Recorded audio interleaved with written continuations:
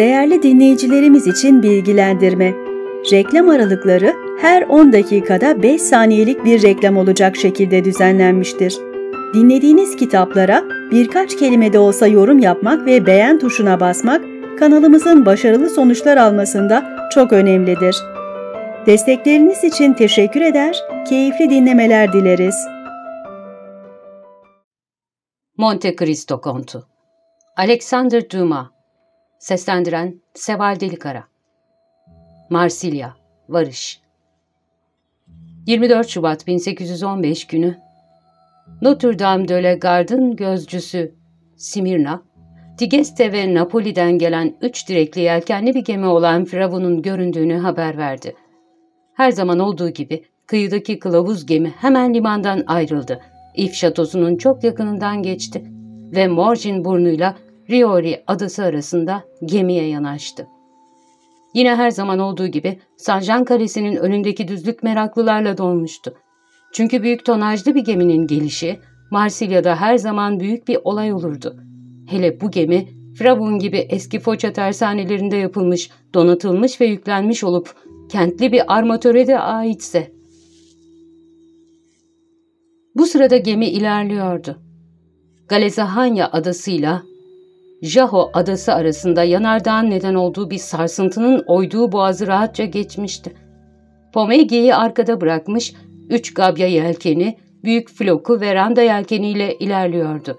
Ama öylesine yavaş ve öylesine hüzünlü bir ilerleyişi vardı ki, kıyıdaki meraklılar bir felaketi önceden haber veren o içgüdüyle geminin ne gibi bir kaza geçirmiş olabileceğini kendi kendilerine soruyorlardı. Yine de gemicilikte uzman olanlar eğer bir kaza olmuşsa bunun geminin kendisiyle ilgili olmadığını biliyorlardı. Çünkü kusursuz yönetilen bir geminin tüm görünümüne sahip olarak yol alıyordu. Demiri suya salınmış, civadra halatları indirilmişti ve Fravuna Marsilya limanının dar girişinde yön vermeye hazırlanan kılavuz kaptanın yanında hızlı hareket eden, her şeyi gören, geminin her hareketini denetleyen ve kılavuz kaptanın her emrini yineleyen genç bir adam duruyordu. Kalabalığın başında dolaşan anlaşılmaz kaygı, Sanjan düzlüğündeki izleyicilerden birini özellikle telaşlandırmıştı. Öyle ki geminin limana girmesini bekleyemedi. Küçük bir barkaya atlayıp Prevo'nun önüne gelinceye dek kürek çekilmesini emretti ve küçük rezerv koyunun karşısına ulaştı. Adamın geldiğini gören genç denizci, kılavuz kaptanın yanındaki işini bıraktı ve şapkasını eline alarak geminin küpeştesine gelip yaslandı. Bu 18-20 yaşlarında, uzun boylu, incecik, güzel siyah gözleri, abanoz rengi saçları olan genç bir adamdı. Tüm kişiliğinde çocukluklarından bu yana tehlikelerle savaşmaya alışmış insanlara özgü, sakin ve kararlı bir hava vardı. ''Ah, Dante sizsiniz demek.'' Diye bağırdı barkodaki adam. Ne oldu? Neden geminize böyle bir keder havası hakim? Büyük bir felaket Monsieur Mogel diye yanıt verdi genç adam. Büyük bir felaket. Özellikle benim için. Civita Vecchia yakınlarında şu yürekli kaptan Lekrek'i yitirdik. Ya yük? diye sordu hemen armatör. Yük gereken limana ulaştı Monsieur Mogel ve sanırım bu bakımdan memnun kalacaksınız.'' Ama zavallı kaptan Lekler... Peki ona ne oldu? diye sordu armatör. Göze görünür biçimde rahatlamış olarak o yürekli kaptana ne oldu peki? Öldü. Denize mi düştü? Hayır Mösyö.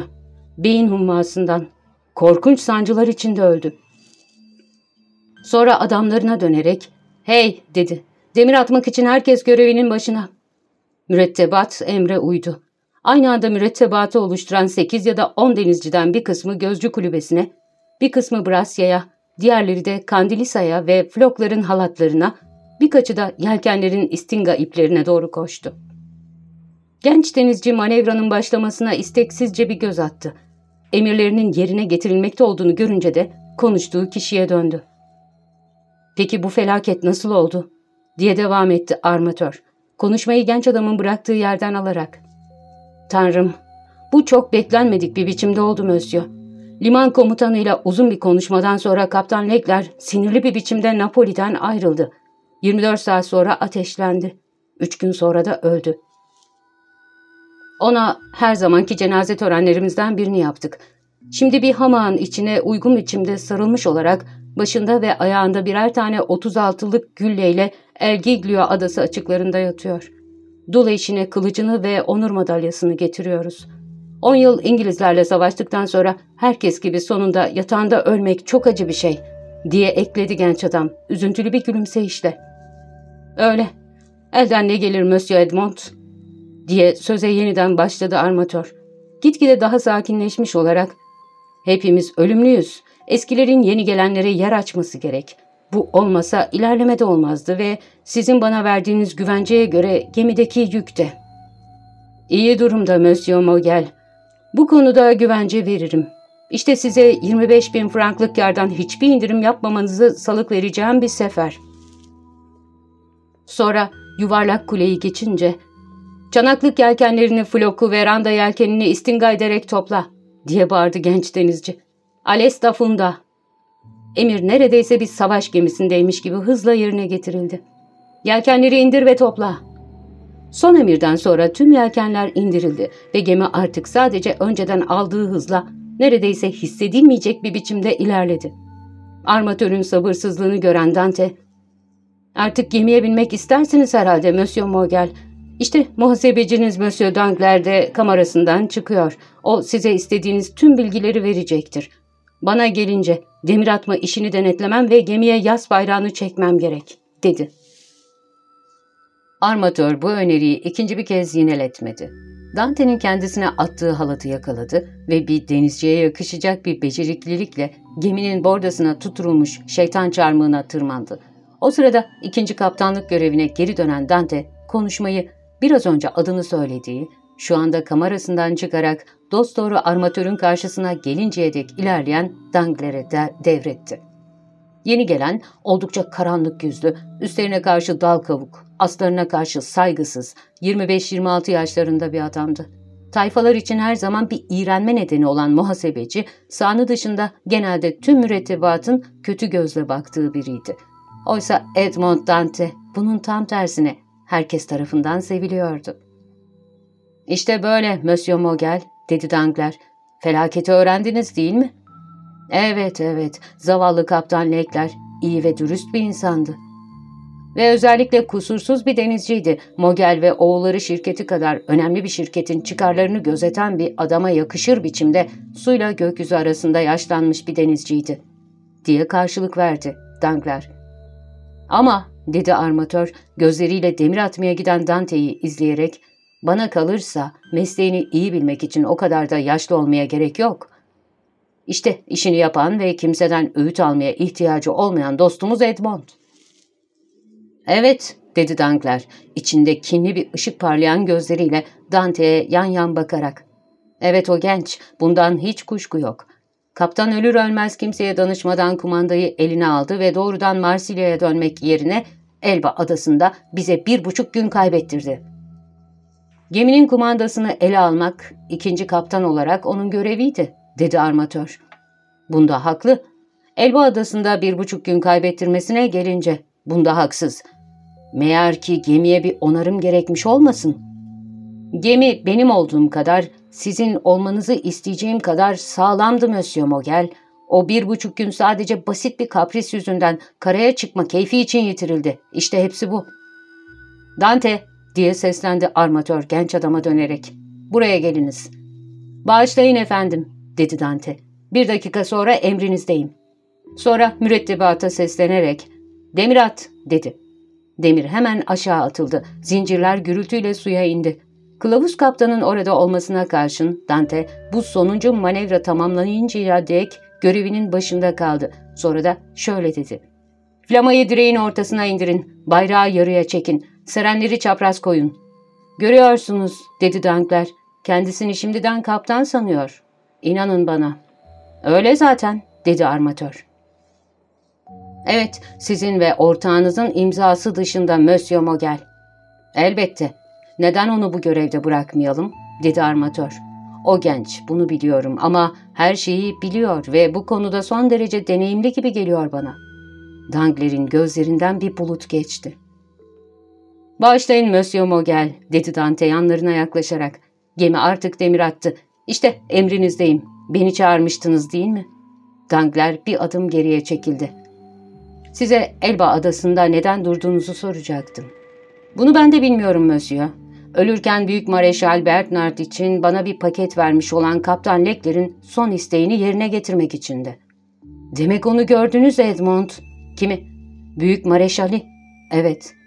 Mogel çevresine baktı ve Dante'yi bir kenara çekti. İmparator nasıl? diye sordu heyecanla. İyi, gözlerimle gördüğüm kadarıyla elbette. Demek imparatoru da gördünüz. Ben oradayken Mareşal'in odasına girdi. Onunla konuştunuz mu? Doğruyu söylemek gerekirse o benimle konuştu efendim, dedi Dante gülümseyerek. Size ne dedi? Bana gemi hakkında, Marsilya'ya hareket ettiği tarih hakkında, izlediği yol ve taşıdığı yük hakkında sorular sordu. Bana öyle geldi ki gemi boş olsaydı, ben de geminin sahibi olsaydım, gemiyi satın almaya niyetliydi. Ama ben ona sadece ikinci kaptan olduğumu ve geminin Mogel ve oğulları şirketine ait olduğunu söyledim, dedi. Bu şirketi biliyorum. Mogeller babadan oğula armatördürler. Ben Valencia'da garnizondayken benimle aynı alayda görev yapan bir Mogel vardı dedi. Ha doğru diye haykırdı armatör neşe içinde. Bu sonradan kaptan olan amcam Polika Mogel'di. Dante, amcama imparatorun onu anımsadığını söyleyin, yaşlı askerin ağladığını göreceksiniz. Gidelim, gidelim diye konuşmasını sürdürdü armatör, genç adamın omzuna dostça vurarak. Kaptan Lekler'in emrine uyarak Elba'da durmakla iyi ettiniz. Mareşal'e bir paket verdiğiniz ve imparatorla konuştuğunuz bilinseydi bu sizi tehlikeye atabilirdi. Bunun beni tehlikeye atabileceğini söylemekle ne demek istiyorsunuz efendim? diye sordu Dante. Ben ne götürdüğümü bile bilmiyordum ve imparator da bana sadece yeni tanıştığı birine sorabileceği sorular sordu. Ama bağışlayın, dedi Dante. İşte sağlık ve gümrük görevlileri geliyor. İzin verirsiniz değil mi? İşinize bakın, işinize bakın sevgili Dante. Genç adam uzaklaştı. O uzaklaşırken Dangler yaklaştı. İşte böyle, dedi. Öyle görünüyor ki Porto Fegaju'da demir atma konusunda size bir sürü geçerli neden sıraladı. Çok iyi nedenler sevgili Monsieur Dangler. Eh, iyi o zaman, diye yanıt verdi Dangler.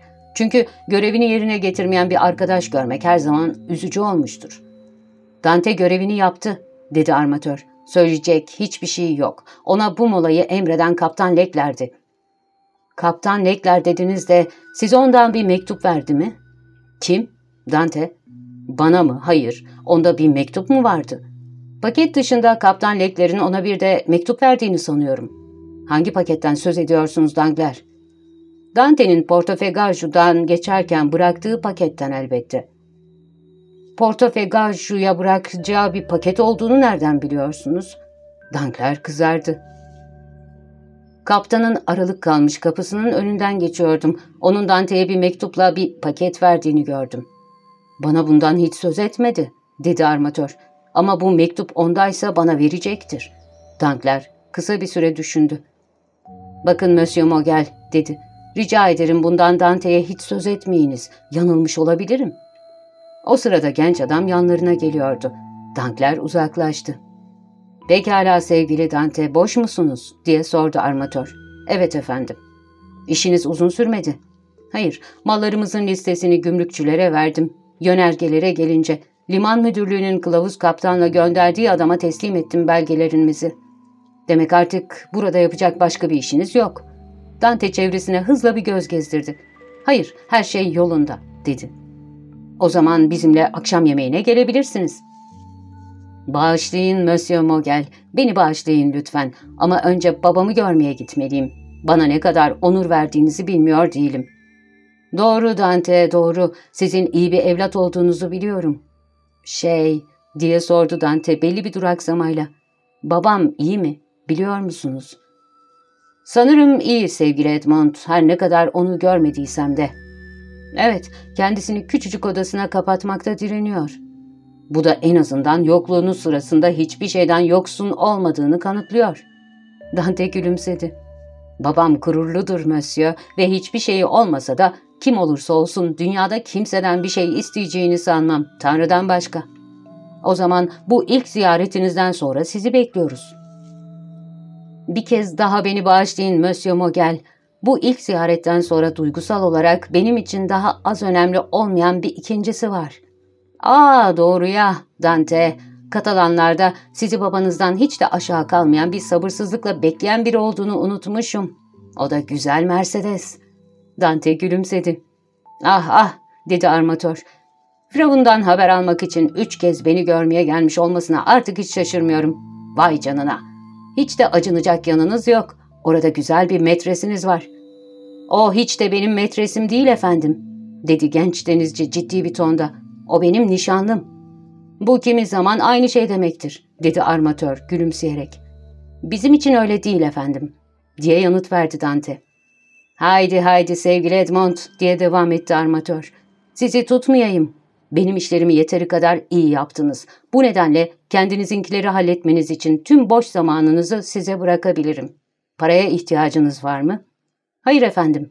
Sefer süresindeki tüm aylıklarımı aldım. Bu da yaklaşık üç aylık ediyor. Düzenli bir çocuksunuz Edmond. Buna fakir bir babam olduğunu da ekleyiniz Monsieur Mogel. Evet evet, sizin iyi bir evlat olduğunuzu biliyorum. Hadi babanızı görmeye gidin. Benim de bir oğlum var. Üç aylık bir seferden sonra onu benden uzak tutacak birine çok kızardım. O zaman izin veriyor musunuz? diye sordu genç adam selam vererek. Evet, eğer bana söyleyecek başka hiçbir şeyiniz yoksa. Yok. Kaptan Lekler ölürken size benim için bir mektup vermedi mi? Onun bir şey yazması olanaksızdı efendim ama sizden 15 günlük bir izin isteyeceğimi şimdi anımsadım. Evlenmek için mi? Önce evlenmek sonra da Paris'e gitmek için. Olur olur. İstediğiniz kadar izin alın Dante. Gemiyi boşaltmak rahat rahat 6 haftamızı alır ve 3 aydan önce yeniden denize açılamayız. Ama 3 ay sonra kesinlikle burada olmanız gerek. Çünkü Fravun diye devam etti armatör genç denizcinin omzuna vurarak kaptanı olmadan yola çıkmaz. Kaptanı olmadan mı diye çığlık attı Dante gözleri sevinçten parlayarak. Söylediklerinize dikkat ediniz efendim. Çünkü yüreğimdeki en gizli umutlara yanıt verdiniz şimdi.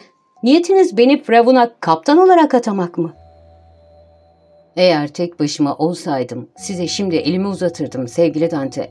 Ve size bu iş tamamdır derdim. Ama bir ortağım var ve şu İtalyan atasözünü bilirsiniz. Bir ortağı olanın bir efendisi vardır. Ama en azından işin yarısı halledilmiş demektir. Çünkü iki oydan biri şimdiden sizin ve elimden geleni yapacağım. Ah Monsieur Mogel diye çığlık attı genç denizci. Gözünde yaşlarla armatürün ellerine sarılarak Monsieur Mogel size babam ve Mercedes adına teşekkür ederim dedi. İyi iyi Edmond, yiğit insanlar için gökte tanrı vardır, şeytan değil. Hadi babanızı görmeye gidin. Mercedes'i görmeye gidin. Sonra da beni görmeye gelin. Ama sizi karaya çıkarmamı istemiyor musunuz? Hayır sağ olun.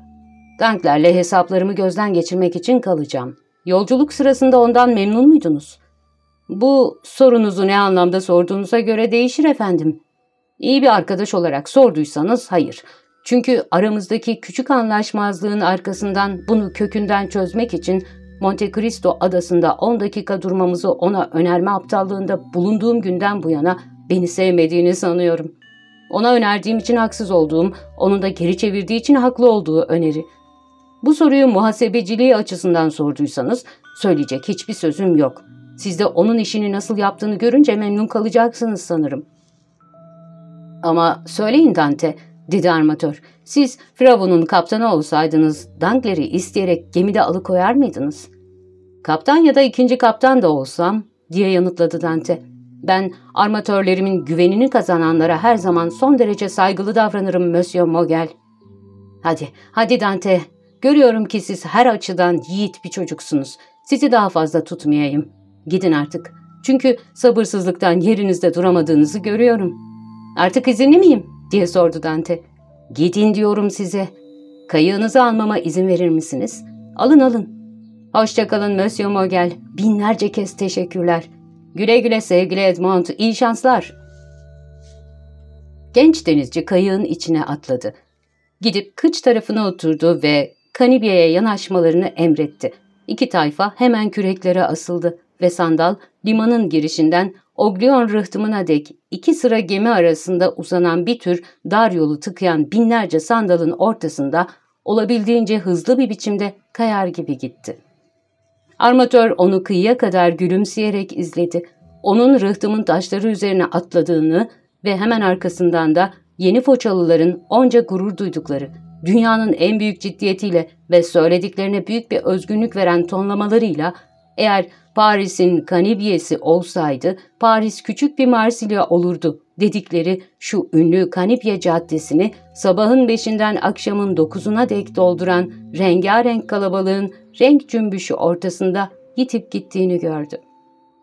Geriye dönünce arkasında onun emirlerini bekliyormuş gibi görünen ama aslında genç denizciyi tıpkı kendisi gibi gözleriyle izleyen Dangler'i gördü. Sadece aynı adamı izleyen bu iki bakışın anlamları arasında büyük bir fark vardı. Baba ve oğul Kendini hırsına kaptırarak armatörün kulağına arkadaşlarıyla ilgili bir takım kör, kötü varsayımlar fısıldamaya çalışan Dankler'i bir kenara bırakalım. Kanibye'yi boydan boya geçtikten sonra Nuayi sokağına sapan Melyon yolunun sol yanındaki küçük bir eve giren, karanlık bir merdivenden hızla dördüncü kata çıkan, bir eliyle trabzana tutunurken öbür eliyle de kalbinin atışlarını bastırmaya çalışan, küçük bir odayı sonuna dek gösteren biraz aralık kalmış bir kapının önünde duran Dante'nin peşinden gidelim. Burası Baba Dante'nin oturduğu odaydı. Bravo'nun geliş haberi bir sandalyenin üstüne çıkmış, penceresinin kafesi boyunca yukarı tırmanan fil baharlara karışmış birkaç latin çiçeğine titreyen eliyle çit yapmaya çalışan ihtiyar adama henüz ulaşmamıştı. Birden iki kolun beline dolandığını hissetti ve iyi tanıdığı bir ses arkasından haykırdı. ''Babacım, canım babacım.'' Yaşlı adam bir çığlık attı ve arkasını döndü. Oğlunu görünce tir tir titreyerek ve rengi solarak kendini onun kollarına bıraktı. ''Neyiniz var baba?'' diye haykırdı genç adam kaygıyla. ''Hasta mısınız yoksa?'' ''Hayır, hayır sevgili Edmond. Oğlum, hayır yavrum. Ama seni beklemiyordum. Sevinç bu. Seni birden habersizce yeniden görmenin verdiği heyecan. Ah tanrım sanırım öleceğim. Hadi kendinize gelin artık baba. Benim ben. Sevinçten zarar gelmez denir hep. İşte bunun için hiç habersiz girdim içeri. Hadi bakalım şimdiki gibi şaşkın gözlerle bakacağınıza gülün bana. Geri geldim ve mutlu olacağız.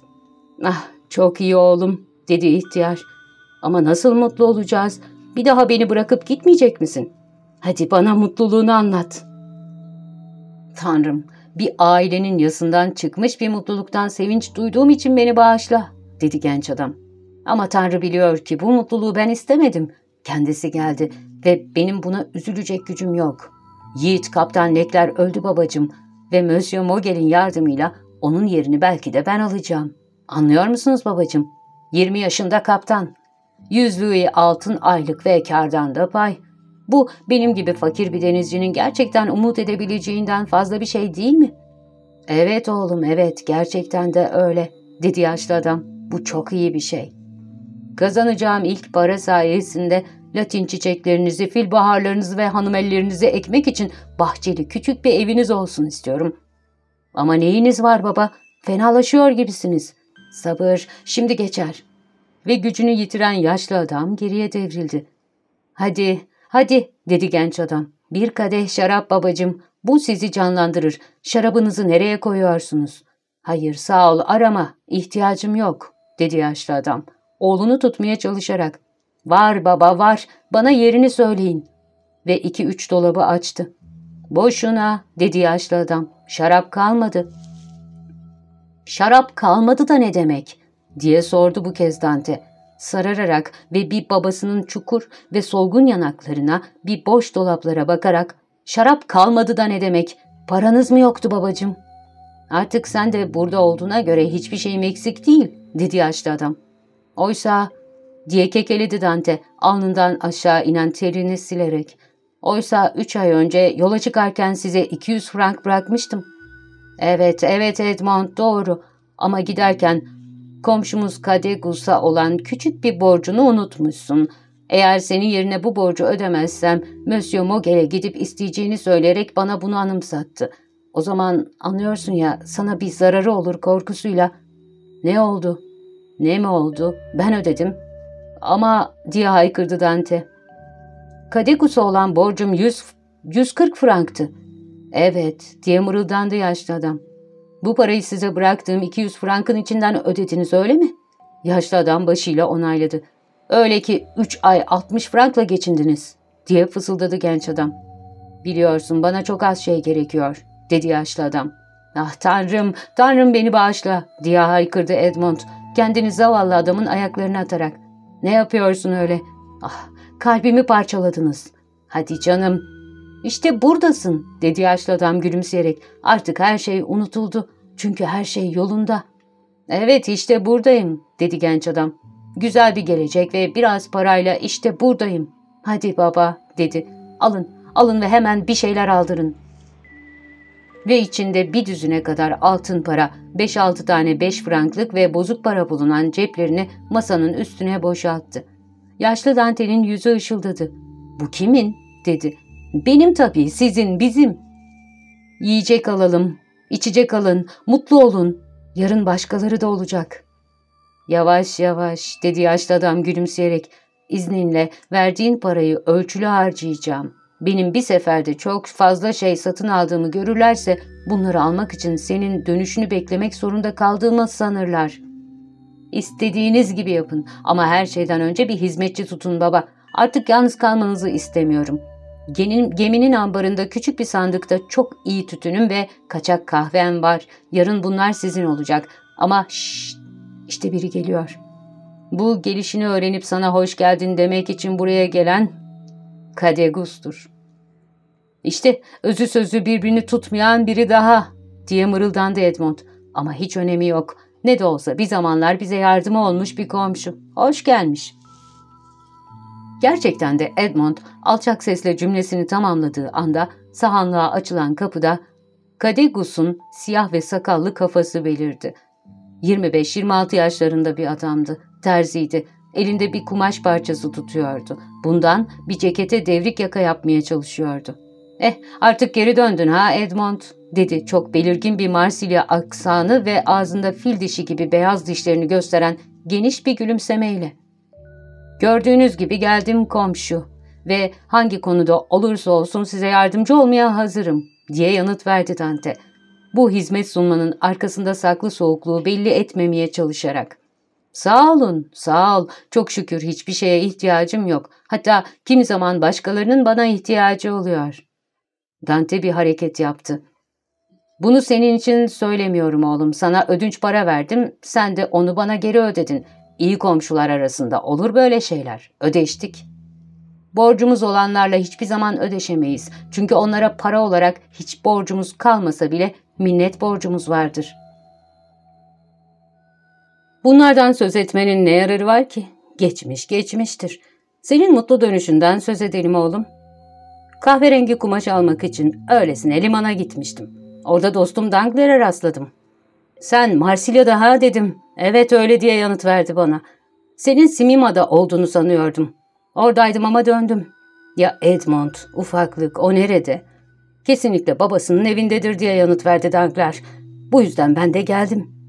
Diye sürdürdü Kadegus. Bir dostumun elini sıkma zevki için geldim. Bu iyi Kadegus bizi ne kadar da seviyor, dedi yaşlı adam. Sizi elbette seviyorum ve dahası değer veriyorum. Dürüst insanlar o kadar az ki.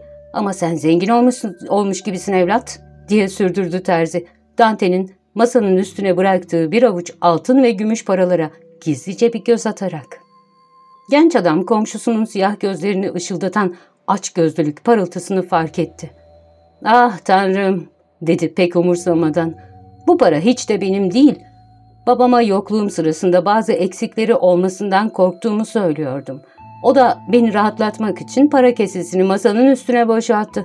''Hadi baba'' diye sürdürdü Dante. ''Bu parayı kumbaranıza doldurun. Meğer ki komşumuz Kadegus'un bunlara ihtiyacı olmasın. Eğer varsa bu para hemen emrindedir.'' ''Hayır, ihtiyacım yok oğlum.'' dedi Kadegus. ''Hiçbir şeye ihtiyacım yok. Tanrı'ya şükür devlet insanlarını besliyor. Paranı koy bir kenara, koy. Paranın hiçbir zaman fazlası olmaz. Yine de bana vermek istediğini almış gibi oldum.'' ''Seve seve verecektim.'' dedi Dante. ''Bundan hiç kuşkum yok. Pekala, Monsieur Mogel'le aran iyiymiş, seni pek seviyormuş. Monsieur Mogel bana karşı her zaman çok iyi davranmıştır, dedi Dante. Ne olursa olsun yemek davetini geri çevirmekle iyi etmemişsin. Nasıl? Yemek teklifini geri mi çevirdin? diye atıldı yaşlı Dante. Seni akşam yemeğine mi davet etmişti? Evet baba, diye yanıtladı Edmond. Kendisiyle ilgili bu aşırı onurlandırılmanın babasında yarattığı şaşkınlığa gülümseyerek. Peki neden geri çevirdin oğlum? diye sordu ihtiyar. Sizin yanınıza daha çabuk gelebilmek için babacığım, diye yanıtladı genç adam. Sizi görmek için acele ediyordum.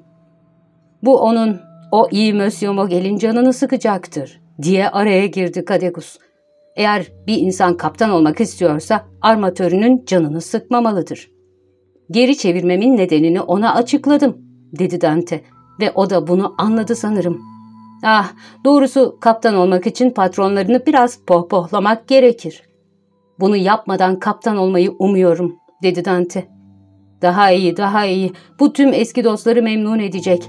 Ve San Nicol kalesinin arkasında buna hiç de üzülmeyecek birini tanıyorum. Mercedes mi? diye sordu ihtiyar. Evet babacığım, diye yanıt verdi Dante.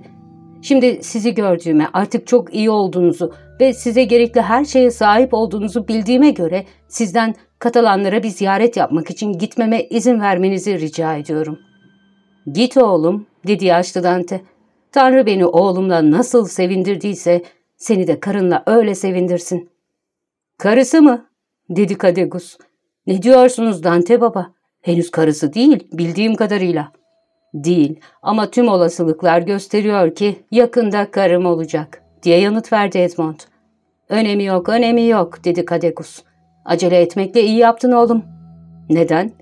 Çünkü Mercedes güzel bir kız ve güzel kızların peşinde aşıklar. Eksik olmaz. Özellikle bu kız. Peşinde düzinelerle aşığı var. Doğru mu? diye sordu Edmond. İçinde hafif kaygılı bir hava sezilen bir gülümsemeyle. Ah evet diye yanıtladı Kadegus. Hatta çok iyi kısmetler. Ama biliyorsun kaptan olacaksın. Seni geri çevirmek istemeyeceklerdir. Bu sözler şu anlama mı geliyor diye sordu Dante. Kaygısını zor saklayan bir gülümsemeyle. Eğer kaptan olmasaydım... Ee, dedi Kadegus. Hadi, hadi genç adam. Genel olarak kadınlar hakkında, özel olarak Mercedes hakkında sizden daha olumlu düşünüyorum ve ister kaptan olayım ister olmayayım, onun bana sadık kalacağına inanıyorum. Bu daha iyi, daha iyi, dedi Kadegus. Evlenirken insanın güven duyması her zaman iyi bir şeydir. Ama neyse, inan bana oğlum, gelişini bildirmek ve umutlarını ona açmak için hiç zaman yitirmeden git. Gidiyorum, dedi Edmond. Babasına sarıldı. Kadegus'u selamladı ve çıktı. Kadegus biraz daha kaldı. Sonra yaşlı Dante'den izin isteyerek o da çıktı. Ve Senak sokağının köşesinde kendisini bekleyen Dagler'in yanına gitti. ''Söyle, onu gördün mü?'' diye sordu Dagler. ''Onun yanından geliyorum.'' dedi Kadegus. ''Sana kaptan olma umudundan söz etti mi?'' Şimdiden kaptan olmuş gibi konuşuyor. Biraz sabır, dedi Dangler. Bana öyle geliyor ki biraz fazla aceleci davranıyor. Öyle mi dersin? Bu iş ona Monsieur Mogel tarafından söz verilmiş gibi görünüyor. Bu yüzden mi bu kadar neşeli? Bir de saygısız, sanki çok önemli bir kişiymiş gibi bana yardım önerilerinde bulundu. Bir bankacıymış gibi bana ödünç para vermeyi önerdi. Ve siz de geri çevirdiniz değil mi? Elbette. Harcadığı ilk paraları onun eline veren ben olduğum için kabul edebilecek olsam da. Ama şimdi artık Monsieur Dante kimseye ihtiyaç duymayacak çünkü yakında kaptan olacak. Dur bakalım dedi Dangler. Henüz olmadı. İnanın o kaptan olmasa daha iyi olur dedi Kadegus. Yoksa ona bir şey söylemenin yolu kalmayacak. Eğer biz istersek dedi Dangler olduğu yerde kalır. Belki de olduğundan daha aşağılara iner. Ne diyorsun? Hiçbir şey kendi kendime konuşuyorum. Hala güzel Katalan'a aşık mı? Deli gibi aşık. Onun yanına gitti. Ama ya ben büyük bir yanılgı içindeyim ya da orada tatsız şeyler olacak. Ne demek istiyorsun? Bu neye yarar? Bu senin sandığından daha önemli. Sen Dante'yi sevmiyorsun değil mi? Kendini bir şey sananları sevmem. İyi o zaman Katalan kız hakkında ne bildiğini bana söyle. Çok olumlu şeyler bilmiyorum. Sadece sana da söylediğim gibi gelecekteki kaptanımızın Velya Afya gemi yolu yakınlarında tatsızlıklarla karşılaşacağını bana düşündüren bir takım şeyler gördüm. Ne gördün? Hadi söyle. Pekala. Mercedes her kente indiğinde yanında iri yarı, siyah gözlü, kırmızı tenli, çok esmer, çok güçlü bir Katalan oluyor ve ona kuzenim diyor. Ah, gerçekten mi? Bu kuzenin ona kur yaptığını mı düşünüyorsun? Öyle sanıyorum. 21 yaşında iri bir çocuk, 17 yaşında güzel bir kıza ne yapar? Dante'nin Katalanlara gittiğini mi söylemiştin? Ben oradayken gitti. Biz de aynı yöne gidersek rezervde dururuz ve La Malgu'da bir kadeh şarap içerken haberleri bekleriz. Haberleri bize kim verecek? Yolunun üstünde olacağız ve olup biteni Dante'nin yüzünden anlayacağız. Hadi, dedi Kadegus. Ama sen ödeyeceksin değil mi? Elbette, diye yanıtladı Dangler. Her ikisi de hızlı adımlarla sözünü ettikleri yerin yolunu tuttular. Oraya gelince bir şişe ve iki kadeh getirttiler. Pampil baba 10 dakika önce Dante'nin geçtiğini görmüştü. Dante'nin Katalanlarda olduğundan emin olunca dallarında cıvıl cıvıl öterek ilkbaharın güzel ilk günlerinden birine haber veren bir kuş sürüsünün bulunduğu çınar ağaçlarının yeşil yaprakları altına oturdular. Katalanlar İki dostun gözleri ufukta, kulakları kirişte, La Malgu'nun köpüklü şarabını bir dikişte içtikleri yerden yüz adım ötede, güneşin ve kuzey rüzgarının aşındırdığı çıplak bir tepenin arkasında Katalanların kasabası yükseliyordu. Bir gün gizemli bir göçmen topluluğu İspanya'dan çıktı ve bugün hala yaşadıkları toprağın kıyısına yanaştı. Bilinmedik bir yerden geliyor, bilinmedik bir dil konuşuyorlardı.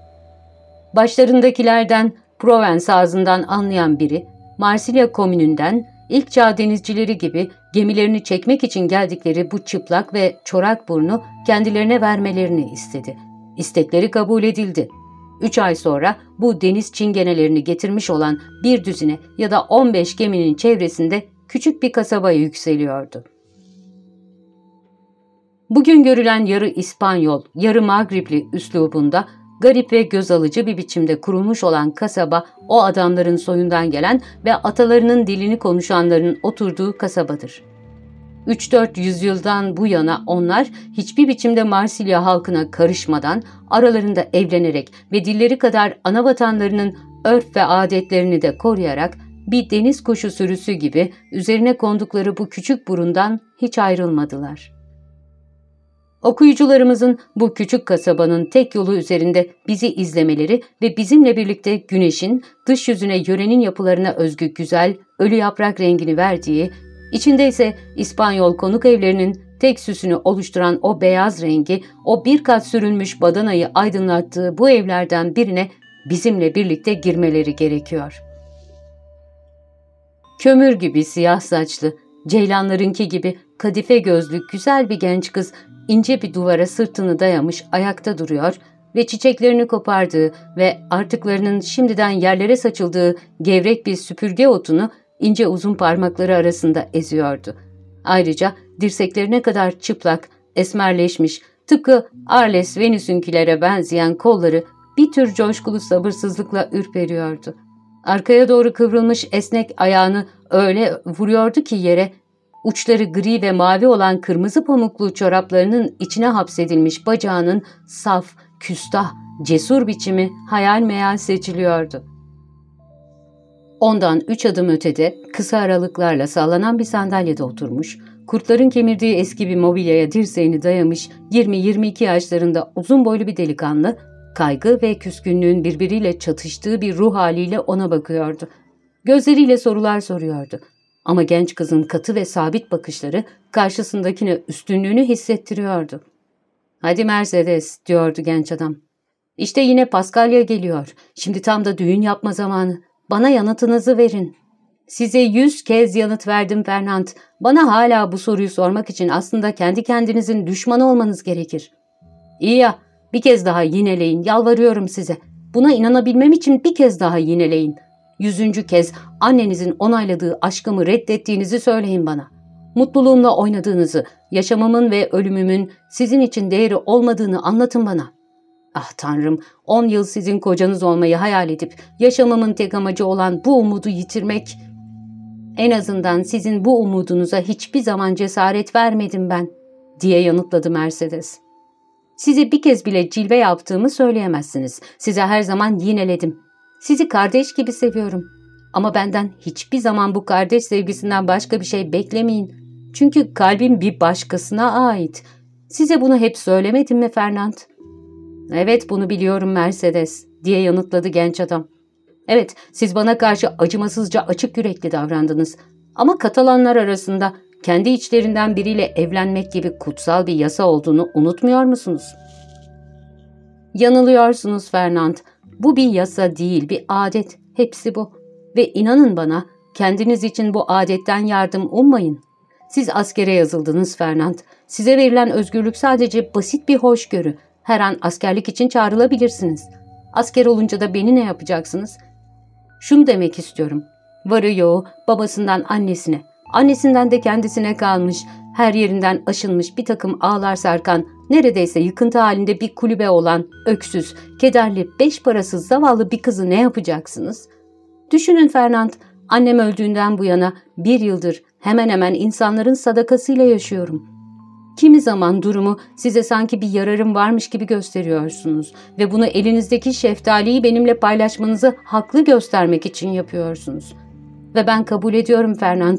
Çünkü siz babamın erkek kardeşlerinden birinin oğlusunuz ve biz birlikte büyüdük. Üstelik hepsinden daha önemlisi eğer ben sizi geri çevirseydim bu sizi çok üzerdi. Ama şu balığı satıp ondan kazanacağım parayla iplik yapmak için kenevir almak, işte bunun bir sadaka olduğunu hissediyorum Fernand. Bunun hiç önemi yok Mercedes. Nedenli fakir ve yalnız olursanız olun, bana Marsilya'nın en kibirli armatörünün ya da en zengin bankacısının kızından daha uygunsunuz. Bizim gibilere ne gerekir? Dürüst bir kadın, iyi bir ev kadını. Bu iki konuda sizden daha iyi birini nerede bulabilirim? Fernand diye yanıtladı Mercedes, Mercedes başını sallayarak. Kocasından başka bir erkeği sevince kadın dürüst bir kadın olarak kalamaz ve kötü bir ev kadını olur. Dostluğumla yetininiz çünkü size yineliyorum. Size söz verebileceğim sadece bu. Ancak yapabileceğim şeyler için söz verebilirim. Evet anlıyorum dedi Fernand. Yoksulluğunuza sabırla katlanıyorsunuz ama benimkinden korkuyorsunuz. Pekala Mercedes, sizin tarafınızdan sevilirsem yeni bir yaşama başlayacağım. Siz bana uğur getireceksiniz, zengin olacağım. Balıkçılık işimi büyütebilirim. Bir mağazaya işçi olarak girebilirim. Tüccar bile olabilirim. Bunların hiçbirini yapamazsınız Fernand. Siz askersiniz ve Katalanlarda kalırsanız bu savaş çıkmadığı için olacaktır. Bu yüzden balıkçı olarak kalınız. Gerçeği size en korkunç haliyle gösterecek düşler kurmayınız ve benim dostluğumla yetininiz. Çünkü size bundan başka bir şey veremem. Pekala, haklısınız Mercedes. Denizci olacağım. Babalarımızın küçümsediğiniz giysileri yerine parlak bir şapkam, çizgili bir gömleğim ve düğmelerinin üstü çapalı mavi bir ceketim olacak. Sizin hoşunuza gitmek için ancak böyle giyinmek gerekiyor değil mi? Ne demek istiyorsunuz? diye sordu Mercedes ona tepeden bakarak. Ne demek istiyorsunuz? Sizi anlayamadım. Böyle giyinen bir başkasını beklediğiniz için bana karşı bu denli katı, bu denli acımasız olduğunuzu söylemek istiyorum Mercedes. Ama beklediğiniz kişi belki de vefasızdır. O değilse Deniz onun yerine vefasız olabilir. Fernand diye aykırdı Mercedes. Sizin iyi biri olduğunuzu sanıyordum, yanılmışım. Fernand, siz Tanrı'nın gazabını kendi kıskançlığının yardımına çağıran kötü kalpli birisiniz. Pekala, evet, hiçbir şey gizlemiyorum. Sizin sözünü ettiğiniz kişiyi seviyorum ve bekliyorum. Ama eğer gelmezse sizin ileri sürdüğünüz vefasızlığı suçlamak yerine beni severek öldüğünü söyleyeceğim. Genç Katalan delikanlı öfkeli bir hareket yaptı. Sizi anlıyorum Fernand. Sizi sevmeyişimin acısını ondan çıkaracaksınız. Onun hançerine karşı Katalan bıçağınızı çekeceksiniz. Bunun size ne yararı olacak? Yenilirseniz dostluğumu yitireceksiniz. Yenerseniz dostluğumun nefrete dönüştüğünü göreceksiniz. İnanın bana. Bir kadının sevdiği adamla kavga çıkarmaya çalışmak, o kadının beğenisini kazanmak için kötü bir yoldur. Hayır Fernand, hiç kendinizi böyle kötü düşüncelere kaptırmayın.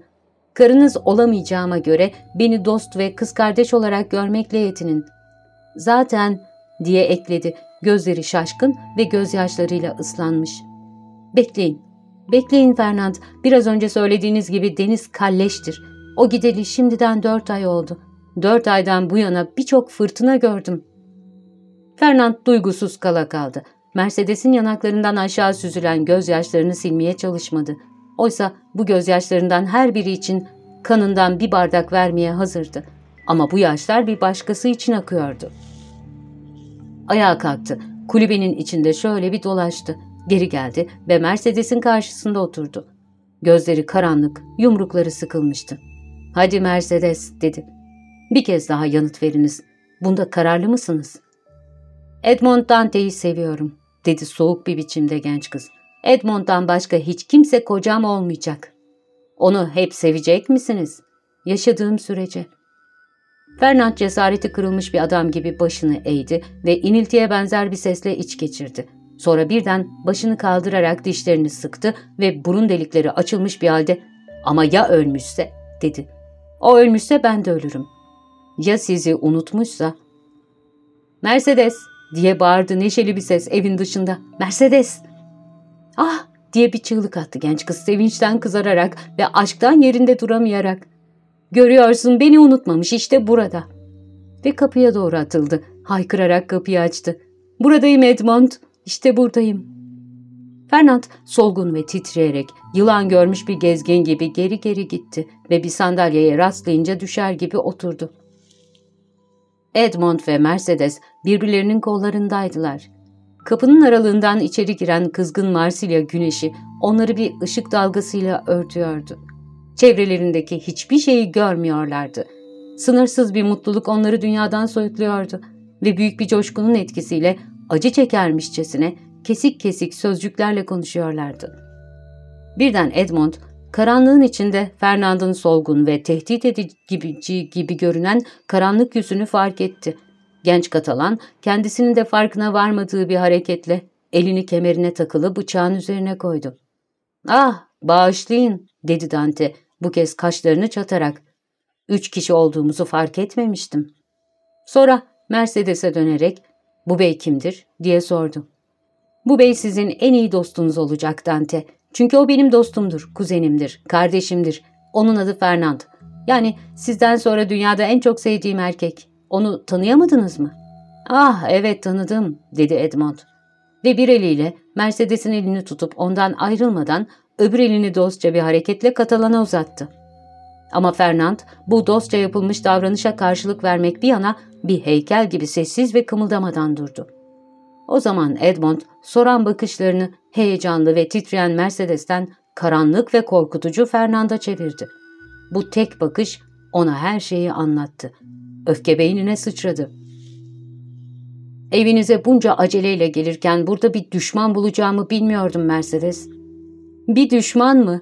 Diye bağırdı Mercedes kuzenine doğru öfkeyle bakarak. Benim evimde bir düşman mı diyorsun Edmond? Eğer buna inansaydım seni koluma takar ve bir daha dönmemek üzere evi terk ederek Marsilya'ya giderdim. Fernand'ın gözlerinde bir şimşek çaktı. Senin başına kötü bir şey gelseydi sevgili Edmond diye sözlerini sürdürdü Mercedes. Fernanda onun en korkunç düşüncesini en ince noktasına kadar okuduğunu hissettiren aynı acımasız soğuklukla. Eğer senin başına kötü bir şey gelseydi, Morjin burnunun tepesine çıkardım ve kendimi baş aşağı kayalıklara atardım. Fernand korkunç bir biçimde sarardı. Ama yanıldın Edmond diye sürdürdü Mercedes. Burada hiç düşmanım yok.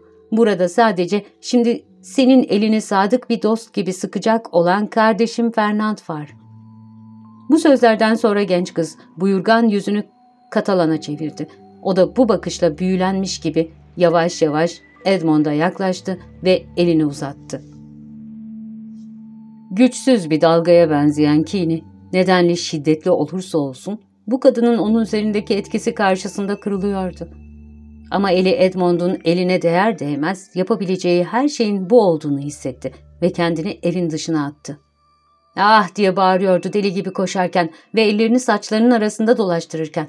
Ah kim beni bu adamdan kurtaracak lanet olsun bana.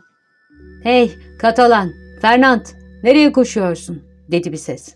Genç adam hemen durdu. Etrafına bakındı ve yapraklardan oluşmuş bir çardağın altında Danklerle bir masaya oturmuş Kadegus'u fark etti. ''Hey!'' dedi Kadegus. ''Neden gelmiyorsun? Dostlarına günaydın demeye vakit bulamayacak kadar mı acelen var?'' Üstelik onların önünde neredeyse dop dolu bir şişe varken diye ekledi Dankler. Fernand sersemlemiş bir halde iki adama baktı ve hiç yanıt vermedi. ''Pek süklüm püklüm görünüyor.'' dedi Dankler. Kadegus'un dizini dürterek ''Yanıldık mı yoksa? Düşündüğümüzün tertisine Dante mi kazandı?'' ''Bunu öğrenmemiz gerek.'' dedi Kadekus ve genç adama dönerek ''Hadi bakalım Katalan kararını verdin mi?'' diye sordu.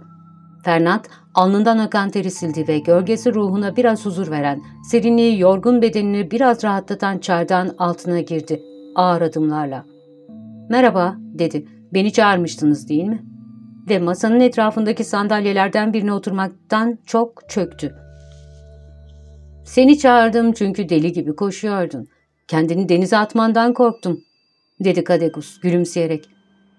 Tanrı aşkına insanın dostları varsa bu dostlar sadece ona bir kadeh şarap ısmarlamak için değil, daha çok onun 3-4 kova su yutmasını engellemek içindir.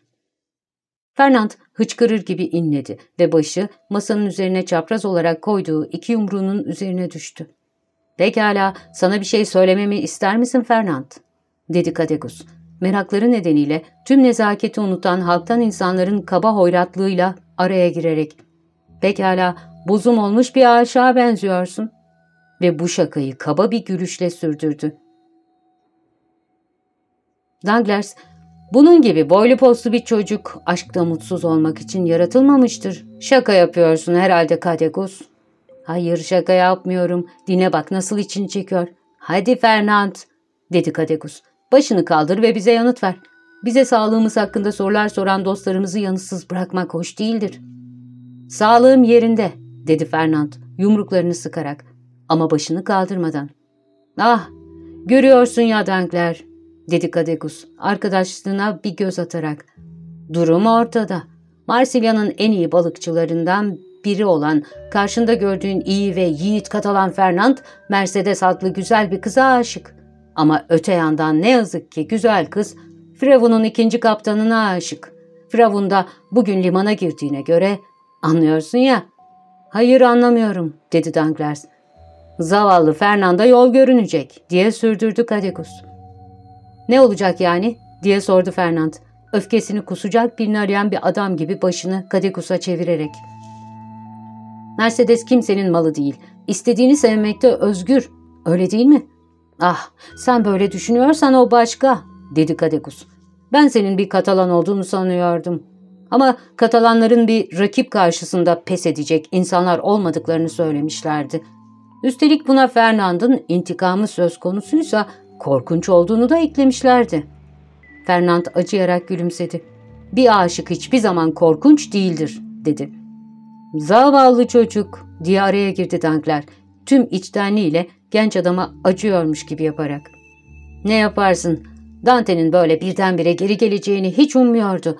Onun belki de öldüğünü ya da vefasız olduğunu sanıyordu, kim bilir. Böyle şeyler ne kadar birdenbire olurlarsa bizi o kadar çok etkilerler.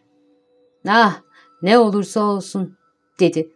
Konuşa konuşa içkisini içen ve yavaş yavaş ünlü Lamalgu şarabının etkisi altında kalmaya başlayan Kadekus. Ne olursa olsun Dante'nin mutlu gelişine canı sıkılan tek kişi Fernand değil. Öyle değil mi Dankler? Hayır, doğru söylüyorsun. Ben de neredeyse bunun ona uğursuzluk getireceğini söyleyecektim. Ama bunun ne önemi var? dedi Kadegus. Fernanda bir kadeh şarap daha verip kendi kadehini de sekizinci ya da dokuzuncu kez doldurarak. Oysa Dankler kendininkinden daha bir yudum içmişti. Ne önemi var? Bu arada Mercedes'le, güzel Mercedes'le evlenecek. En azından bunun için geri geldi. Bu sırada Dankler keskin bakışlarını Kadegus'un sözlerinin kalbine erimiş bir kurşun gibi aktığı genç adamdan bir an bile ayırmıyordu. ''Peki düğün ne zaman?'' diye sordu. ''Ah, henüz yapılmadı.'' diye mırıldandı Fernand. ''Hayır ama yapılacak.'' dedi Kadegus. ''Bu Dante'nin Fravun'un kaptanı olacağı kadar doğru. Öyle değil mi Dankler?'' Dankler bu beklenmedik saldırıyla ürperdi ve saldırının önceden tasarlanıp tasarlanmadığını anlamak için bu kez de Kadegus'un yüzünü incelemeye başladı. Ama sarhoşluktan hemen hemen sersemleşmiş bu yüzde kıskançlıktan başka bir şey göremedi. ''Hadi bakalım'' dedi kadehleri doldurarak. ''Şimdi kaptan Edmond Dante'ye güzel Katalan'ın kocasına içelim.'' Kadegus ağırlaşmış eliyle kadehini ağzına götürdü ve bir içişte bitirdi. Fernand kadehini aldı ve yere fırlatarak paramparça etti. ''Hey hey hey!'' dedi Kadegus. ''Orada Katalanlar tarafında tepenin üstünde ne görüyorum?'' ''Sen de bak Fernand, senin gözlerin benden iyi görür. Sanırım bulanık görmeye başlıyorum. Bilirsin şarap haindir. Sanki yan yana, el ele yürüyen iki aşık var. Tanrı beni bağışlasın. Bizim onları gördüğümüzden hiç kuşkulanmıyorlar. İşte öpüşüyorlar.'' Dangler, yüzü gözle görünür bir biçimde allak bullak olan Fernand'ın tek bir kaygı belirtisini bile gözden kaçırmıyordu. ''Onları tanıyor musunuz Monsieur Fernand?'' diye sordu. ''Evet'' diye yanıtladı Fernand, kısık bir sesle. ''Onlar Monsieur Edmond ve Mademoiselle Mercedes.'' ''Ah, görüyorsun işte'' dedi Kadegus. ''Ben onları tanıyamadım. Hey Dante, hey güzel kız, biraz buraya gelin. Düğün ne zaman bize söyleyin.'' Çünkü çok inatçı olan Monsieur Fernand bize bunu söylemek istemiyor. Susar mısın? dedi Dankler. Sarhoşların inatçılığıyla çardaktan dışarı sarkan Kadehuse'yi yutmaya çalışır gibi görünerek. Ayakta durmaya çalış. Bırak gençler rahat rahat sevişsinler. Monsieur Fernand'a bak. Onu örnek al. Bak o ne kadar aklı başında. Banderillolar tarafından şişlenen boğalar gibi Dankler tarafından iğnelenen ve artık sabrının sonuna gelmiş olan Fernand saldırıya geçmek üzereydi sanki. Çünkü yerinden kalkmıştı ve rakibinin üstüne atılmak için kendini hazırlıyor gibiydi. Ama gülen ve doğrulan Mercedes güzel başını kaldırdı ve pırıl pırıl bakışlarıyla çevresini aydınlattı. O zaman Fernand onun savurduğu tehdidi Edmond ölürse kendisinin de öleceğini söylediğini anımsadı ve tüm cesareti kırılmış olarak sandalyesine çöktü. Dankler sırayla bu iki adama bakıyordu. Biri sarhoşluktan sersemlemiş, öbürü aşkın pençesine düşmüştü. Bu aptallardan hiçbir şey elde edemem diye mırıldandı. Burada bir ayyaşla bir ödleğin arasında olmaktan çok rahatsızım. İşte burada kinden sarhoş olması gerekirken şaraptan sarhoş olmuş bir kıskanç, Orada burnunun ucunda metresi elinden alınmışken ağlamakla ve çocuk gibi kendini acındırmakla yetinen bir koca budala. Oysa çok iyi intikam alan İspanyollar, Sicilyalılar ve Kalabriyalılar gibi gözleriniz tutuşmalı. Bir kasabın tokmağı kadar güvenle bir öküzün başını ezebilecek yumruklarınız olmalıydı. Hiç kuşku yok. Edmond üstün gelecek. Genç kızla evlenecek. Kaptan olacak ve bizimle alay edecek. Ama eğer ben Belli belirsiz bir gülümseme belirdi dudaklarında Dangler'in. Ama eğer ben işin içine karışmazsam diye ekledi. Hey diye bağırmaya devam ediyordu Kadegus. Yarı yarıya doğrulmuş, yumrukları masanın üstünde. Hey Edmond, dostlarım gö dostlarını görmüyorsun demek ya da onlarla konuşmayacak kadar kibirlisin öyle mi? Hayır sevgili Kadegus diye yanıtladı Dante. Kibirli değilim ama mutluyum. Ve mutluluk insanı kör eder. Bence kibirden daha çok kör eder.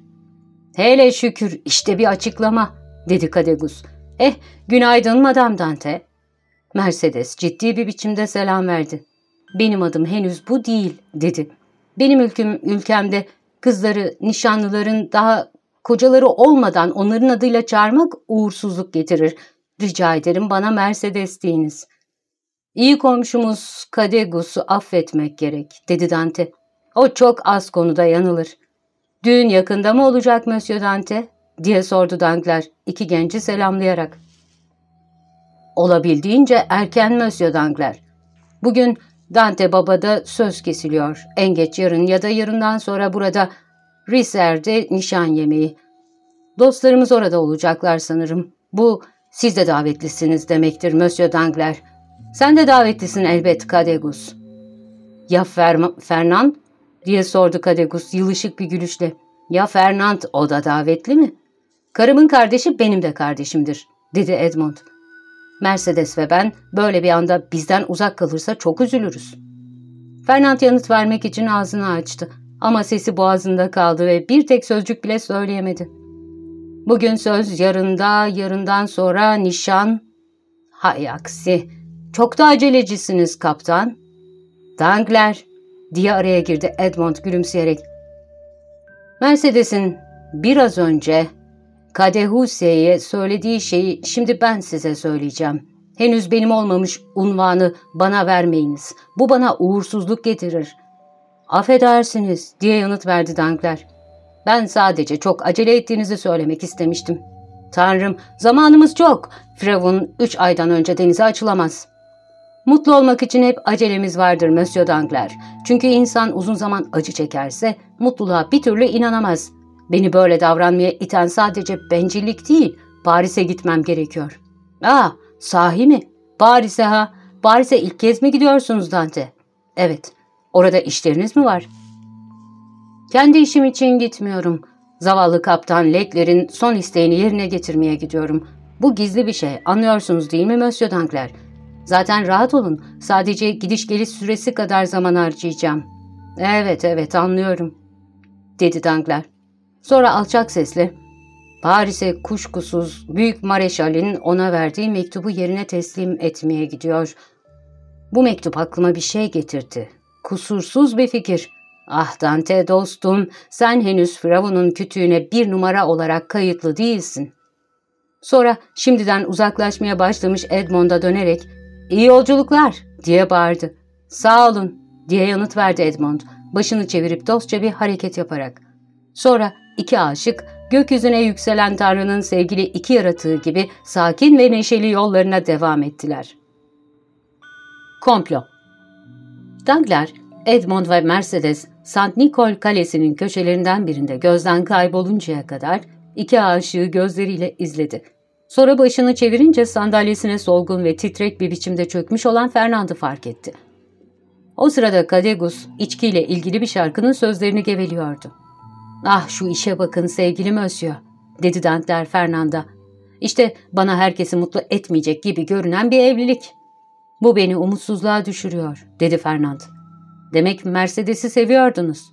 Ona tapıyordum. Uzun zamandan beri mi? Tanıştığımızdan bu yana onu hep sevdim. Bu işe bir çözüm aramak yerine burada oturmuş saçınızı başınızı yoluyorsunuz. Ulusunuzun insanların böyle davranacağını hiç ummazdım.'' ''Ne yapmamı istiyorsunuz?'' diye sordu Fernand. ''Ben ne bileyim, bu beni ilgilendirir mi? Bana öyle geliyor ki Matmazel Mercedes'e aşık olan ben değilim, sizsiniz. Arayınız bulacaksınız.'' diyor İncil. ''Ben daha önce bulmuştum. Neyi?'' Adamı hançerlemek istiyordum ama kadın bana nişanlısının başına kötü bir şey gelirse kendini öldüreceğini söyledi. Heh, böyle şeyler söylenir ama hiç yapılmaz. Mercedes'i hiç tanımıyorsunuz Monsieur. Bir kez tehdit etti mi yapar.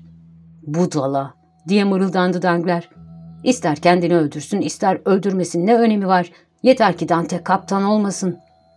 Mercedes ölmeden diye yeniden söze başladı Fernand. Değişmez bir kararlılık gösteren ses tonuyla ben ölürüm dedi. İşte aşk bu dedi Kadegus giderek daha sarhoş bir sesle. İşte aşk bu ya da ben bu işten hiç anlamıyorum.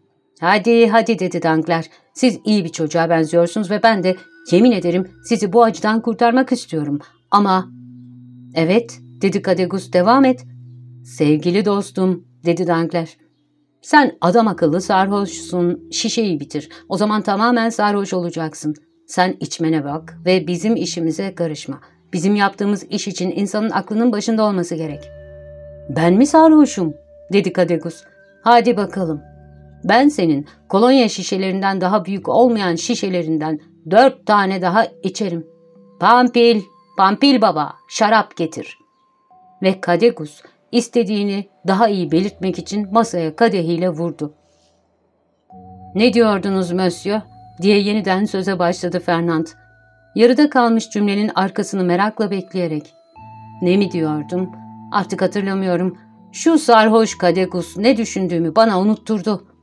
İstediğin kadar sarhoş ol, şaraptan korkanlara yazık. Çünkü onlar içlerindeki kimi kötü düşünceleri şarabın ortaya çıkaracağından korkarlar. Ve Kadekus o sıralar pek moda olan bir şarkının son iki dizesini söylemeye başladı. Bütün kötüler su içer. Bu tufandan bellidir. Benim acılarımı dindirmek istediğinizi söylüyordunuz Monsieur, dedi yeniden Fernand. Ama buna bir şeyler de ekliyordunuz. Evet, acınızı dindirmek için diyordum. Dante'nin sevdiğiniz kızla evlenmemesi yeter ve evlilik bana kalırsa Dante ölmeden de gerçekleşmeyebilir. Onları ancak ölüm ayırabilir, dedi Fernand. Çok saçma düşünüyorsunuz dostum, dedi Kadegus. Oysa Dankler'e bakın. Çok bilmiş, kurnaz, hilebaz Dankler size haksız olduğunuzu kanıtlayacaktır. Hadi kanıtla Dankler. Senin yerine konuştum. Dante'nin ölmesinin gerekmediğini söyle ona. Zaten Dante'nin ölmesi çok kötü olur. O iyi bir çocuk, ben onu severim. Sağlığına Dante. Fernand sabırsızlıkla ayağa kalktı. Bırakın onu konuşsun, diye araya girdi Dankler, genç adamı alıkoyarak. Zaten bu kadar sarhoş olmasına karşın hiç de o kadar yanlış şeyler söylemiyor. Aynı kalmak da ölüm kadar son verir ilişkilere.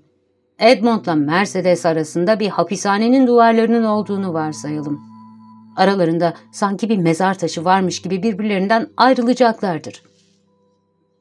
Evet ama insan hapisten çıkar, dedi zekasından geriye kalanlarla konuşmaya karışmadan duramayan Kadekus. Ve hapisten çıktığı zaman eğer adı Edmond Dante ise intikam alır. Ne önemi var? diye mırıldandı Fernand. Zaten Dante'yi neden hapse atabilirler ki? O ne çaldı, ne öldürdü, ne de önceden tasarlayıp bir cinayet işledi, dedi Kadegus. Sen sus, dedi Dankler. Ben susmak istemiyorum, dedi Kadegus. Dante'yi neden hapse atmak istediğinizi bana söylemenizi istiyorum.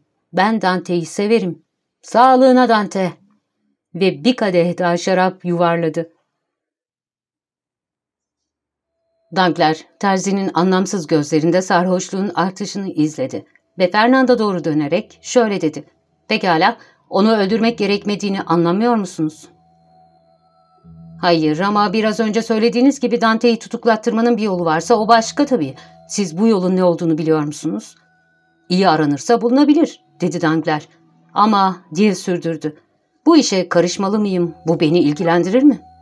Bu işin sizi ilgilendirip ilgilendirmediğini bilmem, dedi Fernand, Dangler'in kolunu tutarak.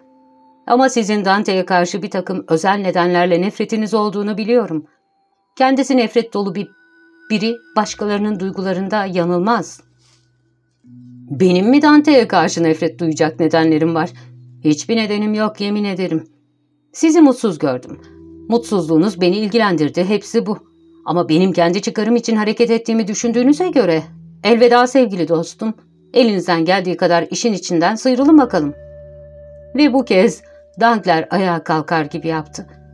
Hayır gitmeyin dedi Fernand onu alıkoyarak. Sonuç olarak Dante'ye ister kızın ister kızmayın benim için pek önemi yok. Ben ona kızıyorum. Bunu da açık açık itiraf ediyorum. Siz o yolu bulun ben gerçekleştireyim. Yeter ki insan ölmesin çünkü Mercedes Dante öldürülürse kendisini öldüreceğini söyledi. Kafası masaya düşmüş olan Kadekus başını kaldırdı. Yorgun ve sersemlemiş gözlerle Fernand ve Dangler'e bakarak şöyle dedi. Dante'yi öldürmek mi?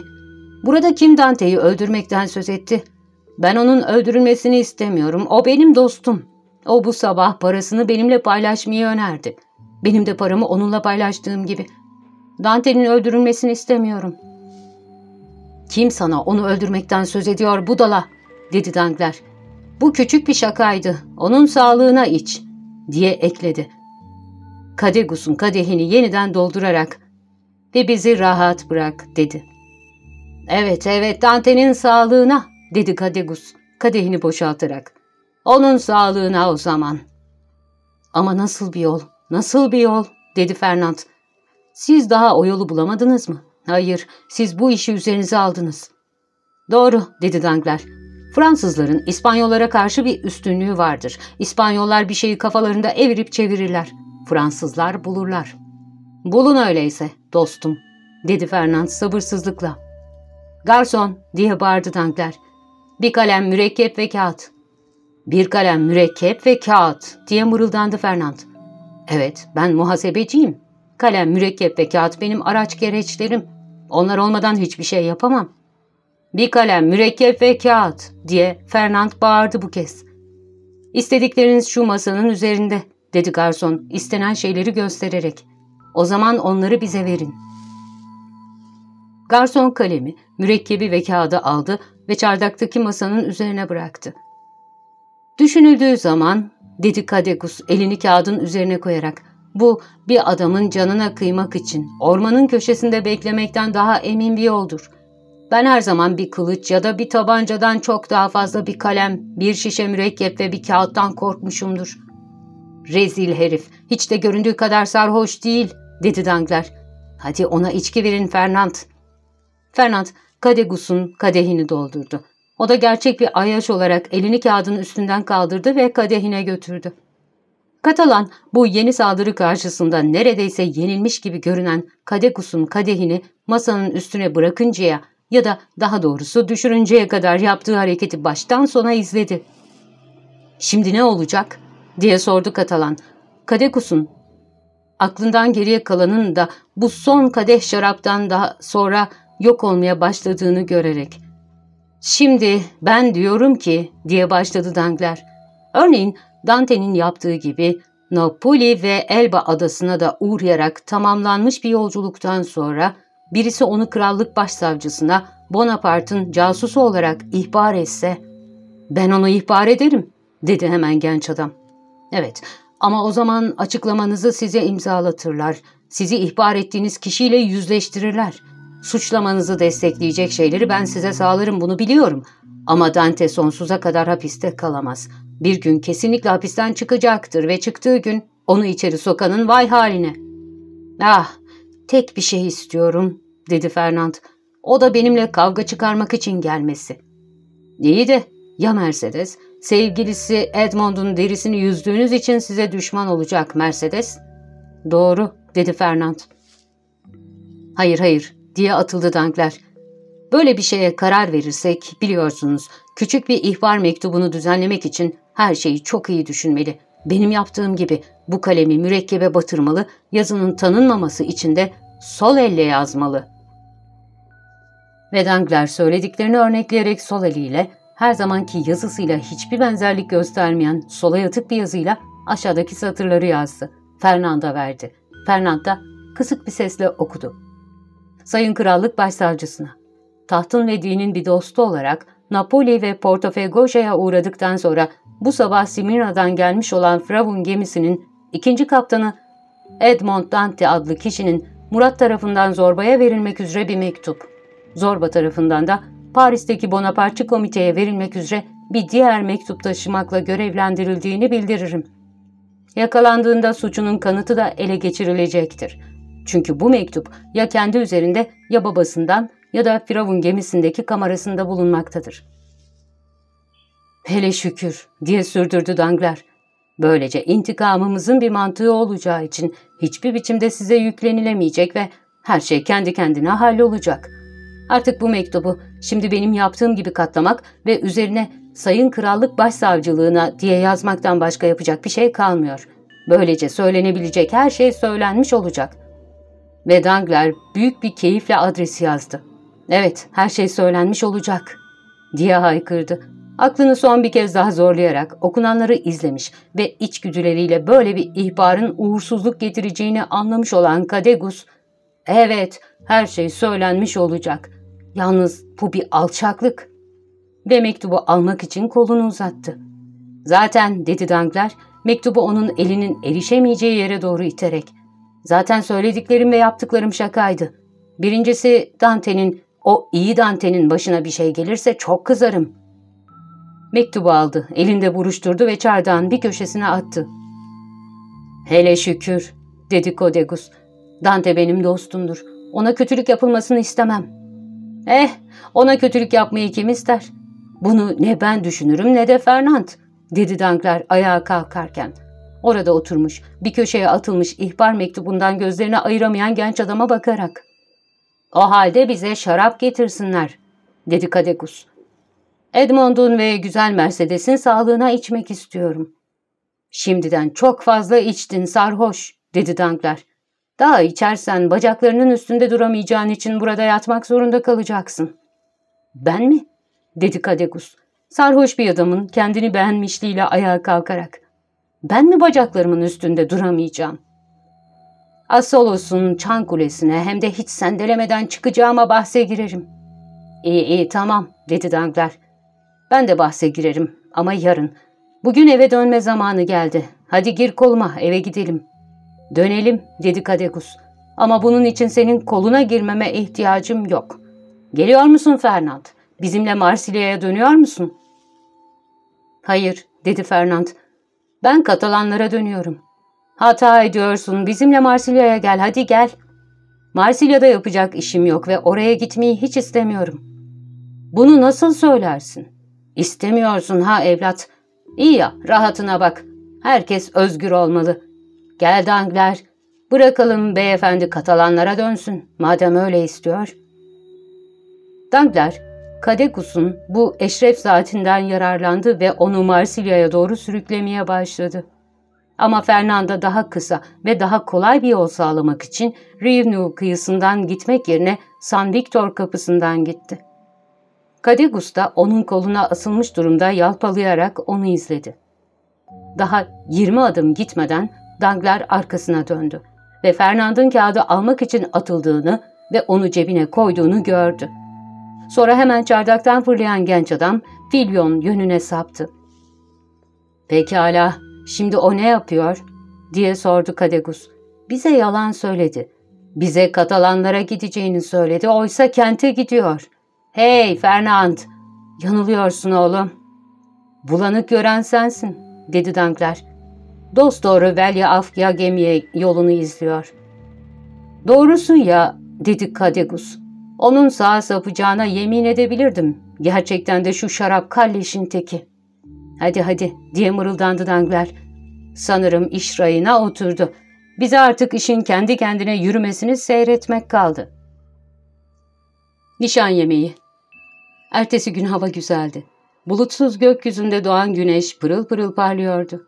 Lal rengi kırmızı ilk ışıklar dalgaların köpüklü başlarını kırmızı renklerine buladılar.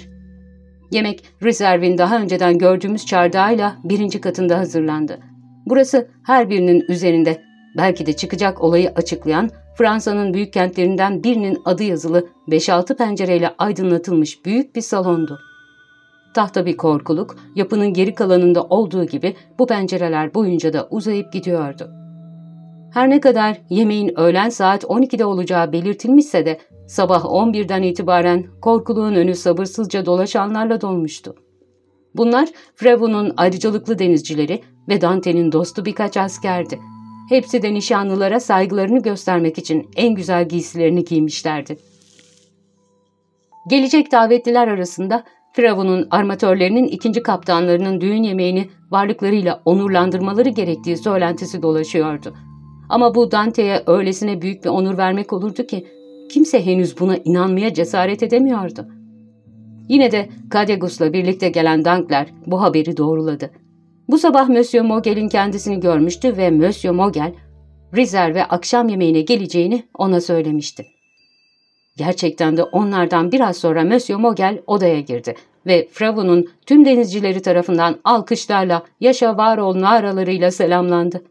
Armatörün orada bulunuşu onlar için Dante'nin kaptan olarak atanacağı konusunda dolaşan dedikoduların doğrulanmasıydı.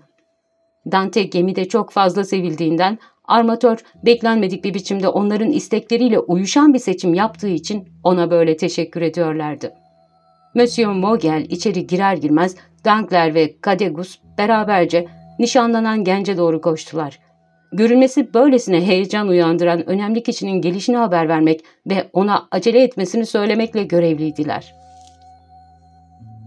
Dankler ve Kadegus koşarak gittiler ama yüz adım atmamışlardı ki barut dükkanının yakınında o tarafa doğru gelmekte olan küçük bir topluluk fark ettiler. Bu küçük topluluk Edmond'un koluna girmiş olan Mercedes ve onlara eşlik eden Mercedes'in kendisi gibi Katalan dört kız arkadaşlarından oluşuyordu. Müstakbel gelinin yanında Dante Baba yürüyor, Onların arkasında da kötü gülüşüyle Fernand geliyordu. Ne Mercedes ne de Edmond, Fernand'ın bu kötü gülüşünü görmüyorlardı. Zavallı çocuklar öyle mutluydular ki sadece kendilerini ve onları kutsayan güzel ve berrak gökyüzünü görüyorlardı. Dankler ve Kadegus elçilik görevlerinden kurtulmuşlardı. Edmond'la çok dostça ve hararetle el sıkıştıktan sonra Dankler, Fernand'ın yanında, Kadegus da genel ilginin merkezi olan Dante babanın yanında yer almak üzere uzaklaştılar. Yaşlı adam petekler halinde yontulmuş, büyük çelik düğmelerle süslenmiş taftadan güzel giysisini giymişti. İnce uzun ama sinirli bacakları, bir fersaha öteden kaçak İngiliz malı olduğu belli olan ve göz kamaştıran güzel benekli pamukludan çorapların içinde dikkat çekiyordu. Üç köşeli şapkasından bir sürü mavi beyaz kurdele sarkıyordu. Bir de antik bir asa gibi üstü kıvrık eğri bir tahta bastona yaslanıyordu. Bu haliyle 1796'da yeni açılmış Luxemburg ve Tulige bahçelerinde caka satan züppe delikanlılardan biri gibi görünüyordu. Onun yanına daha önce de söylemiştik, Kadegus, sonunda güzel bir yemek umudunun dantelerle uzlaştırdığı Kadegus, insanın sabah uyandığında uykusunda gördüğü düşten geriye sadece belli belirsiz görüntüler kalması gibi belleğinde bir gün önce olup bitenden silik bir anı taşıyan Kadegus sokulmuştu. Fernanda yaklaşan Dangler, düş kırıklığına uğramış aşağı dikkatle baktı. Müstakbel evlilerin arkasında yürüyen, aşkın gençlere özgü ve sevimli bencilliği içinde gözü sadece Edmond'u gören Mercedes tarafından tümüyle unutulmuş Fernand, önce solgunlaşıyor, sonra birden pençe pençe kızarıyor, ardından her seferinde artan bir biçimde bir kez daha solgunlaşıyordu. Ara sıra Marsilya'ya doğru bakıyordu. O zaman istem dışı ve sinirli bir titreyişle kolları bacakları sarsılıyordu. Fernand sanki büyük bir olay olmasını bekliyor ya da en azından bunu önceden kestiriyordu. Dante sade giyinmişti. Ticaret filosunda olduğu için sivil giysiyle asker üniforması arası giysisi vardı. Nişanlısının güzelliği ve neşesiyle daha da belirginleşen güler yüzü bu elbiseyle kusursuz görünüyordu. Mercedes de simsiyah gözlü, mercan dudaklı, Kıbrıslı ya da Keoslu Yunan kızlar kadar güzeldi. Arlesli ve Endülüslü kızların yürüdüğü gibi özgür ve açık adımlarla yürüyordu. Kentli bir kız belki de neşesini bir örtü altında ya da en azından kirpiklerinin gölgesi altında saklamaya çalışırdı. Ama Mercedes gülüyordu ve çevresini saran herkese bakıyordu. Gülümsemesi ve bakışları sözlerinin dile getirebileceği her şeyi söylüyordu. Dostumsanız benimle birlikte sevinin. Çünkü gerçekten çok mutluyum. Nişanlılar ve onunla birlikte gelenler rezervde görünür görünmez Monsieur Mogel yanlarında durduğu ve kendilerine Dante'ye verdiği sözü, onun Kaptan Lekler'in yerine geçeceği sözünü yinelediği denizciler ve askerlerle birlikte aşağı inip onları karşılamak için ilerledi. Onun geldiğini gören Edmond, nişanlısının kolundan çıktı. Onun kolunu Monsieur Mogel'e bıraktı. Böylece Mercedes ve armatör akşam yemeğinin verileceği odaya açılan tahta merdivenleri ilk çıkan kişiler oldular ve tahta merdiven konukların adımlarının ağırlığı altında beş dakika boyunca gıcırdadı durdu. ''Babacım, siz lütfen sağıma geçiniz.'' dedi Mercedes masanın ortasında durarak. ''Soluma bana kardeşlik eden kişiyi oturtacağım.'' Bunu Fernand'ın kalbinin derinliklerine hançer gibi saplanan bir yumuşaklıkla dile getirdi. Fernand'ın dudakları bembeyaz oldu. Erkek yüzünün esmer teni altında kanının yavaş yavaş çekilerek kalbine hücum ettiği açıkça görülebiliyordu. Bu sırada Dante de aynı işi yapmıştı. Sağına Monsieur Mogel'i, soluna Dangler'i koymuştu. Sonra eliyle herkese istedikleri gibi oturmalarını işaret etmişti.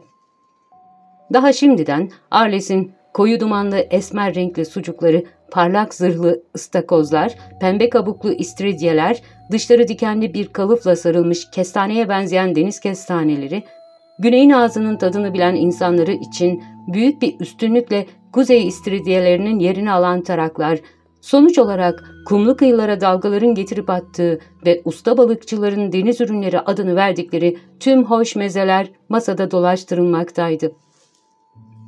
''Bu ne sessizlik?'' dedi Pampil baba.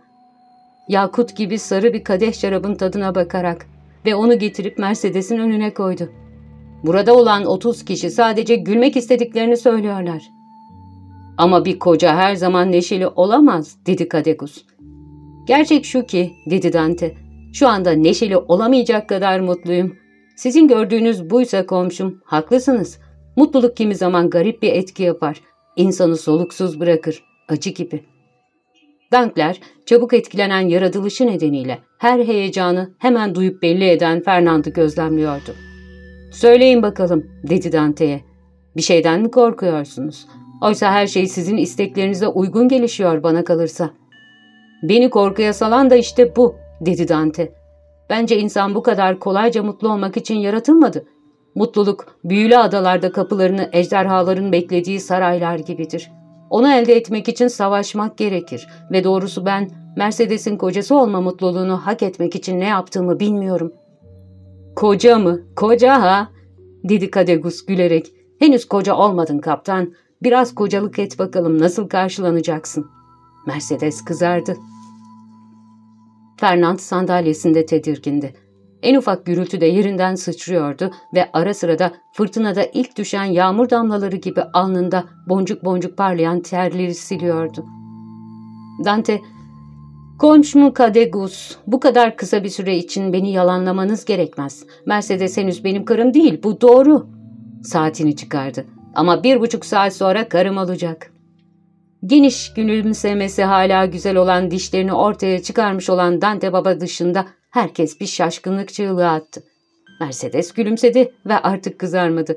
Fernand büyük bir sarsıntıyla bıçağının sapını kavradı. ''Bir saat sonra ha?'' dedi Dankler. Kendisi de sarararak ''Bu nasıl olacak?'' ''Evet dostlarım'' diye yanıtladı Dante. ''Dünyada babamdan sonra kendimi en çok borçlu hissettiğim kişi olan Monsieur Mogel'in saygınlığı sayesinde tüm güçlükler ortadan kaldırıldı. Evlenme kağıtlarını aldık. Ve saat iki buçukta Marsilya Belediye Başkanı bizi belediye sarayında bekliyor. Bu nedenle saat biri çeyrek geçeyi çaldığına göre bir buçuk saat sonra Mercedes'in adı Bayan Dante olacak derken pek yanıldığımı sanmıyorum. Fernand gözlerini kapadı. Bir ateş bulutu, bulutu göz kapaklarını yaktı. Bayılmamak için masaya yaslandı ve tüm çabalarına karşın gülüşmelerin ve kutlamaların gürültüsü arasında kaybolup giden boğuk bir inilti çıkarmaktan alamadı kendini. ''Buna elini çabuk tutmak denir değil mi?'' dedi Dante baba. ''Sizce buna zaman yitirmek denir mi? Dün sabah gelip bugün saat üçte evlenmiş olmak. Bana ellerini çabuk tutan denizcilerden söz edin.'' ''Ya diğer işlemler?'' diye çekinerek karşı çıktı Dangler. Sözleşme, yazışmalar. Sözleşme, dedi Dante gülerek. Sözleşme yapıldı. Mercedes'in hiçbir şeyi yok. Benim de. Ortaklık yöntemine göre evleniyoruz. İşte böyle.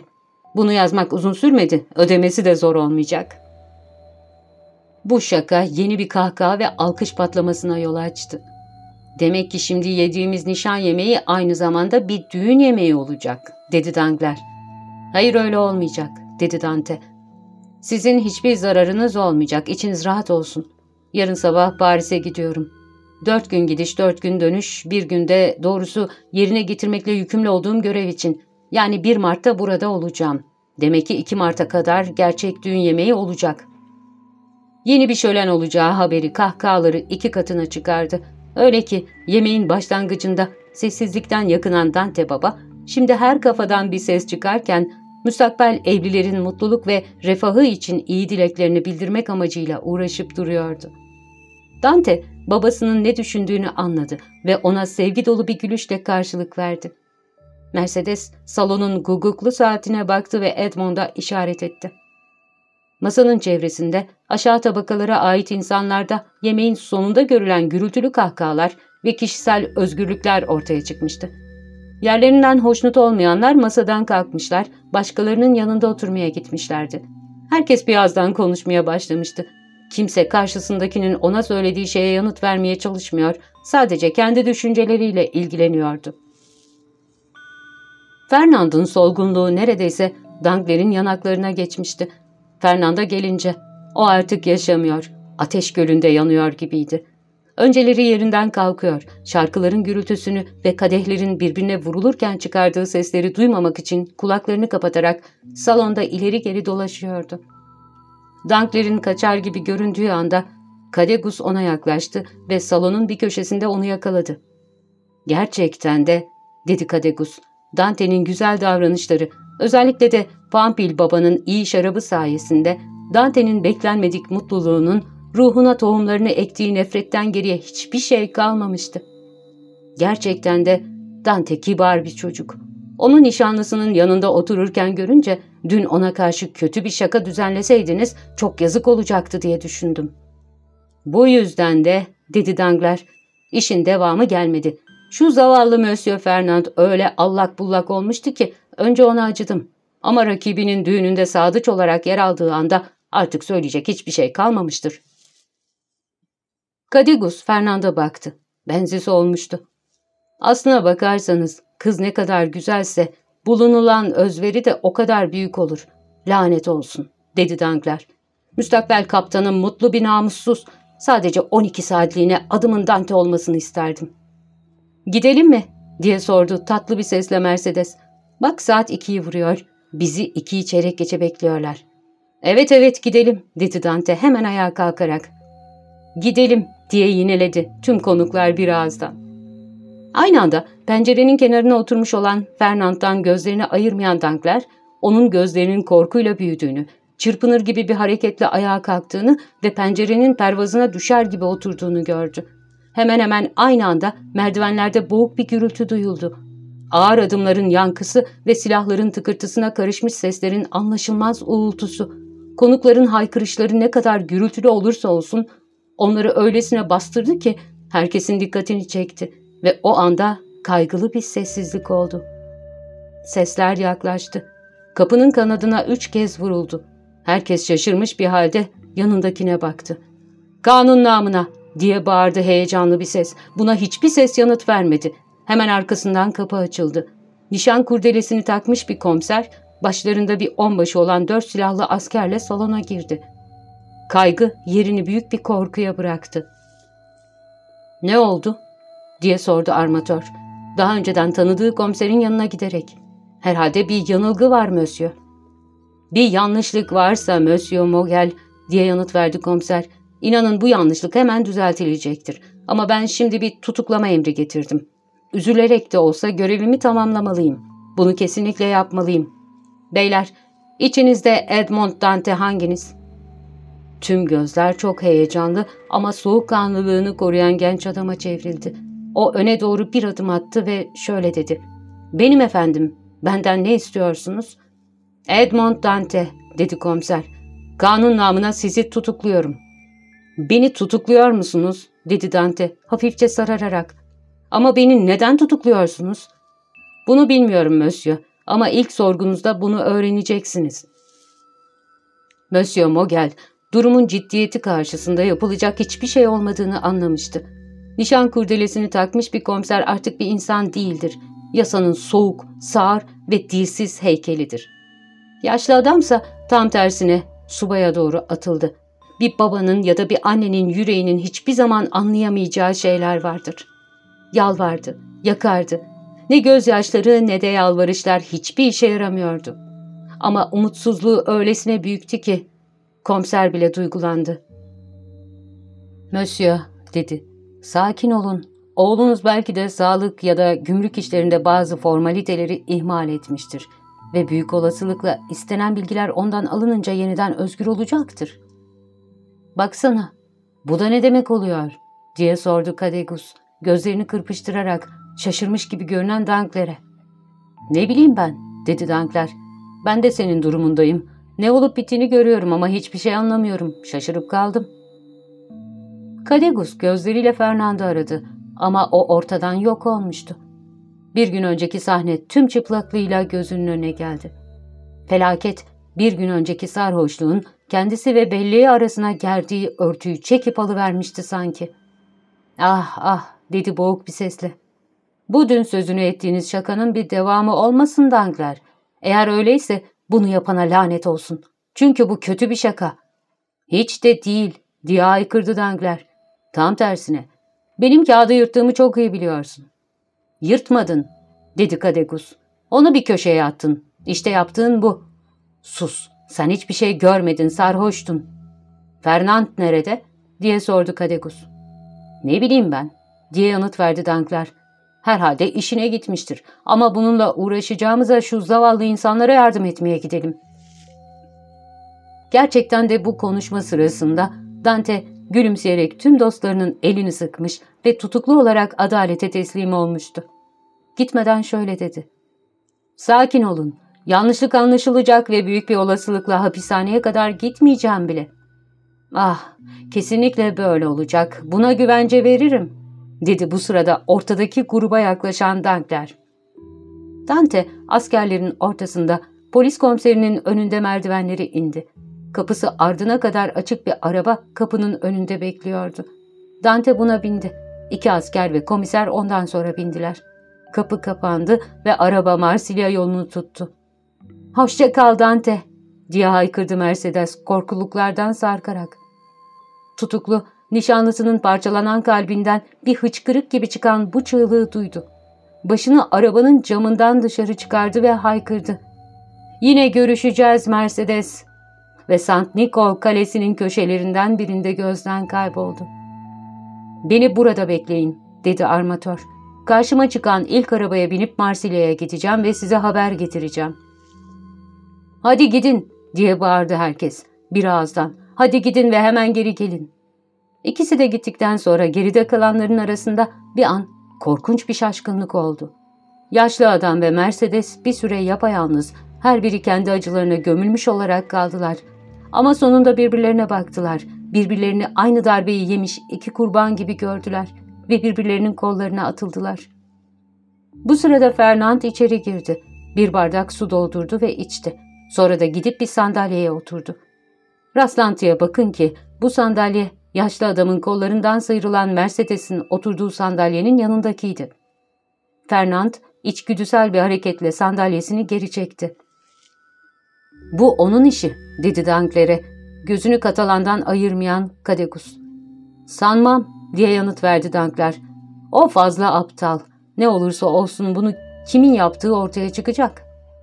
''Bu aklı kimin verdiğinden söz etmiyorsun bana.'' dedi Kadekus. Dankler, öylesine söylediğimiz her şeyden sorumlu olsaydık. Evet, öylesine söylenen şeyler gerçek olursa. Bu arada gruplar tutuklamayla ilgili her türlü yorumu yapmaktaydılar. Ya siz Dankler, dedi bir ses. Bu olay hakkında ne düşünüyorsunuz? Ben mi? dedi Dankler. Birkaç balya yasak mal getirmiş olmalı diye düşünüyorum. Ama öyle olsaydı bilirdiniz Dankler. Çünkü siz muhasebeciydiniz. Evet doğru ama muhasebeci sadece kendisine açıklanan kolileri bilir. Ben pamuk yüklü olduğumuzu, İskenderiye'de Monsieur Pastret'ten, Simirna'da Monsieur Pascal'dan mal aldığımızı biliyorum. Hepsi bu. Bana daha fazla bir şey sormayın. Ah, şimdi anımsıyorum, diye mırıldandı yaşlı adam. Bu birkaç sözcükten anlam çıkarmaya çalışarak, dün bana benim için bir kase kahve, bir kasada tütün getirdiğini söylemişti. Gördünüz ya, dedi Dankler. İşte bu. Gümrükçüler bizim yokluğumuzda Firavun'a çıkmış ve gizli kapaklı yapılan şeyi ortaya çıkarmış olmalı. Mercedes bunların hiçbirine inanmıyordu. O ana kadar kendisini tutmuştu. Ama acısı aniden hıçkırıklar halinde boşaldı. ''Hadi, hadi Umut'' dedi Dante baba. Ne dediğini pek bilmeden. ''Umut'' diye yineledi Dankler. ''Umut'' diye mırıldanmaya çalıştı Fernand. Ama bu sözcük onu boğuyordu. Dudakları oynadı ama ağzından tek sözcük bile çıkmadı. ''Beyler!'' diye bağırdı. Konuklardan korkuluğun üstünde nöbetçi olarak kalmış biri. ''Beyler bir araba! Ah bu Monsieur Mogel! Cesaret! Bize kesinlikle iyi haberler getiriyor.'' Mercedes ve yaşlı baba armatörü karşılamak için koştular ve onunla kapıda karşılaştılar. Monsieur Mogel'in yüzü bembeyazdı. Ne oldu diye sordular hepsi bir ağızdan. Pekala dostlarım diye başladı Monsieur Mogel kafasını sallayarak. İşler bizim sandığımızdan daha ciddi. Ah Monsieur diye haykırdı Mercedes. O masumdur. Ben de buna inanıyorum dedi Monsieur Mogel. Ama onu suçluyorlar. Neyle suçluyorlar peki? diye sordu yaşlı Dante. Bir Bonaparte ajanı olmakla. Bu öykünün geçtiği dönemde yaşamış olan okurlarım, Monsieur Mogel'in dile getirdiği suçlamanın o zamanlar nedenli korkunç olduğunu anımsayacaklardır. Mercedes bir çığlık attı. Yaşlı adam bir sandalyeye çöktü. Ah diye mırıldandı Kadegus. Beni aldattınız Dankler. Şaka gerçek oldu. Ama bu yaşlı adamın ve bu genç kızın acıdan ölmelerine izin vermeyeceğim. Her şeyi onlara anlatacağım. Sus lanet olası diye haykırdı Dangler. Kadegus'un elini yakalayarak ya da senin sorumluluğunu üstüne almam. Kim sana Dante'nin gerçekten suçlu olmadığını söyledi? Gemi Elba'ya yanaştı. Dante orada indi. Bütün gün Portofegaju'da kaldı. Eğer onun üstünde onu tehlikeye atacak bazı mektuplar bulunursa onu destekleyenler de işbirlikçi olarak düşünülürler. Kadegus hemen bencillik içgüdüsüyle bu düşüncenin nedenli mantıklı olduğunu anladı. Dankler'e korku ve acıdan sersemlemiş gözlerle baktı ve ileri attığı bir adım yerine iki adım geriledi. ''Bekleyelim o zaman.'' diye mırıldandı. ''Evet bekleyelim.'' dedi Dankler. Eğer masumsa onu özgür bırakacaklardır. Eğer suçluysa hükümete karşı fesatlık yapan biriyle işbirliği yapmanın yararı yoktur. O zaman gidelim. Burada daha uzun süre kalamam. Hadi gel, dedi Dankler. Eve dönmek için bir arkadaş bulmaktan hoşnut olarak gel bırakalım onları ne zaman isterlerse o zaman gitsinler. Oradan ayrıldılar. Yeniden genç kızın desteği olan Fernand, Mercedes'in elinden tuttu ve onu Katalanlara götürdü. Öte yandan Dante'nin dostları da neredeyse baygın durumda olan yaşlı adamı Melyon yoluna geri götürdüler. Kısa sürede Dante'nin bir Bonaparte ajanı olarak tutuklandığı dedikodusu tüm kente yayıldı. ''Buna inanır mıydınız sevgili Dankler?'' dedi Monsieur Mogel, muhasebecisinin ve Kadegus'un yanına gelerek. Çünkü kendisi de pek az tanıdığı kralın savcı yardımcısı Monsieur de Villefranche'tan Edmond hakkında doğrudan bilgi almak için alelacele kente gitmişti. Buna inanır mıydınız? Elbette efendim, diye yanıt verdi Dangler. Dante'nin hiçbir neden olmadan Elba adasına uğradığını size söylemiştim. Bu konaklama bende kuşku uyandırmıştı. Kuşkularınızdan benden başka birine de söz etmiş miydiniz? Bunu yapmaktan kaçınmıştım efendim, diye ekledi Dangler alçak sesle. Biliyorsunuz, başkasına hizmet etmiş ve düşüncelerini saklamayan amcanız Monsieur Polika Mogel nedeniyle sizin de Napolyon'u tuttuğunuzdan kuşku duyuluyor. Edmond'a sonra da size haksızlık etmekten korkarım. Öyle şeyler vardır ki bir küçük memurun görevi bunu armatörüne söylemek ama başkalarından kesinlikle gizlemektir. Pekala Dankler, bu iyi, dedi armatör. Siz dürüst bir çocuksunuz. Zavallı Dante'nin Fravon'un kaptanı olması durumunda sizi de önceden düşünmüştüm. Nasıl düşünmüştünüz efendim? Evet, daha önce Dante'ye sizin hakkınızda ne düşündüğünü, sizi görevinizde alıkoymak konusunda bir isteksizliği olup olmadığını sormuştum. Çünkü neden bilmem aranızda bir soğukluk var gibi gelmişti bana. Size ne yanıt verdi? Bana sözünü etmediği bir nedenden size karşı gerçekten de bazı haksızlıklar ettiğini ama armatörünün güvenini kazanmış olan herkese kendisinin de güveni olduğunu söylemişti. İki yüzlü diye mırıldandı Dangler. Zavallı Dante dedi Kadegus. Eşsiz bir çocuk olduğu bir gerçek. Öyle ama işte bu arada dedi Monsieur Mogel. Fravun kaptansız kaldı. Ah dedi Dankler. Ancak üç ay sonra hareket edebileceğimize göre o zamana kadar dileyelim Dante özgürlüğüne kavuşsun. Haklısınız ama o zamana kadar... Eh o zamana kadar da işte ben buradayım Monsieur Mogel dedi Dankler. Benim uzun yolda bir gemiyi birinci kaptan kadar kullanabileceğimi biliyorsunuz. Benden yararlanmak size de bir kolaylık sağlayacaktır. Çünkü Edmond hapisten çıktığında kimseyi işten çıkarmak zorunda kalmayacaksınız. O yeniden görevinin başına dönecek. Ben de benimkine. İşte bu kadar. Teşekkür ederim Dangler, dedi armatör. İşte bu her şeyi yoluna koyuyor. O zaman kumandayı ele alınız. Size bu yetkiyi veriyorum ve yüklerin boşaltılmasını denetleyiniz. Bireylerin başına hangi felaket gelirse gelsin, işler bundan zarar görmemeli. İçiniz rahat etsin efendim. En azından o iyi Edmond'u görebilir miyiz? Bunu size biraz sonra söyleyeceğim Dankler. Monsieur de Villefal'la görüşmeye ve ondan tutuklu için yardım istemeye çalışacağım. Onun ateşli bir kralcı olduğunu biliyorum. Ama her ne kadar kralcı ve krallık savcısı da olsa o da bir insan ve ben onun kötü biri olduğunu sanmıyorum. Hayır, dedi Dankler. Ama onun hırslı olduğunu duydum ve bu da çok belli oluyor. Neyse, dedi Monsieur Mogel için çekerek. Göreceğiz. Siz gemiye gidin, ben de birazdan gelirim. Sonra da iki arkadaştan ayrılıp Adalet Sarayı'nın yolunu tuttu. İşin geldiği noktayı görüyorsun, dedi Dankler Kadegus'a.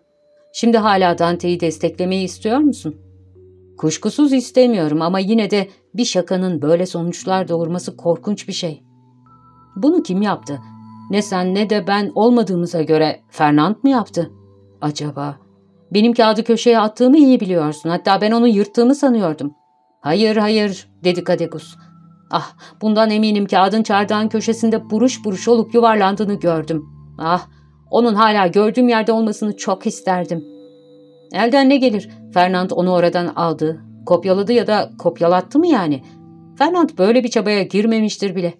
Ama düşünüyorum da aman tanrım belki de benim yazdığım mektubu göndermiştir. İyi ki yazımı değiştirmiştim. Ama sen Dante'nin gizli bir iş çevirdiğini biliyor muydun?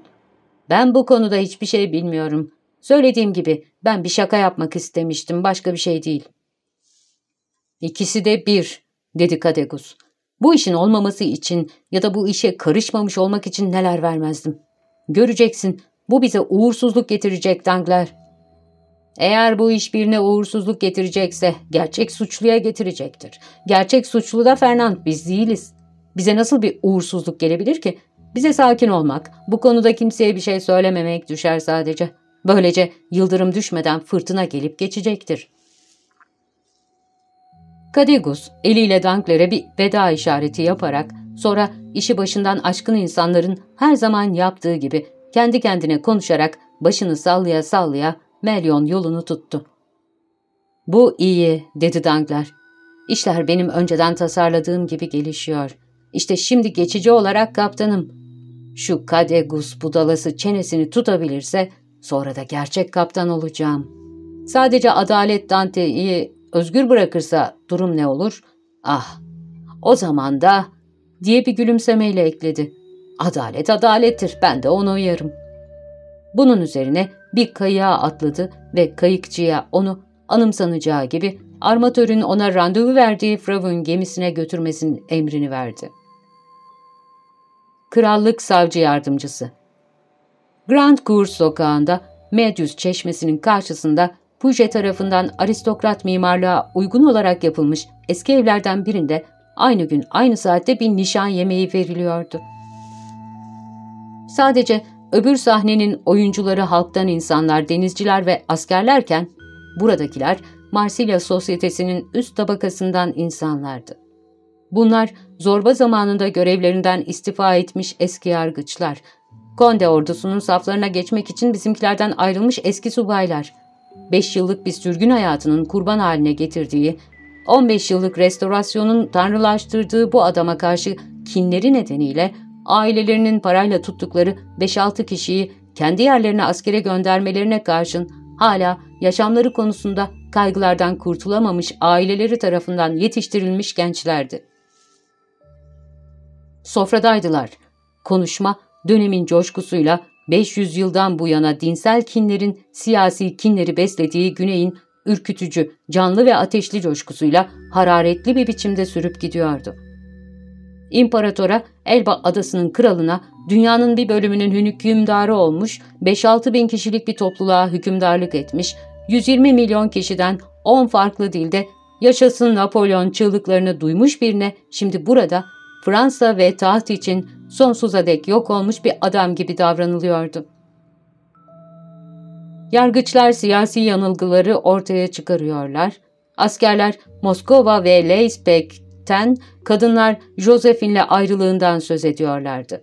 Napolyon'un düşüşünden değil, ilkelerinin yıkılışından mutlu ve sevinçli bu kralcı insanlara yaşam kendileri için yeniden başlıyormuş, kötü bir düşten uyanıyorlarmış gibi geliyordu. Saint Louis nişanı takmış yaşlı bir adam ayağa kalktı. Konuklarına Kral 18. Louis'nin sağlığına kadeh kaldırmayı önerdi. Bu San Megan markisiydi. Hem Hartwell sürgününü hem de Fransa'ya yeniden barış getiren kralı anımsatan bu kadeh kaldırış üzerine uğultu büyüdü. Kadehler İngiliz usulü kalktı. Kadınlar çiçek demetlerini çözdüler. Onlarla masanın üstünü doldurdular. Bu neredeyse şiirsel bir heyecandı. Burada olsalardı kabul edeceklerdi, dedi heyecansız bakışlı, ince dudaklı, aristokrat görünüşlü, ellili yaşlarına karşın hala zarif olan St. Megan Markizi. Bizleri kovmuş olan, bizim de sakin sakin bizden yok pahasına zorbalıkla satın aldıkları eski şatolarımızda bize karşı dolaplar çevirmelerine izin verdiğimiz tüm bu devrimciler, gerçek özveriyi bizim yaptığımızı, çünkü bizim çöken monarşiye bağlı kaldığımızı, oysa onların bunun tam tersine doğan güneşi selamladıklarını, servet kazandıklarını, bizimse servet yitirdiğimizi kabul edeceklerdir. Aslında bizim kralımızın sevgili Louis olduğunu, oysa onların zorbasının her zaman sadece o lanetli Napolyon olduğunu kabul edeceklerdir. Öyle değil mi de Villefort? Ne demiştiniz Sayın Markizim, bağışlayın konuşmayı izleyememiştim. Eh bırakın çocukları Markiz, dedi kadeh kaldıran yaşlı adam. Bu çocuklar evlenecekler ve doğal olarak politikadan başka konuşacak şeyleri vardır. Özür dilerim anne, dedi sarı saçlı, sedefsiz bir sedefsi bir berraklıkla kadife gibi yumuşacık bakan genç ve güzel bir kız. Bir an sadece kendi tekelime aldığım Monsieur de Villefort'a size bırakıyorum. Monsieur Villefort, annem size bir şey söylüyor. İyi duyamadığım sorusunu bir kez daha yineleyebilirse madama yanıt vermeye hazır olduğumu söylemek isterim, dedi Monsieur de Villefort. Bağışlandınız Reni, dedi Markiz, duygusuz yüzünde görmekten şaşkınlık duyulacak şefkatli bir gülümsemeyle. Ama kadın kalbi böyle yaratılmıştır. Ön yargıların esintisine ve törensel davranışların gerekliliklerine ne kadar duyarsız olursa olsun doğurgan ve gülümseyen bir yanı vardır. Bu Tanrı'nın analık aşkına ayırdığı köşedir. Bağışlandınız. Şimdi Bonapartçılarda ne bizim inancımız, ne bizim heyecanımız ne de özverimiz var diyordum Vilfa. Ah madam, onlarda en azından tüm bunların yerini tutacak bir şey var. O da bağnazlık. Napolyon Batı'nın Muhammed'i. Tüm bu bayağı ama aşırı tutkulu insanlar için o sadece bir yasa koruyucu ve efendi değil, aynı zamanda bir örnek, eşitlik örneği. Eşitlik mi? diye haykırdı Markiz. Napolyon eşitlik örneği ha? O halde Monsieur de Robespierre'i ne yapacaksınız? Siz onun yerini Korsikalı'ya vermek için elinden alıyorsunuz gibi geliyor bana. Oysa bunun oldukça büyük bir zorbalık olduğunu sanıyorum.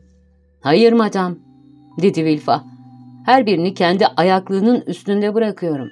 Robespierre'i 15. Louis meydanındaki idam sehpasının üzerine, Napolyon'u Vendam meydanındaki sütununun üzerine. Yalnız biri aşağı çeken bir eşitlik, öbürü yücelten bir eşitlik koydu ortaya. Biri kralları giyotin düzeyine indirdi, öbürü halkı taht düzeyine yükseltti. Bu her ikisinin de rezil devrimciler olmadığı, 9 Termidor ve 4 Nisan 1814 tarihlerinin Fransa için iki mutlu gün olmadığı, düzen ve monarşi dostları tarafından kutlanmayacağı anlamına gelmez, diye ekledi Vilfa, gülümseyerek.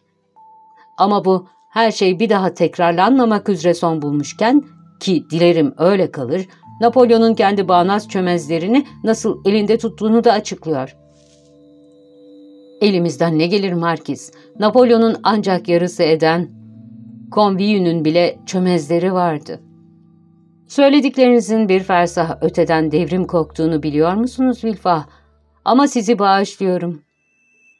Bir Gion'dan oğlu olup da atalarının tarzını korumamak olacak şey değildir. Vilfah'ın yüzü bir an kıpkırmızı oldu. Babam Gion'dandı madam, dedi. Bu doğru ama babam kralın ölümü için oy vermedi. Babam sizi sürgüne yollayan zorbalık döneminde sürgüne gönderildi ve babanızın başının düşüşünü gördüğü idam sehpasında az kalsın o da başını veriyordu. Doğru, dedi Markiz. Bu kanlı anı yüz çizgilerinde en küçük bir değişiklik yapmamıştı. Sadece ikisi birbirine taban tabana zıt ilkeler uğruna ortaya çıktılar. Kanıtı da şu, benim tüm ailem sürgündeki prenslere bağlı kaldılar. Oysa babanız yeni hükümete katılmakta acele etti. Yurttaş Noahdi Gion'dan olmuştu. Kont Noahdi senatör oldu. ''Anne, anne'' dedi Reni. ''Bu kötü anılardan artık söz edilmemesinin daha iyi olacağını biliyorsunuz.'' ''Madam'' dedi Vilfa. ''Sizden geçmişi unutmanızı isteme konusunda Matmazel de San Megan'a katılıyorum. Tanrı'nın iradesinin bile etkisiz kaldığı şeyler hakkında acı eleştirilerde bulunmak neye yarar? Tanrı geleceği değiştirebilir ama geçmişi değiştiremez. Bizim, insanların yapabileceğimiz şey, geçmişi yatsıyamıyorsak en azından üstüne bir örtü çekmektir. Evet, ben sadece görüşlerimi değiştirmekle kalmadım. Babamın soyadını da taşımıyorum artık. Babam Bonaparte yanlısıydı. Belki şimdi de öyledir. Ve adı Noah'tidir. Ben kral yanlısıyım ve adım Vilpah. Bırakın eski gövdede devrimci öz suyundan kalanlar da yok olsun. Siz yalnızca bu gövdeden tümüyle kopmayı beceremeyerek, hatta neredeyse istemeyerek ayrılan sürgünü görün. ''Bravo Vilfa'' dedi Marki. ''Bravo, iyi yanıttı. Ben de her zaman Markiz'e geçmişi unutmasını salık veririm. Ama hiç yararı olmaz. Siz daha başarılı olursunuz umarım.'' ''Evet doğru'' dedi Markiz. ''Geçmişi unutalım, en iyisi bu, en uygunu da. Ama en azından gelecekte Vilfa çelik gibi sert olsun. Majestelerinin yanında size kefil olduğumuzu unutmayın Vilfa. Majesteleri de bizim salık vermemiz üzerine unutmayı kabul etti. Benim de ricanız üzerine ona elini uzattı. Unutacağım gibi sadece eğer elinize herhangi bir hükümet karşısı düş, karşıtı düşerse bu insanlarla belki de ilişkisi olan bir aileden geldiğiniz bilindiği için gözlerin herkesten fazla sizin üzerinizde olacağını unutmayın. Heyhat, madam, dedi Vilfa. Benim mesleğim ve özellikle içinde yaşadığımız zaman bana çok katı olmamı emrediyor. Ben de öyle olacağım. Şimdiden karşı koymam gereken birkaç siyasi suçlama oldu ve bu konuda elimden geleni yaptım. Ne yazık ki henüz sonuna gelemedik. Öyle mi sanıyorsunuz? diye sordu Markiz. Korkuyorum. Elba adasında bulunan Napolyon Fransa'ya çok yakın. Kıyılarımızdan neredeyse fark edilen varlığı yandaşlarının umudunu canlı tutuyor. Marsilya yarım aylıklı, her gün sudan bahanelerle kral yanlılarıyla kavga çıkarmaya çalışan subaylarla dolu. Bu nedenle yüksek sınıf gençleri arasında düellolar, halk arasında cinayetler oluyor. Doğru, dedi Monsieur de Saint-Mega'nın eski dostu. Monsieur Comte Dahtus'un mabeyincisi Comte de Salvio. Evet ama San Alliance onun yerini değiştiriyor. Evet, Paris'ten ayrıldığımız sırada bu söz konusuydu, dedi Monsieur de Saint-Megan. Onu nereye gönderiyorlar? Saint Helene.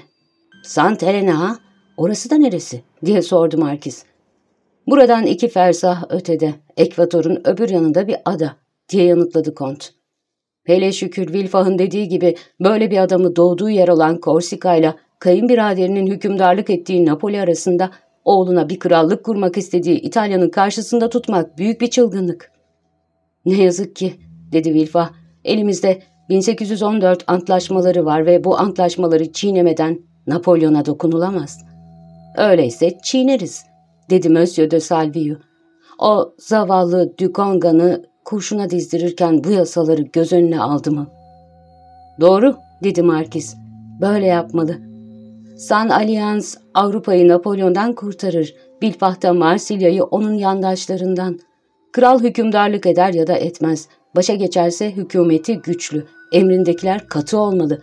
Kötülüğü önlemenin yolu budur. Ne yazık ki madam, dedi Bilfah gülümseyerek.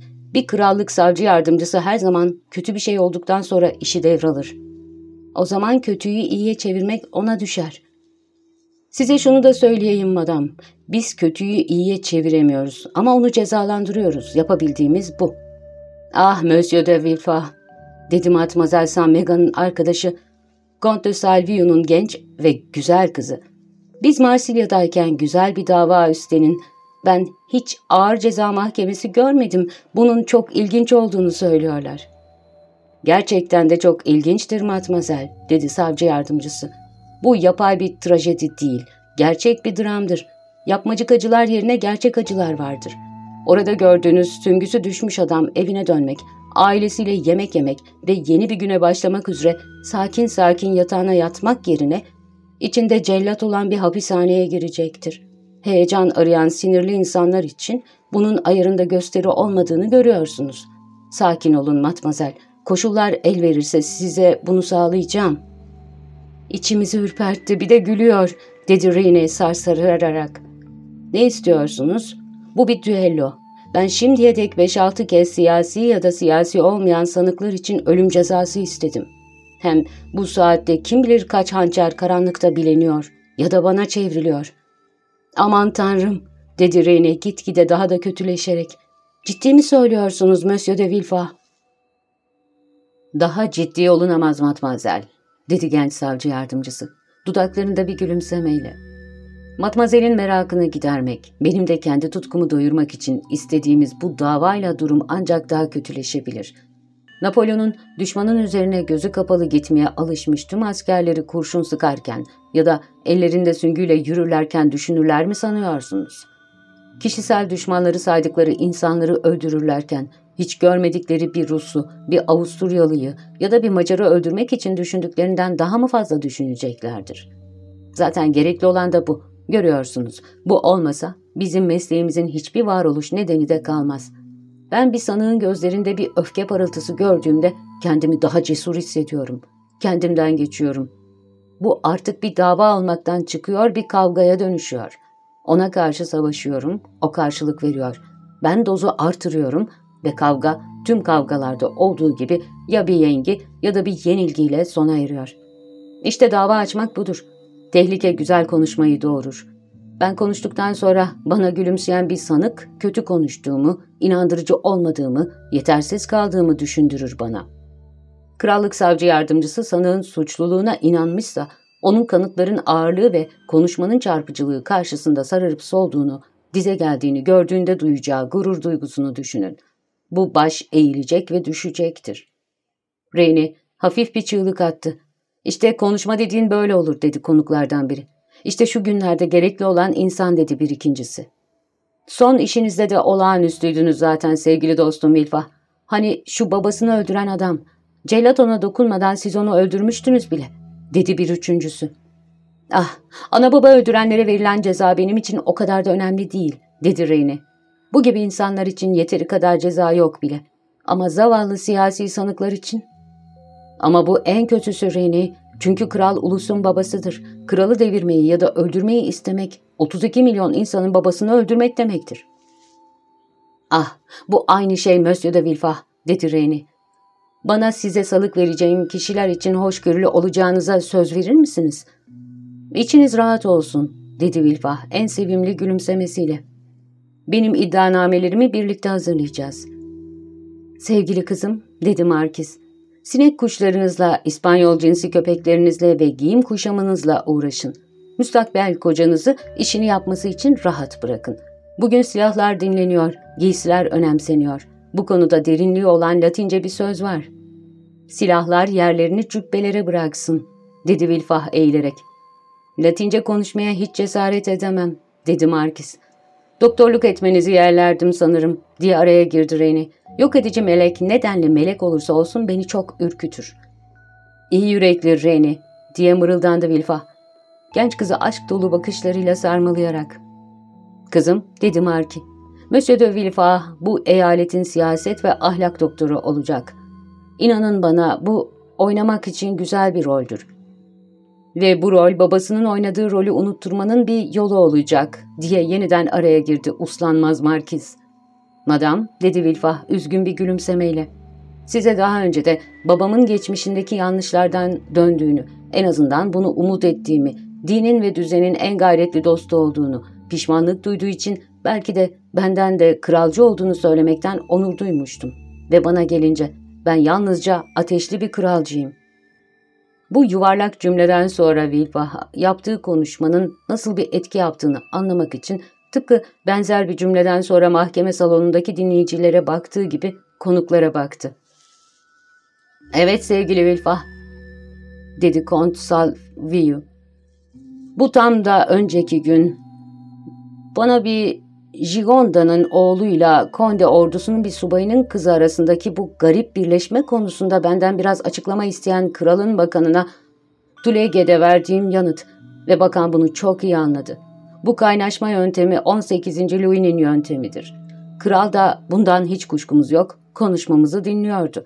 Şöyle söyleyerek sözümü kesti. Vilfa, dikkatinizi çekerim. Kral, Noahti sözcüğünü kullanmadı, tersine Vilfah sözcüğünü vurguladı. Vilfah dedi kral, işinde ilerleyecek. Bu genç adam şimdiden olgun ve benim dünyamdan. Markin'in ve Markiz'in onu damat olarak seçmiş olmalarına çok sevindim. Bu birleşmeyi yapma iznini istemek için önce bana gelmiş olsalardı ben de onlara bunu yapmalarını öğütlerdim. Kral böyle mi söyledi kont diye çığlık attı Vilfah büyük bir sevinçle. Size onun sözlerini aktarıyorum ve eğer Marki açık yürekli olmak isterse o da size 6 ay önce krala siz ve kızı arasındaki evlilik tasarısından söz ettiğinde kralın ona da tümüyle şu anda söylediklerimi söylemiş olduğunu itiraf edecektir. Doğru dedi Marki. Ah demek her şeyimi ona, bu soylu prense borçlu olacağım. Ona hizmet etmek için neler yapmam ki? Çok şükür dedi Markiz. Sizi ne kadar sevdiğimi görün. Şu anda bir zorba gelsin isterse tam zamanıdır. Bana gelince anne dedi Rene. Tanrı'ya sizi hiç dinlememesi. Monsieur de Villefaux'a sadece küçük hırsızlar, hileli iflas yapanlar ve acemi dolandırıcılar göndermesi için dua ediyorum. Bu sanki bir doktora baş ağrısı, kızamık geçiren, arı sokan hasta dilemek gibi bir şey, dedi Villefaux gülümseyerek. Tüm bunlar sadece üst deriyi tehlikeye atan şeylerdir. Eğer beni krallık savcısı olarak görmek istiyorsanız, tersine iyileştirilmesi doktora onur verecek korkunç hastalıklar dileyiniz. O anda sanki yazgı yerine getirmek için Vilfah'ın dileğini açıklamasını bekliyormuş gibi bir özel uşak içeri girdi ve Vilfah'ın kulağına bir şeyler söyledi. Vilfah özür dileyerek sofradan kalktı ve birkaç dakika sonra yüzü aydınlanmış, dudaklarında bir gülümsemeyle geri geldi. Rene ona aşkla baktı. Çünkü mavi gözleri, mat teni ve yüzünü çevreleyen siyah favorileriyle gerçekten zarif ve güzel bir delikanlıydı. Kısa süre ortadan yok oluşunun nedenini açıklamasını beklerken genç kızın tüm ilgisi Vilfah'ın dudaklarına odaklanmıştı. ''Evet'' dedi Vilfa. ''Matmazel, biraz önce koca olarak bir doktor istiyordunuz. Benim en azından Eskulap'ın öğrencileriyle 1815'te hala böyle konuşuluyordu. Böyle bir benzerliğim var. Zamanım asla bana ait değil. Nişan yemeğimde bile sizin yanınızdayken gelip beni rahatsız ediyorlar. Hangi nedenden sizi rahatsız ediyorlar monsieur? diye sordu genç kız hafif bir kaygıyla. Heyhat, bana söylenenlere inanmak gerekirse çok nazik durumdaki bir hasta için bu kez tehlikeli bir durum var. Hastalık idam sehpasına çok yaklaşmış. Aman tanrım diye haykırdı Reni bensiz olarak. Ne olmuş diye sordu topluluk bir ağızdan. Sadece Bonapartçıların küçük bir komplosu ortaya çıkarılmış gibi görünüyor. Nasıl olur dedi Markiz. İşte ihbar mektubu. Ve Vilfa mektubu okudu. Sayın Krallık Başsavcısına, tahtın ve dinin bir dostu olarak Napoli ve Portofeguja'ya uğradıktan sonra bu sabah Simirna'dan gelmiş olan Firavun gemisinin ikinci kaptanı Edmond Dante adlı kişinin Murat tarafından Zorba'ya, Zorba tarafından da Paris'teki Bonapartçı komiteye verilmek üzere mektup taşımakla görevlendirildiğini bildiririm. Yakalandığında suçunun kanıtı da ele geçirilecektir. Çünkü bu mektup ya kendi üzerinde ya babasında ya da Firavun gemisindeki kamerasında bulunmaktadır. Ama bu sadece imzasız bir mektup ve size değil krallık savcısına yazılmış, dedi Reni. Evet ama krallık savcısı burada değil. Mektup onun yokluğunda görevi mektupları açmak olan sekreterine gelmiş. O da bunu açmış. Sonra beni aramış. Beni bulamayınca da tutuklama için emir vermiş. Böylece suçlu tutuklanmış, dedi Markiz. Sanık demek istiyorsunuz, dedi Reni. Evet madam, dedi Vilfa. Biraz önce Matmazel Reni'ye açıklamaktan onur duyduğum gibi söz konusu mektup bulunursa hasta oldukça ağır hasta demektir. Nerede bu zavallı diye sordu Reni. Benim evimde. Hadi dostum dedi Marki. Krala hizmet sizi beklerken bizimle kalmak için görevlerinizi ihmal etmeyiniz. Monsieur de Villefort, dedi Reni ellerini birleştirerek. Hoşgörülü olunuz. Bugün sizin nişan gününüz. Villefort masanın çevresini dolaştı. Genç kızın sandalyesine yaklaşarak arkalığına yaslandı. Sizi bir kaygıdan kurtarmak için, dedi. Yapabileceğim her şeyi yapacağım sevgili Reni. Ama eğer ipuçları kesinse, suçlama doğruysa bu Bonapartçı ayrıkotunu kesmek gerekecek. Bu kesmek sözcüğünü duyan Reni titredi. Çünkü kesilmesi söz konusu olan bu otun bir kafası vardı. Hadi hadi dedi Markiz. Bu küçük kızı dinlemeyin Vilfah bunlara alışacak. Markiz kuru elini Vilfah'a uzattı. O da Markiz'in elini öptü. Ama hep Reni'ye bakarak ve gözleriyle ona şunu söyleyerek. Bu öptüğüm sizin eliniz ya da en azından şimdi sizin elinizi öpmek isterdim. Üzücü koşullar diye mırıldandı Reni. Aslında matmazel dedi Markiz. İnsanı umutsuzluğa düşüren çocukça davranışlarınız var. Devletin yazgısının duygusal fantezilerinizle ve yüreğinizin gülünç içleriyle nereye varacağını size sormak istiyorum. Ah anneciğim diye mırıldandı Reni. Kötü kralcıları bağışlayın sayın Markizim dedi Vilfa. Krallık savcı yardımcılığı görevimi bilinçli olarak yani son derece katı bir biçimde yapacağıma söz veriyorum. Ama yargıç bu sözleri Markiz'e söylerken yan gözle de nişanlısına bakıyor ve bakışlarıyla şöyle diyordu. Sakin olun Reni, aşkınızın hatrı için hoşgörülü olacağım. Reni bu bakışlara en tatlı gülüşüyle karşılık verdi ve Vilfa kalbinde mutlulukla dışarı çıktı. Sorgu Vilfah yemek odasının dışına çıkar çıkmaz, türdeşinin yaşamı konusunda karar verme gibi yüksek bir göreve çağrılmış, ağırbaşlı bir adam izlenimi bırakmak için neşeli maskesini çıkarıp attı. Dış görünüşünün değişkenliğine, usta bir oyuncunun yapması gerektiği gibi ayna karşısında birçok kez inceleyip bulmaya çalıştığı değişik yüz ifadelerine karşın bu kez yaptığı şey kaşlarını çatmak ve yüzünü karartmak oldu. Gerçekten de babasının izlediği siyasi çizginin kendisi tümüyle bu çizgiden uzaklaşmasaydı geleceğini başka yöne çevirebilecek olan çizginin anısı dışında Gerard de Villefort şu anda bir insanın olabileceği kadar mutluydu. Kendi zenginliğinin yanı sıra 27 yaşında, yargıçlar arasında yüksek bir konumda bulunuyordu. Tutkuyla değil, krallık savcı yardımcısının sevebileceği gibi aklıyla sevdiği genç ve güzel kızla evleniyordu. Nişanlısı Mademoiselle de Saint-Megan dikkat çekici güzelliği dışında o dönemin en iyi ailelerinden birindendi. Ana babasıysa başka çocukları olmadığı için tüm saygınlıklarını damatları için kullanabilirlerdi. Matmazel de Saint-Megan kocasına 50 bin ekü tutarında bir çeyiz getiriyordu. Beklentilerine göre evliliği kotaran aracıların buldukları acımasız bir sözcüktü bu. Miras günün birinde yarım milyonu bulabilirdi. Bir araya gelmiş tüm bu ögeler Bilfah için göz kamaştırıcı, eksiksiz bir mutluluk oluşturuyordu. Öyle ki uzun süre ruhunun penceresinden iç yaşamına baktığında güneşte lekeler görüyormuş gibi oluyordu. Kapıda onu bekleyen polis komiserini buldu. Siyahlı adamın görünüşü onu yedi kat gökyüzünden üstünde yürüdüğümüz yeryüzüne indirdi. Daha önce söylediğimiz gibi yüz ifadesini ayarladı ve adalet görevlisine yaklaşarak ''İşte buradayım Monsieur'' dedi. ''Mektubu okudum. Bu adamı tutuklamakla iyi etmişsiniz. Şimdi bana bu adamla ve komployla ilgili toplayabildiğiniz tüm ayrıntıları veriniz.'' ''Komplo hakkında henüz hiçbir şey bilmiyoruz efendim.'' Üstünde bulduğumuz tüm kağıtlar bir tomar haline getirilmiş ve mühürlenmiş olarak masanızın üstüne konmuştur. Sanağa gelince, onu ihbar eden mektupta gördüğünüz gibi adı Edmond Dante. İskenderiye ve Simirna ile pamuk ticareti yapan, Marsilya'da Mogel ve oğulları şirketine ait üç direkli Fravun gemisinin ikinci kaptanı. Ticaret denizciliğinde çalışmadan önce askeri denizcilikte çalışmış mı? Ah hayır efendim, bu çok genç bir adam. Kaç yaşında? 19, bilemediniz 20 yaşlarında. O anda Wilfah gibi Grand Rieu'ye izleyerek konsey sokağının köşesine gelmiş ve onu bekliyor gibi görünen bir adam Wilfah'ın yanına geldi. Bu Monsieur Mo geldi. Ah, Monsieur de Wilfah diye seslendi yürekli adam savcı yardımcısını görünce. Sizinle karşılaştığım için çok mutluyum. Ne kadar garip, ne kadar inanılmaz bir yanlışlık yapıldığını biliyor musunuz? Benim gemimin ikinci kaptanı Edmond Dante tutuklandı. Biliyorum Monsieur, dedi Vilva.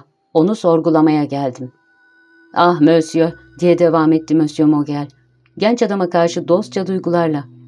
Suçlanan kişiyi tanımıyorsunuz. Ben onu tanıyorum. Onun son derece yumuşak, son derece dürüst bir insan olduğunu biliyor musunuz? Tüm ticaret denizciliğinin neredeyse en iyi bilen kişi olduğunu söyleyebilirim. Ah Monsieur de Villefort, içtenliğimle ve tüm kalbimle kefil olabilirim ona. Villefort, gördüğümüz gibi kentin soylu kesiminden biriydi. Mogel ise halktandı. Villefort aşırı kralcıydı. Mogel'in gizli Bonapartçı olduğu kuşkusu vardı. Villefort küçümser gibi Mogel'e baktı ve soğuk bir biçimde onu yanıtladı. Biliyorsunuz Monsieur, özel yaşamınızda yumuşak, ticari ilişkilerinde dürüst, yaşam biçiminde bilge ama siyasal açıdan önemli bir suçlu olunabilir. Bunu biliyorsunuz değil mi Monsieur? Savcı yardımcısı bu sözleri armatörün kendisi içinde geçerli olabileceğini göstermek ister gibi vurgulamıştı. Bu sırada araştıran bakışları kendisinin de hoşgörüye ihtiyacı olabileceğini bildiği zamanlarda bile bir başkası için yardım isteyecek kadar cesur olan bu adamın kalbinin derinliklerine kadar girmek istiyor gibiydi. Mogel kızardı çünkü siyasi görüşler konusunda çok net bir bilince sahip olduğunu sanmıyordu. Ayrıca Dante'nin Büyük Mareşal'le görüşmesi ve imparatorun ona söylediği bir takım sözler konusunda kendisine verdiği sırlar aklını biraz karıştırıyordu. Ama yine de büyük ilgisini belirten ses tonuyla ekledi. Size yalvarıyorum Monsieur de Villefort, olmanız gerektiği kadar adil, her zaman olduğunuz kadar iyi olun ve şu zavallı Dante'yi hemen bize geri verin. Onu bize geri verin. Krallık savcı yardımcısının kulağında devrimci bir ses gibi çınladı. Hadi bakalım, dedi kendi kendine alçak sesle. Bize geri verin. Şu Dante bir Carbonari grubunun üyesi olup, koruyucusu da böylece hiç bilmeden ortak formülü kullanıyor olmasın. Komiser bana onun bir içkili lokantada tutuklandığını söylemişti sanırım. Çok sayıdaki arkadaşıyla birlikte diye de eklemişti. Bu Carbonari Derneği olmalı. Sonra yüksek sesle, ''Monsieur'' diye yanıt verdi. ''İçiniz tamamen rahat olsun. Eğer tutuklu suçsuzsa boş, boşuna benim adaletime başvurmayınız. Ama tersine eğer suçluysa cezasız bırakmanın kötü bir örnek olacağı zor bir dönemde yaşıyoruz. Bu nedenle görevimi yapmak zorunda kalacağım Monsieur. Bunun üzerine Adalet Sarayı'na bitişik evinin kapısına gelmiş olan Bilbah, zavallı armatörü buz gibi bir nezaketle selamladıktan sonra görkemli bir biçimde içeri girdi. Armatör, Bilbah'ın onu bıraktığı yerde taş kesilmiş kala kaldı. Bekleme odası jandarma ve polis memurlarıyla doluydu. Onların ortasında gözaltına alınmış, etrafı kinle tutuşmuş gözlerle çevrili tutuklu, sakin ve hareketsiz ayakta duruyordu. Vilfa bekleme odasının içinden geçti. Dante'ye yan gözle baktı ve memurun uzattığı bir tomar kağıdı aldıktan sonra şunları söyleyerek gözden kayboldu. Tutuklu getirilsin. Ne kadar çabuk bir göz atmış olursa olsun Vilfa bu süre içinde nasıl bir adamı sorgulayacağı konusunda bir fikir edinmişti. Bu geniş ve açık alında zekayı, bu çatık kaşta ve dimdik bakan gözde cesareti, sedef gibi iki sıra beyaz dişlerin göründüğü aralık ve kaim dudaklarda içtenliği görmüştü.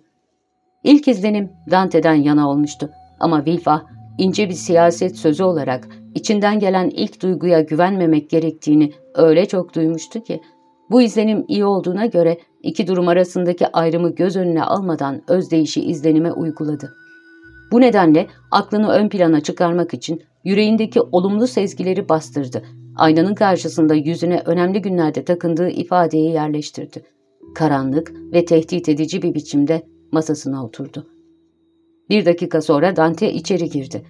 Genç adam hep solgun ama sakin ve güler yüzlüydü. Savcı yardımcısını rahat bir nezaketle selamladı. Sonra sanki armatör Mogel'in salonundaymış gibi gözleriyle oturacak bir yer aradı. Oysa sadece Vilfah'ın donuk bakışıyla, düşüncelerinin okunmasını istemeyen ve gözlerine soluk bir can parlaklığı veren saray görevlilerine özgü bakışıyla karşılaştı. Bu bakış ona adaletin karanlık yüzüyle karşı karşıya olduğunu öğretti. ''Kimsiniz ve adınız ne?'' diye sordu Vilfa. İçeri girerken memurun ona verdiği ve casusluğun kokuşmuşluğu adları sanık olan bu zavallı insanlara çok çabuk yapıştığı için bir saatten beri giderek kabarmış olan kağıtları karıştırarak. ''Adım Edmond Dante efendim.'' diye yanıt verdi genç adam, sakin ve güçlü bir sesle. Monsieur Mogel ve oğullarına ait Firavun gemisinde ikinci kaptanım. Kaç yaşındasınız? diye sürdürdü Vilfa. 19, yanıtını verdi Dante. Tutuklandığınız sırada ne yapıyordunuz? Kendi nişan yemeğimde bulunuyordum efendim, dedi Dante, hafif titrek bir sesle. Bu mutluluk dakikalarının onu izleyen iç karartıcı resmiyetle olan çelişkisi ne kadar acı vericiydi. Monsieur de Villefah'ın karanlık yüzü, Mercedes'in ışıklı yüzünü nasıl da tüm parıltısıyla belirgin kılıyordu. ''Kendi nişan yemeğinizde mi bulunuyordunuz?'' dedi savcı yardımcısı kendini tutamayıp ürpererek. ''Evet efendim, üç yıldır sevdiğim kadınla evlenmek üzereydim.'' Her zaman soğukkanlı olan Vilfa bu rastlantıya şaşırmıştı ve mutluluğunun orta yerinde ansızın yakalanmış olan Dante'nin heyecanlı sesi ruhunun derinliklerinde ona karşı bir yakınlık duygusu uyandırdı. O da evleniyordu, o da mutluydu ve onun gibi mutluluğu yakalamış başka bir adamın neşesini yok etmek için onun mutluluğunu da kesintiye uğratmışlardı. Bu felsefi yaklaşım Monsieur de Saint Mega'nın salonuna döndüğümde büyük bir etki yapacak diye düşündü. Ve Dante yeni sorular beklerken o konuşmacıların söylediklerinin kimi zaman gerçek bir konuşma sanatı örneği olduğunu düşündüren, alkış bekleyen gösterişli cümleleri kurarken kullandıkları karşıtlıklarla dolu sözcükleri kafasında önceden hazırladı. İçinden yaptığı küçük konuşma bittiğinde Bilfah yapacağı etki nedeniyle gülümsedi ve Dante'ye dönerek ''Devam ediniz Monsieur'' dedi. ''Neye devam etmemi istiyorsunuz? Adaleti aydınlatmaya.'' Adalet bana hangi noktada aydınlatmak istendiğini söylesin, ben de tüm bildiklerimi ona anlatayım. Sadece diye ekledi bu kez bir gülümsemeyle. Çok fazla bir şey bilmediğimi önceden söyleyeyim. Zorbaya hizmet ettiniz mi? O devrildiğinde ben deniz kuvvetlerine yazılmaya gidiyordum. Sizin aşırı siyasal görüşleriniz olduğu söyleniyor, dedi. Bu konuda kendisine hiçbir şey fısıldanmamış olmasına karşın bir suçlama yapar gibi bu soruyu sormaktan üzüntü duymayan Vilfa. Siyasal görüşlerim mi? Benim mi efendim? Ne yazık ki bunu söylemek hemen hemen utanç verici ama benim hiçbir zaman görüş denen şeyim olmadı. Biraz önce size söyleme onuruna erdiğim gibi daha yeni 19 yaşıma bastım. Hiçbir şey bilmiyorum, hiçbir rol oynamayı düşünmüyorum. Neysem ne olacaksam çok istediğim görev bana verilirse eğer tüm bunları borçlu olacağım kişi Monsieur Mogel'dir. Tüm görüşlerim siyasal değil, özel olanlardan söz ediyorum. Üç duyguyla sınırlıdır. Babamı severim. Monsieur Mogel'e saygı duyarım ve Mercedes'e taparım. İşte efendim, adalete söyleyeceklerimin hepsi bu. Gördüğünüz gibi bunlar adalet, adalet için pek ilginç değil. Dante konuştukça Vilfah onun hem yumuşak hem aydınlık yüzüne bakıyor ve onu hiç tanımadan Reni'nin tutuklu için hoşgörü istediği aklına geliyordu. Suç ve suçlularla uğraşan savcı yardımcılarının alışkanlığıyla Dante'nin her sözünde suçsuzluğunun kanıtının ortaya çıktığını görüyordu. Gerçekten de neredeyse çocuk denebilecek bu sade, doğal, asla bulunmaz bir açık yürekliliğe sahip genç adam mutlu olduğu ve mutluluk kötüleri bile iyi yaptığı için herkese karşı sevgi doluydu. Yüreğinden taşan tatlı inceliği yargıcına kadar ulaşıyordu. Vilfa ona karşı son derece sertken Edmond'un bakışında, sesinde, hareketinde kendisini sorgulayana karşı sadece iyilik ve incelik vardı. Vilfa, işte sevimli bir çocuk ve öyle görünüyor ki Reyni'nin bana verdiği ilk öğüdü tutarak onun takdirini kazanmakta pek zorluk çekmeyeceğim.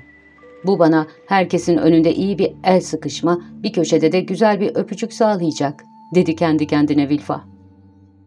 Ve bu tatlı umutla Vilfa'nın yüzü aydınlandı. Öyle ki düşüncelerinden sıyrılıp gözlerini Dante'ye çevirdiğinde yargıcının dışarıdan tüm hareketlerini izlemiş olan Dante Vilfah'ın düşüncesi gibi ona gülümsüyordu. ''Monsieur, hiç düşmanınız var mı?'' diye sordu Vilfah. ''Düşman mı?'' dedi Dante. ''Durumumun bana düşman yaratamayacağı kadar küçük bir insan olmanın rahatlığını yaşıyorum. Kişiliğime gelince biraz fevri biriyim belki ama emrimde çalışanlara karşı her zaman bu huyumu yumuşatmaya çalışmışımdır. Emrimde 10-12 tayfa var. Onlar sorgulansın efendim. Onlar beni bir baba gibi değil çünkü bunun için çok gencim ama bir ağabey gibi sevdiklerini ve saydıklarını söyleyeceklerdir. Ama düşmanınız olmadığına göre belki de sizi kıskananlar vardır.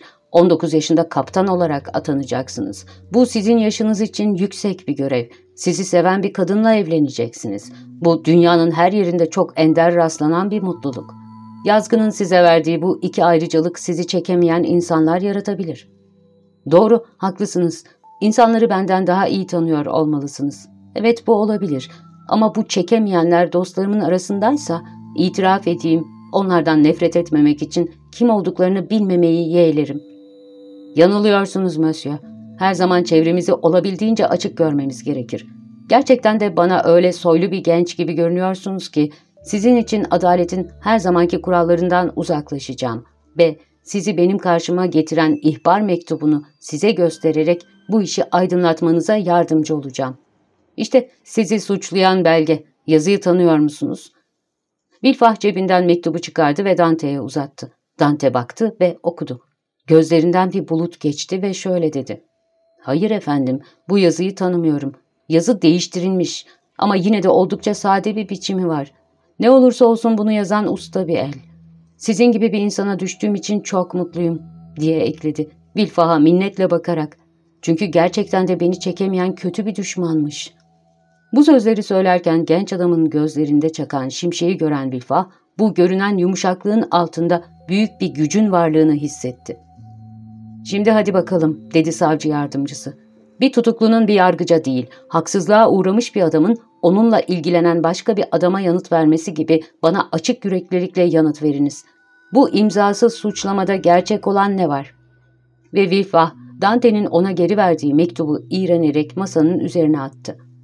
''Her şey ve hiçbir şey Mösyö, denizci onurum üstüne, Mercedes'in aşkı üstüne, babamın hayatı üstüne yemin ederim ki bu katıksız gerçektir.''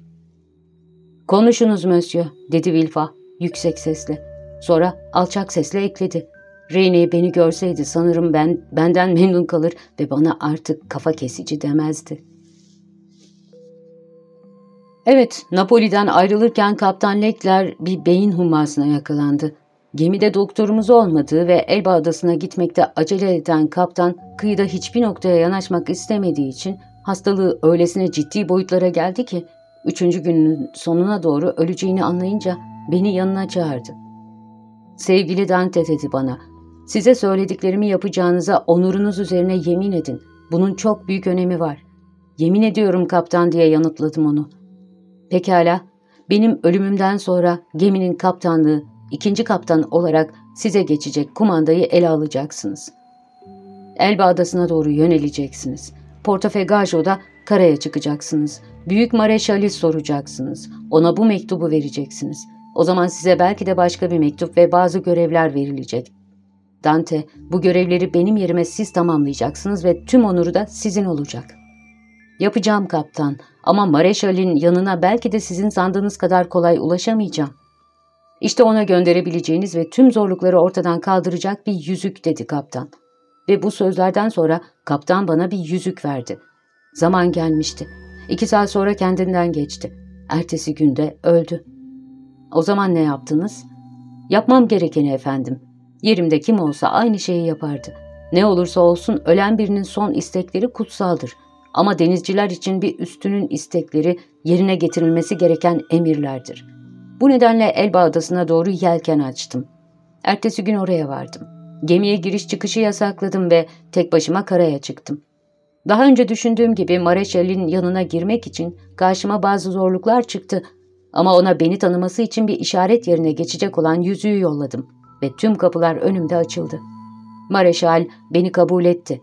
Zavallı Lekler'in ölümünün son ayrıntıları konusunda bana sorular sordu ve kaptanın düşündüğü gibi bana Paris'e bizzat götürmem gereken bir mektup verdi. Ona bunu yapacağıma söz verdim. Çünkü bu kaptanımın son isteklerini yerine getirmek olacaktı. Karaya çıktım. Geminin tüm işlerini çabucak yoluna koydum. Sonra koşarak her zamankinden daha güzel, daha sevecen bulduğum nişanlımı görmeye gittim.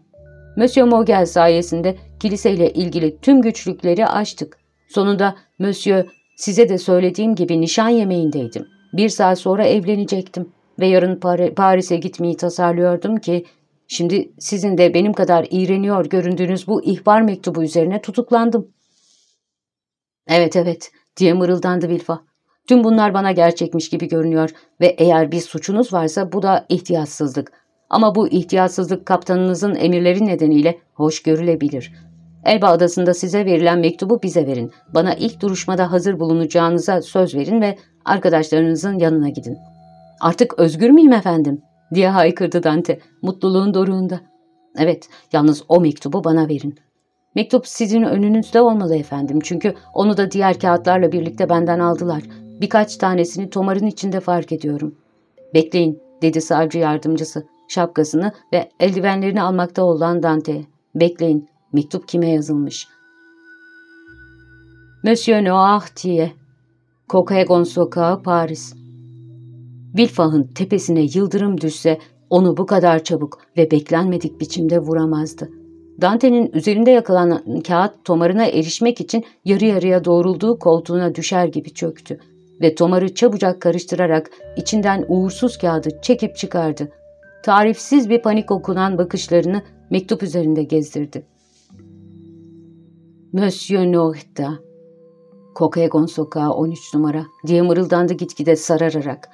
Evet Monsieur dedi Dante şaşırarak. Onu tanıyor musunuz? Hayır diye yanıt verdi Vilfa hemen. Kralın sadık bir hizmetkarı hükümete karşı komplo kuranları tanımaz. Bir komplodan mı söz ediliyor?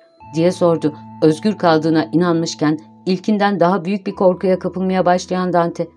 Ne olursa olsun Monsieur, size söyledim. Taşıyıcısı olduğum haberin içeriğini hiç bilmiyordum. Evet, dedi Vilfah boğuk bir sesle. Ama gönderildiği kişinin adını biliyorsunuz. Mektubu kendisine verebilmek için adını bilmem gerekiyordu. Bu mektubu birine gösterdiniz mi? diye sordu Vilfah, mektubu okuyarak ve okudukça da sararıp solarak. Hiç kimseye Monsieur, onurum üstüne yemin ederim. Elba adasından gelen ve Monsieur Noah diye gönderilen bir mektubun taşıyıcısı olduğunuzu kimse bilmiyor mu? Onu bana verenin dışında hiç kimse Monsieur. Bu kadarı da çok fazla, çok fazla diye mırıldandı Vilfa. Mektubun sonuna yaklaştıkça Vilfa'nın yüzü giderek kararıyordu. Beyaz dudakları, titreyen elleri, alev alev gözleri Dante'nin aklına çok acı veren kaygılar getiriyordu. Mektubu okuduktan sonra Vilfa başını elleri arasına aldı ve bir an ezilmiş gibi kala kaldı. ''Aman tanrım, ne oldu Monsieur?'' diye çekingen bir biçimde sordu Dante. Vilfah yanıt vermedi ama birkaç saniye sonra solgun ve kötü görünen yüzünü kaldırdı ve mektubunu ikinci kez okudu. ''Siz bu mektupta neler yazdığını bilmediğinizi söylüyorsunuz, öyle mi?'' diye sordu Vilfah. ''Onurum üzerine yemin ederim.'' dedi Dante. ''Yine söylüyorum, bilmiyorum. Ama sizin neyiniz var? Aman tanrım, fenalaşıyorsunuz. Zile basayım ister misiniz? Birini çağırayım mı?'' ''Hayır Monsieur.'' dedi Vilfah hemen ayağa kalkarak. ''Kımıldamayın, bir şey söylemeyin. Burada emirleri ben veririm, siz değil.'' ''Monsieur'' dedi Dante incinmiş bir halde. ''Size yardım etmek içindi, hepsi bu.'' ''Hiçbir şeye ihtiyacım yok. Geçici bir göz kararması o kadar. Siz kendi işinize bakın, benimkine değil. Yanıt verin.'' Dante bu isteğin getireceği sorgulamayı bekledi. Ama boşuna. Vilfah yeniden koltuğuna çöktü. Buz gibi elini oluk oluk akan alnından geçirdi ve mektubu üçüncü kez okumaya e, koyuldu. Ah bu mektubun içindekileri bir bilse diye mırıldandı. Eğer Noahdi'nin Vilfah'ın babası olduğunu bir öğrenirse mahvoldum. Sonsuza kadar mahvoldum. Zaman zaman dile getiremediği gizleri kalbine hapseden o görünmez engeli bakışıyla kırabilirmiş gibi Edmond'a bakıyordu. Ah artık kuşkulanmayı bırakalım diye haykırdı birden. Ama Tanrı aşkına Mösyö diye haykırdı zavallı genç adam. Eğer benden kuşkulanıyorsanız, bana güvenmiyorsanız sorgulayın beni. Size yanıt vermeye hazırım.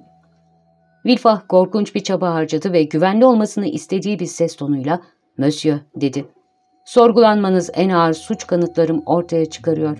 Size şu anda özgürlüğünüzü vermek konusunda daha önce umut ettiğim gibi yetkili ben değilim. Böyle bir önlem almadan önce sorgu yargıcına danışmam gerek. Bu arada size karşı nasıl davrandığımı gördünüz.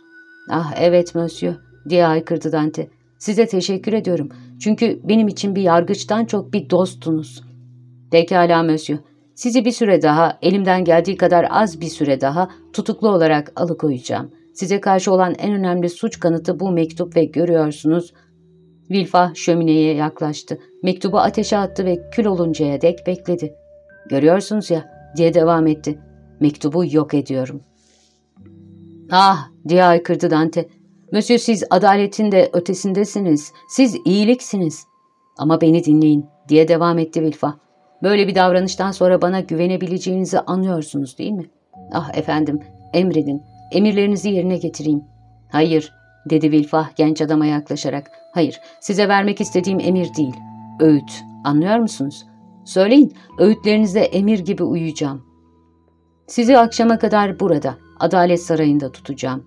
Belki benden başkası sizi sorgulamaya gelir. Bana söylediğiniz her şeyi söyleyin. Ama bu mektuptan hiç mi hiç söz etmeyin. Söz veriyorum efendim. Sanki yalvaran Wilford'tu.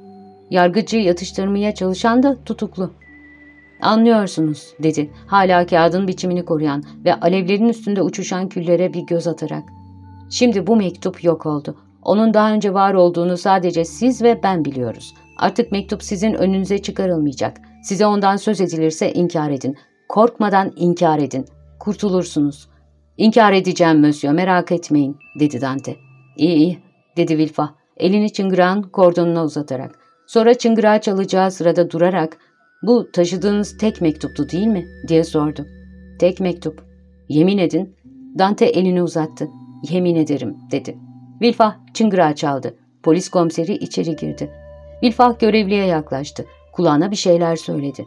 Komiser küçük bir baş hareketiyle yanıt verdi. ''Beyi izleyin'' dedi Vilfah Dante'ye. Dante saygıyla eğildi. Son kez minnetle Vilfah'a baktı ve dışarı çıktı. Kapı Dante'nin arkasından kapanır kapanmaz Vilfah'ın gücü tükendi ve neredeyse baygın bir halde bir koltuğa çöktü. Kısa bir süre sonra ''Aman tanrım'' diye mırıldandı. Yaşam ve yazgı nelere bağlı?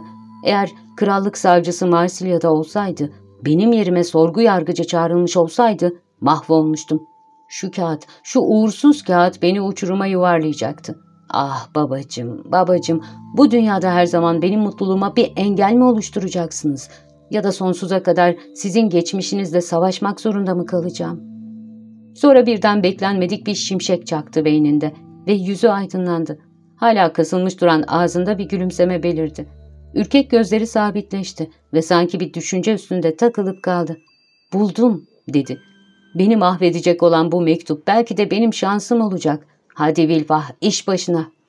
Tutuklunun artık bekleme odasında olmadığından emin olunca krallık savcı yardımcısı da çıktı ve hızlı hızlı nişanlısının evine doğru yola koyuldu. İf şatosu Bekleme odasını geçerken polis komiseri iki jandarmaya işaret etti. Onlardan biri Dante'nin sağına, öbürü soluna geçti.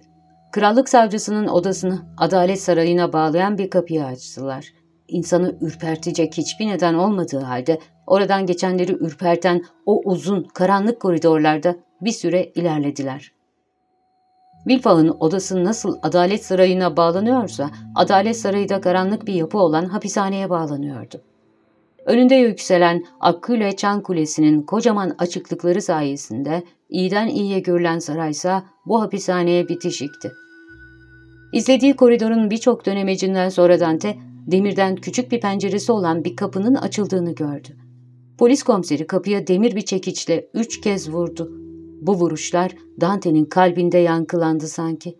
Kapı açıldı. İki jandarma hala duraksayan tutukluları hafifçe içeri itti. Dante korkunç eşiğin öte tarafına geçti ve arkasından kapı büyük bir gürültüyle kapandı. Kötü bir havayı, ağır ve pis kokan bir havayı soluyordu. Hapisteydi. Onu oldukça temiz ama parmaklıklı ve sürgülü bir odaya götürdüler. Bulunduğu yerin görünüşünün ona hiç de büyük bir korku vermediğini gördü. Zaten savcı yardımcısının büyük bir ilgiyle söylediğini düşündüğü sözler Dante'nin kulağında tatlı bir umut gibi çınlıyordu. Dante odasına getirildiğinde saat dördü bulmuştu. Daha önce de söylediğimiz gibi günlerden bir Mart'tı. Tutuklu çok geçmeden kendini gecenin ortasında buldu. O zaman görme duyusu azalınca işitme duyusu güçlendi. Özgür bırakılacağına inandığı için ona kadar gelen en küçük gürültüde hızla yerinden kalkıyor ve kapıya doğru bir adım atıyordu. Ama daha sonra gürültü azalarak başka bir yöne doğru gidiyordu ve Dante de taburesinin üstüne çöküyordu. Sonunda akşam saat 10'a doğru Dante umudunu yitirmek üzereyken bu kez ona kendi odasına yönelmiş gibi gelen yeni bir gürültü duyuldu. Gerçekten de koridorda yankılanan ayak sesleri kapısının önünde durdu. Kilitte bir anahtar döndü. Sürgüler gıcırdadı.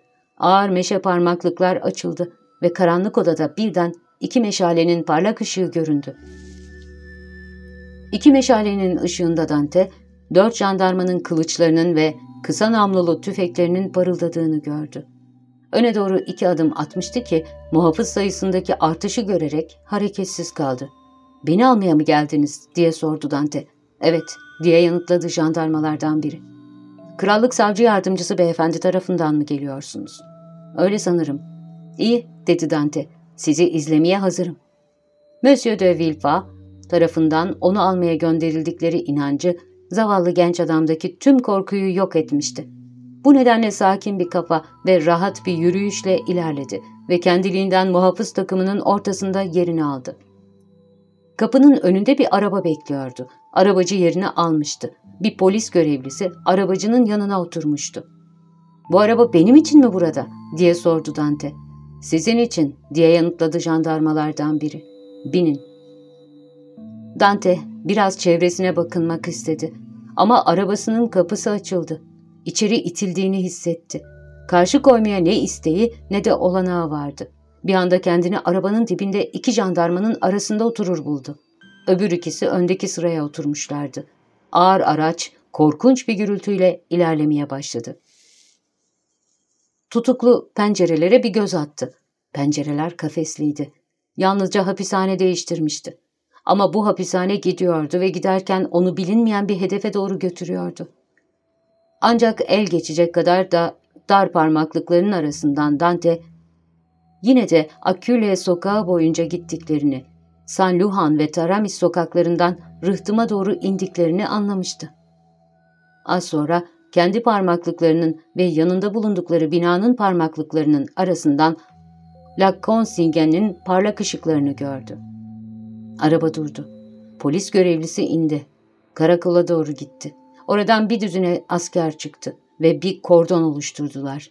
Dante sokak lambalarının solgun ışığı altında tüfeklerinin parıldadığını görüyordu. Bu kadar asker benim için mi toplandı diye sordu kendi kendine. Polis görevlisi bir tek söz söylemeden kilitli kapıyı açarak bu soruya yanıt vermiş oldu. Çünkü Dante iki sıra askerin arabadan rıhtıma kadar kendisi için bir yol oluşturduğunu gördü. Önce ön sırada oturan iki jandarma arabadan indi. Sonra onu indirdiler. Daha sonra da onun iki yanına oturmuş olanlar onu izlediler. Bir deniz gümrüğü görevlisinin zincirle rıhtıma bağlı tuttuğu bir filikaya doğru yürüdüler. Askerler şaşkın bir merakla geçen Dante'ye bakıyorlardı. Bir anda yine aynı dört jandarmanın arasında teknenin kıç tarafına oturtuldu. Polis görevlisiyle baş taraftaydı. Şiddetli bir sarsıntı tekneyi kıyıdan uzaklaştırdı. Dört kürekçi var güçleriyle Filon'a doğru kürek çekmeye başladılar. Barkodan bağırılınca limanı kapatan zincir indirildi ve Dante kendini Fiul denen yerde yani limanın dışında buldu. Açık havaya çıktığında tutuklunun yaptığı ilk hareket bir mutluluk hareketi olmuştu. Hava özgürlük demekti. Gecenin ve denizin bilinmeyen korkularını taşıyan bu canlı esintiyi derin derin soludu. Ama biraz sonra bir iç geçirdi. Sabah tutuklanmasından önce öylesine mutlu olduğu Reserve'in önünden geçiyordu. İki pencerenin ışık saçan aralığından bir balonun neşeli gürültüsü ona kadar geliyordu. Dante ellerini birleştirdi, gözlerini havaya kaldırdı ve dua etti. Barko yoluna devam ediyordu. Tete Moklu geçmişti. Faro koyunun karşısındaydı. Bataryayı arkalarında bırakıyorlardı. Bu Dante için anlaşılmaz bir manevraydı. ''Beni nereye götürüyorsunuz?'' diye sordu jandarmalardan birine. ''Birazdan öğreneceksiniz. Ama daha size herhangi bir açıklama yapmamız yasaklandı.'' Dante yarı asker sayılırdı. Yanıt vermesi yasaklanan aslara soru sormak ona saçma bir şey gibi göründü ve sustu. Aklından çok garip düşünceler geçiyordu. Böyle bir barkoyla uzun bir yol yapılamayacağına ve gidilen kıyıda demir atmış hiçbir gemi olmadığına göre onu kıyıdan uzak bir noktaya bırakacaklarını ve özgür olduğunu söyleyeceklerini düşündü. Bağlı değildi. Ona kelepçe takmak için hiçbir girişimde bulunulmamıştı. Bunlar ona hayra alamet gibi görünüyordu. Zaten ona karşı öylesine iyi olan savcı yardımcısı o uğursuz Noahdi'nin adını anmadıkça korkacak hiçbir şey olmadığını söylememiş miydi? Ona karşı tek kanıt olan o tehlikeli mektubu kendi önünde yok etmemiş miydi? Karanlıkları ve boşluğa alışkın denizci gözüyle gecenin karanlığını denmeye çalışarak düşünceli ve sessiz bekledi. Bir fenerin yandığı Ratono adasını sağda bırakmışlar, kıyıyı neredeyse boydan boya geçerek Katalanlar koyu açığına gelmişlerdi. Burada tutuklunun bakışlarındaki canlılık arttı. Mercedes oradaydı ve her an bir kadının belirsiz ve bulanık silüetinin karanlık kıyıda biçimlendiğini görür gibi oluyordu. Nasıl oluyor da bir ön sezi Mercedes'e aşığının onun 300 adım ötesinden geçtiğini söylemiyordu. Katalanlarda tek bir ışık yanıyordu. Bu ışığın konumunu araştıran Dante, onun nişanlısının odasını aydınlattığını anladı. Küçük göçmen topluluğunun içinde uyum, uyumayan sadece Mercedes'ti. Genç adam yüksek sesle bağırsa nişanlısı onu duyabilirdi. Nedensiz bir utanç onu engelledi. Ona bakmakta olan bu adamlar onun bir deli gibi bağırdığını duyunca ne derlerdi? Bu nedenle sessiz ve gözleri ışığa dikilmiş olarak bekledi. Bu sırada Barko yoluna devam ediyordu. Ama tutuklu artık Barko'yu hiç düşünmüyordu. Aklı Mercedes'teydi. Engebeler yüzünden ışık görünmez oldu. Dante başını çevirdi ve Barko'nun açık denize çıktığını fark etti. Kendi düşüncelerine dalıp gittiği sırada küreklerin yerini yelkenler almıştı ve Barko şimdi rüzgarın itişiyle ilerliyordu. Jandarmaya yeniden sorular yöneltmekten nefret etmesine karşın Dante ona yaklaştı ve elini tutarak ''Arkadaş'' dedi. Vicdanınıza seslenerek ve asker olmanıza güvenerek sizden bana acımanızı ve yanıt vermenizi rica ediyorum. Ne gibi bir ihanetle suçlanmış olursam olayım ben Kaptan Dante'yim. İyi ve sözünün eri bir Fransızım. Beni nereye götürüyorsunuz? Bana bunu söyleyin. Denizci sözü, saygıda kusur etmeyecek ve yazgıma razı olacağım. Jandarma kulağını kaşıdı. Arkadaşına baktı. Arkadaşı, bana öyle geliyor ki bulunduğumuz noktada bir sakınca yok demek ister gibi bir hareket yaptı. O zaman jandarma Dante'ye döndü. Siz Marsilyalısınız ve denizcisiniz. Bana nereye gittiğimizi mi soruyorsunuz? dedi. Evet çünkü onurum üstüne yemin ederim bunu bilmiyorum. Hiç kuşkulanmıyor musunuz? Hiç. Bu olacak şey değil. Bu dünyada benim için en kutsal şey üzerine yemin ederim. Bana yanıt verin hadi lütfen. Ama ya talimat? Talimat benim 10 dakika, yarım saat, belki de bir saat sonra öğreneceğim şeyi bana söylemenizi yasaklamaz. Sadece beni asırlar gibi gelen belirsizlikten kurtaracaksınız. Bunu sizden dostummuşsunuz gibi istiyorum. Bakın ne karşı gelmek ne de kaçmak istiyorum. Zaten bunu yapamam. Nereye gidiyoruz? Gözlerinizin üstünde bir bant bulunmadığına ya da Marsilya limanından daha önce de çıkmış olduğunuza göre nereye gittiğinizi tahmin edebilirsiniz değil mi? Hayır. Çevrenize bakın o zaman. Dante ayağa kalktı. Doğal olarak gözlerini geminin yönelmiş gibi göründüğü noktaya çevirdi. Yüz kulaç ötesinde üstünde çakmak taşından bir ek gibi karanlık if şatosunun bulunduğu siyah ve sarp bir kayalığın yükseldiğini gördü. Bu garip görünüm, çevresine öylesine büyük bir ürküntü veren bu hapishane, 300 yıldan beri Marsilya'yı iç karartıcı geleneklerle yaşatan bu kale, onu hiç aklına getirmemiş olan Dante'nin karşısına birdenbire çıkınca, ölüme mahkum birinin idam sehpasıyla karşılaşması gibi bir etki yaptı üzerinde. ''Aman tanrım!'' diye bir çığlık attı. ''If şatosu, orada ne işimiz var?'' Jandarma gülümsedi. ''Beni oraya hapsetmek için götürmüyorsunuz değil mi?'' diye sürdürdü sözlerini Dante. İf şatosu sadece önemli siyasi suçlulara ayrılmış bir devlet hapishanesidir. Ben hiçbir suç işlemedim. İf şatosunda yargıçlar, yüksek görevliler var mı? Sanırım sadece bir müdür, gardiyanlar, bir garnizon ve sağlam duvarlar var. Hadi dostum, bu kadar da şaşırmış görünmeyin. Az kalsın dostluğuma güvenip benimle alay ettiğinizi düşündürecektiniz bana. Dante jandarmanın elini kıracakmış gibi sıktı. Beni hapsetmek için if şatosuna götürdüğünüzü mü söylemek istiyorsunuz, dedi. Olabilir, dedi jandarma. Ama öyle de olsa arkadaşım, benim elimi bu kadar sıkmanıza bir yararı yok. Hiç başka bir bilgi vermeden, hiç başka bir, bir inceleme yapmadan mı? diye sordu genç adam. İşlemler tamamlandı, inceleme yapıldı. Monsieur de Villefach'ın verdiği söze karşın mı? Monsieur de Villefach'ın size bir söz verip vermediğini bilemem, dedi jandarma. Benim bildiğim if şatosuna gittiğimiz. Pekala, ne yapıyorsunuz hey arkadaşlar koşun. Jandarmanın deneyimli gözlerinin önceden farkına vardığı gibi Dante şimşek gibi bir hızla, bir hareketle kendini denize atmak istedi. Ama ayakları geminin tabanından ayrıldığı anda güçlü kuvvetli dört el onu yakaladı. Öfkeden uluyarak barkonun dibine düştü. ''Tamam'' diye bağırdı jandarma, bir dizini onun göğsüne dayayarak. ''Tamam, denizci sözünüzü böyle tutuyorsunuz demek. Yumuşak huylu görünenlere güvenmemeli. Pekala sevgili dostum, şimdi bir hareket, sadece tek bir hareket yapın, ben de kafanıza bir kurşun sıkayım. İlk talimata uymadım ama emin olun ikinciyi sektirmem. Gerçekten de tüfeğini Dante'ye doğrulttu. Dante namlunun ucunun jakağına dayandığını hissetti. Bir an yasaklanan hareketi yapmayı, üzerine çullanan ve onu birden akbaba gibi pençelerine almış olan beklenmedik felaketten korkunç bir sonla kurtulmayı geçirdi kafasından. Ama bu felaket tümüyle beklenmedik bir şey olduğu için Dante bunun uzun sürmeyeceğini düşündü. Sonra Monsieur de Villefach'ın verdiği sözler aklına geldi. Üstelik doğruyu söylemek gerekirse bir teknenin dibinde jandarmanın elinden olacak bir ölüm ona çirkin ve basit görünürdü. Kızgınlıktan uluyarak ve öfkeden ellerini ısırarak kayığın döşemesine düştü.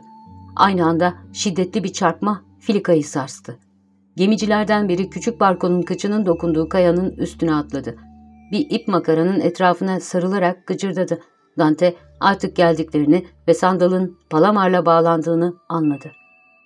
Gerçekten de hem kollarından hem de giysisinin yakasından tutan gardiyanlar onu ayağa kalkmaya ve karaya çıkmaya zorladılar. Kalenin kapışma, kapısına çıkan basamaklara doğru sürüklediler. O sırada ucu süngülü kısa bir tüfek taşıyan polis görevlisi onu arkadan izliyordu. Hem zaten Dante boşuna olacağından bir direnme göstermedi. Yavaşlığı karşı durmasından değil, uyuşukluğundandı. Sarhoş bir adam gibi sendeliyordu ve şaşkındı. Dik yokuşun tepesinde ard arda dizilen askerleri gördü yine. Kendisini ayaklarını kaldırmaya zorlayan merdivenleri hissetti. Bir kapının altından geçtiğini ve o geçtikten sonra kapının kapandığını fark etti. Ama bunların hepsini bir sisin arkasındaymış gibi somut hiçbir şey ayırt edemeden makine gibi gerçekleştirdi. Artık denizi bile görmüyordu. Boşluğa onu aşamayacaklarını bilmenin korkunç duygusuyla bakan tutukluların o büyük acısını duydu. Aklını başına toplamaya çalıştığı sırada küçük bir mola verildi. Çevresine baktı. Yüksek dört duvarla çevrili kare bir avludaydı. Nöbetçilerin ağır ve düzenli adımlarını duyuluyordu. Şatonun içinde parlayan iki üç ışığın ölgün pırıltısı duvarlara yansımaktaydı. Nöbetçiler bu yansımaların önünden her geçişlerinde tüfeklerin namlularının ışıldadığı görülüyordu. Orada aşağı yukarı on dakika beklediler. Dante'nin kaçamayacağından emin olan jandarmalar onu artık tutmuyorlardı. Emirleri bekliyor gibiydiler. Emirler geldi. ''Tutuklu nerede?'' diye sordu bir ses. ''İşte burada.'' diye yanıtladı jandarmalar. ''Beni izlesin, onu odasına götüreceğim.'' ''Hadi'' dedi jandarmalar Dante'yi iterek. Tutuklu, kendisinin neredeyse toprağın altında denebilecek, çıplak ve içine gözyaşı buharı işlemiş gibi ıpıslak duvarları olan bir odaya götüren kılavuzunu izledi. Arkalıksız bir iskemlenin üstüne konmuş, fitili iğrenç bir yağın içinde yüzen bir tür kandil bu korkunç odanın parlak iç duvarlarını aydınlatıyor. Böylece Dante kötü giyimli, basık suratlı, düşük rütbeli bir gardiyan olan kılavuzunu seçebiliyordu. ''İşte bu geceki odanız'' dedi gardiyan. Geç oldu, müdür bey yattı. Yarın uyandığında ve sizinle ilgili emirleri öğrendiğinde belki de yerinizi değiştirir. Bu arada işte ekmek, şu testi de su, orada köşede de samanlar var. Bir tutuklunun isteyebileceği her şey yani. İyi akşamlar.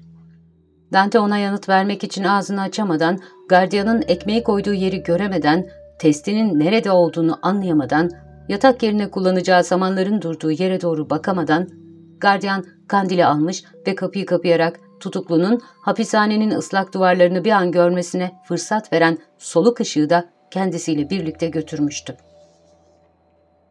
O zaman kendini karanlıkların ve sessizliğin içinde yapayalnız, alev alev yanan alnına neredeyse değecek olan ve buz gibi soğuğunu hissettiği şu tonozlar kadar sessiz ve karamsar buldu.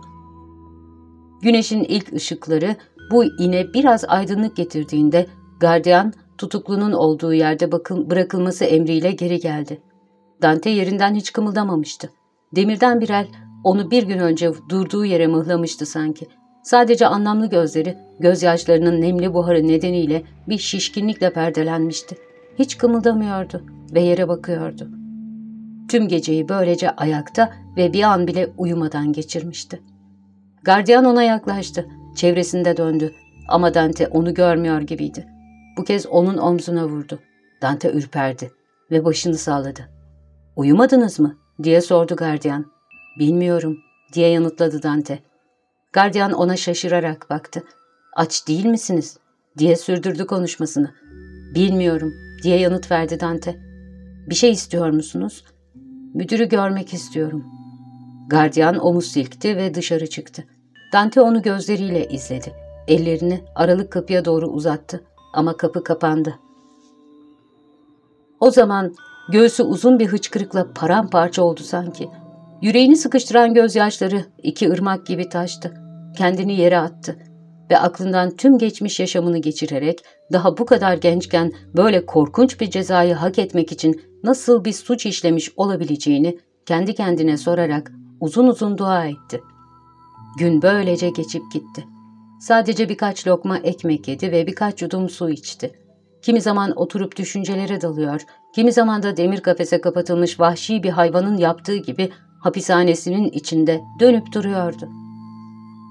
Özellikle bir düşünce onu yerinden sıçratıyordu. O da şuydu. Kendisini götürdükleri yeri bilmeden yaptığı deniz yolculuğu sırasında sessiz ve sakin kalmıştı.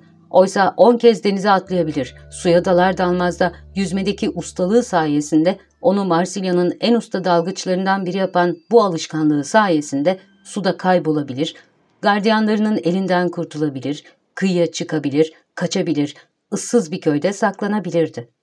Bir Ceneviz ya da Katalan gemisini bekleyebilir, İtalya ya da İspanya'ya gidebilir, oradan Mercedes'e yanına gelmesini yazabilirdi.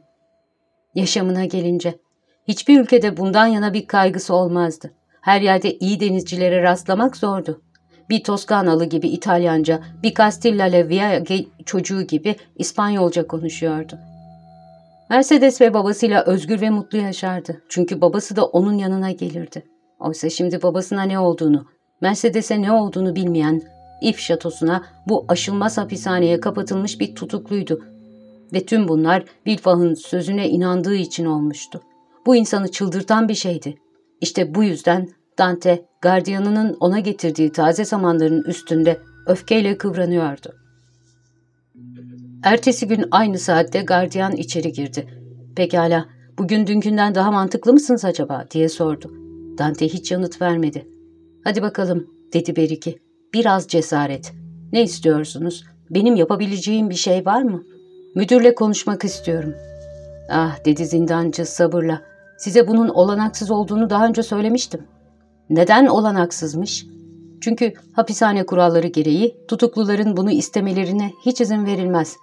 Burada neye izin verilir diye sordu Dante. Parasını ödeyince iyi yiyeceğe, gezinmeye, kimi zaman da kitaplara. Kitaba ihtiyacım yok. Gezmeyi hiç istemiyorum. Yiyeceğim de iyi bence. Sadece tek bir şey istiyorum müdürü görmek. Her zaman aynı şeyi yineleyerek canımı sıkarsanız, dedi gardiyan, size artık yemek getirmeyeceğim. İyi ya, dedi Dante. Bana artık yemek getirmezsen ben de açlıktan ölürüm, olur biter. Dante'nin bu sözleri söylediği ses tonu, gardiyana tutuklusunun ölmekten mutlu olacağını gösterdi. Oysa tüm tutuklular gibi gardiyanına her gün yaklaşık 10 kuruş kazandırabilirdi. Bunun üzerine adam, Dante'nin ölümünün onun için doğuracağı bütçe açığını göz önüne alarak daha yumuşak bir sesle konuştu. Dinleyin bakın, istediğiniz şey olanaksız. Bunu daha fazla istemeyin. Çünkü tutuklunun isteği üzerine müdürün onun odasına gelmesi görülmemiş bir şey. Yalnız çok uslu olun. O zaman sizin dolaşmaya çıkmanıza izin verilir ve bir gün bakarsınız dolaştığınız sırada müdür geçer. O zaman ona soru sorarsınız. Yanıt verir ya da vermez. Bu onun bileceği iş. Ama dedi Dante. Bu karşılaşmanın olması için ne kadar beklemem gerekir? Aa, orasını bilemem, dedi zindancı. Bir ay, üç ay, altı ay, belki de bir yıl. Bu çok fazla uzun bir süre, dedi Dante. Ben onu hemen görmek istiyorum. Ah, dedi gardiyan. Kendinizi böyle olanaksız tek bir isteğe kaptırmayın, yoksa 15 güne varmaz, delirirsiniz.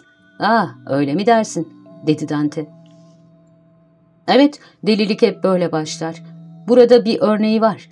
Kendisini özgür bıraksınlar diye müdüre durmadan bir milyon önermekten, sizden önce bu odada kalan papazın beyni sulandı. Bu odadan ayrılalı ne kadar oldu? İki yıl.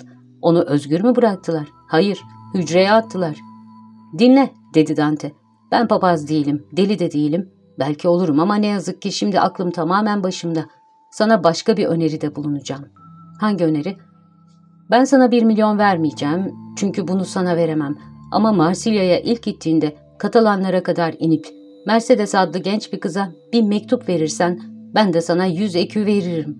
Bir mektup bile değil, sadece iki satır. O iki satırı götürürsen ve bu da ortaya çıkarsa yardımları ve yemeği saymazsan yılda bana bin Fransız lirası getiren işimi kaybederim. Gördüğünüz gibi 300 ekü kazanacağım diye bin Fransız lirasını tehlikeye atmak için koca bir budala olmam gerekir. Pekala, dedi Dante. Dinle ve şunu iyi bil. Eğer Mercedes'e o iki satırı götürmezsen ya da en azından ona burada olduğumu haber vermezsen bir gün seni kapımın arkasına gizlenip beklerim ve içeri girdiğin anda şu tabureyle kafanı kırarım. Tehdit ha, diye bağırdı gardiyan geriye bir adım daha atıp savunmaya geçerek. Hiç kuşku yok, sizin başınız dönüyor. Papaz da sizin gibi başladı. Üç gün sonra siz de onun gibi zır deli olacaksınız. İyi ki if şatosunda hücreler var. Dante tabureyi aldı ve başının üstünde çevirmeye başladı. İyi iyi, dedi gardiyan. İyi, madem ki istediğiniz bu, müdüre haber vereceğiz. Çok şükür, dedi Dante, tabureyi yere bırakıp üstüne oturarak. Gerçekten deliriyormuş gibi başı düşmüştü. Gözleri ürküntü doluydu. Gardiyan çıktı ve bir dakika sonra dört asker ve bir onbaşıyla geri döndü. Müdürün emriyle tutukluyu bunun altındaki kata indirin, dedi. Hücreye mi? dedi onbaşı. Hücreye. Delileri delilerin yanına koymak gerek. Dört asker Dante'yi yakaladı. Bir tür durgunluk içinde olan Dante hiç karşı koymadan onları izledi. Onu 15 basamak aşağı indirdiler ve bir hücrenin kapısını açtılar. O da mırıldanarak içeri girdi. Haklı, Delileri delilerin yanına koymak gerek. Kapı yeniden kapandı. Dante ellerini uzatarak duvarı hissedinceye kadar ilerledi. O zaman bir köşeye oturdu ve kımıldamadan durdu. O arada gözleri biraz karanlığa alışınca eşyaları ayırt etmeye başladı. Gardiyan haklıydı. Dante az kalsın deliriyordu. Nişan akşamı Vilfa, daha önce söylediğimiz gibi Grand Cours meydanının yolunu tutmuştu. Madame de Saint Megan'ın evine girince sofrada bıraktığı konukları salona geçmiş kahve içerken buldu. Rene onu topluluğun tüm geri kalanının da paylaştığı bir sabırsızlıkla bekliyordu. Herkes onu çığlıklarla karşıladı. ''Hadi bakalım, kafa koparıcı, devletin destekçisi, kralcı Brutus'' diye bağırdı biri. ''Ne var ne yok anlat bakalım.'' ''Hadi bakalım, yeni bir zorbalık yönetimiyle tehdit mi ediliyoruz?'' diye sordu öbürü. Korsika canavarı mağarasından çıktı mı? diye sordu bir üçüncüsü. Sayın Markiz, dedi Wilfov. Müstakbel kaynanasına yaklaşarak. Sizi öyle bırakıp gitmek zorunda kaldığım için beni affetmenizi rica ediyorum. Mark Hazretleri, size özel olarak iki sözcük söylememe izin vermenizi rica edebilir miyim? Ah bu gerçekten o kadar önemli mi? diye sordu Markiz, Wilfov'un yüzünü karartan sıkıntıyı fark ederek.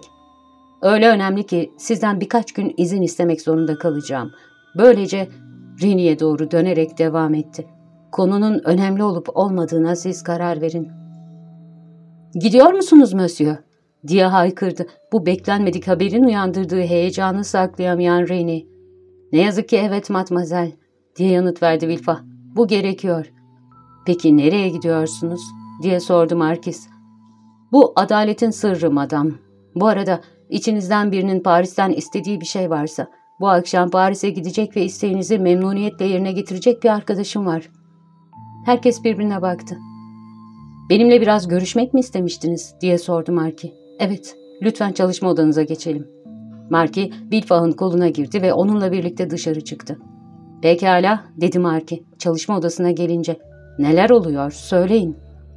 Çok önemli olduğunu sandığım ve hemen Paris'e gitmemi gerektiren şeyler. Şimdi sorunun birdenbire patavatsızca oluşunu bağışlayın. Devlet tahviliniz var mı? Tüm servetim tahvillerim. Yaklaşık 6-700 bin frank. Pekala, satınız Marki. Satınız yoksa iflas edeceksiniz. Ama buradan onları nasıl satabilirim? Borsada görevli adamınız var değil mi? Evet. Bana onun için bir mektup verin. Bir dakika yitirmeden, bir saniye yitirmeden satsın. Hatta belki de çok geç kalmış olacağım. Kahretsin, dedi Marki. Zaman yitirmeyelim. Sonra masaya oturdu ve borsadaki adamına ne pahasına olursa olsun tahvillerini satmasını emreden bir mektup yazdı. Bu mektup artık elimde olduğuna göre, dedi Vilfa, mektubu büyük bir özenle cüzdanına yerleştirerek, şimdi bana başka bir mektup gerek. Kim için? Kral için. Kral için mi? Evet. Ama ben kral hazretlerine böyle bir şey yazmaya cesaret edemem. Sizden bunu yazmanızı istemiyorum. Sadece bunu Monsieur de Salvieux'den istemenizi rica ediyorum. Bana çok değerli zamanı kaybettirecek, görüşme isteğiyle ilgili tüm işlemlerden geçmeden Kral Hazretlerinin yanına girebilmemiz sağlayacak bir mektup vermeli. Ama Adalet Bakanlığı mensubu olarak Tulegi'ye ne zaman isterseniz rahatça girebilirsiniz öyle değil mi? Bu sayede gece gündüz krala ulaşabilirsiniz. Evet doğru ama götüreceğim haberin onurunu bir başkasıyla paylaşmam gereksiz. Anlıyorsunuz değil mi? Adalet Bakanı doğal olarak beni ikinci sıraya atacak ve bu işten yarar sağlamamı engelleyecektir. Size tek bir şey söyleyeceğim. Eğer Tulegi'ye ilk ben varırsam, geleceğim güvence altına alınmış demektir. Çünkü krala hiçbir zaman unutamayacağı bir hizmette bulunmuş olacağım. Bu durumda sevgili dostum, eşyalarınızı hazırlayın. Ben de Salvio'yu çağıracağım ve geçiş izni yerine geçecek mektubu ona yazdıracağım. İyi, zaman yitirmeyiniz. Çünkü bir çeyrek saat sonra posta arabasında olmam gerek. Arabanızı kapının önünde bekletin. Elbette, Markiz'den benim adıma özür dilersiniz değil mi? Böyle bir günde çok büyük bir üzüntüyle bırakıp gittiğim Matmazel de St. Megan'dan da. Onların ikisini de benim çalışma odamda bulacaksınız. Böylece onlarla vedalaşabilirsiniz. Binlerce kez teşekkürler. Mektubumu unutmayınız. Marki çıngırağı çaldı. Bir uşak göründü. Kont de Salviu'yu kendisini beklediğini söyleyin. Gidin şimdi diye devam etti Marki Bilfav'a dönerek. İyi sadece gidip geleceğim. Bilfa koşarak dışarı çıktı. Ama kapıda bir krallık savcı yardımcısının acele adımlarla yürürken görülmesinin tüm kentin huzurunu bozabileceği olasılığını düşündü ve her zamanki buyurgan tavrını takındı.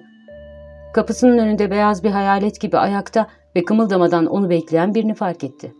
Bu Edmond'dan yeni bir haber alamayınca aşığının tutuklanma nedenini öğrenmek için Fago'dan akşam olurken kaçıp gelen güzel Katalan kızıydı.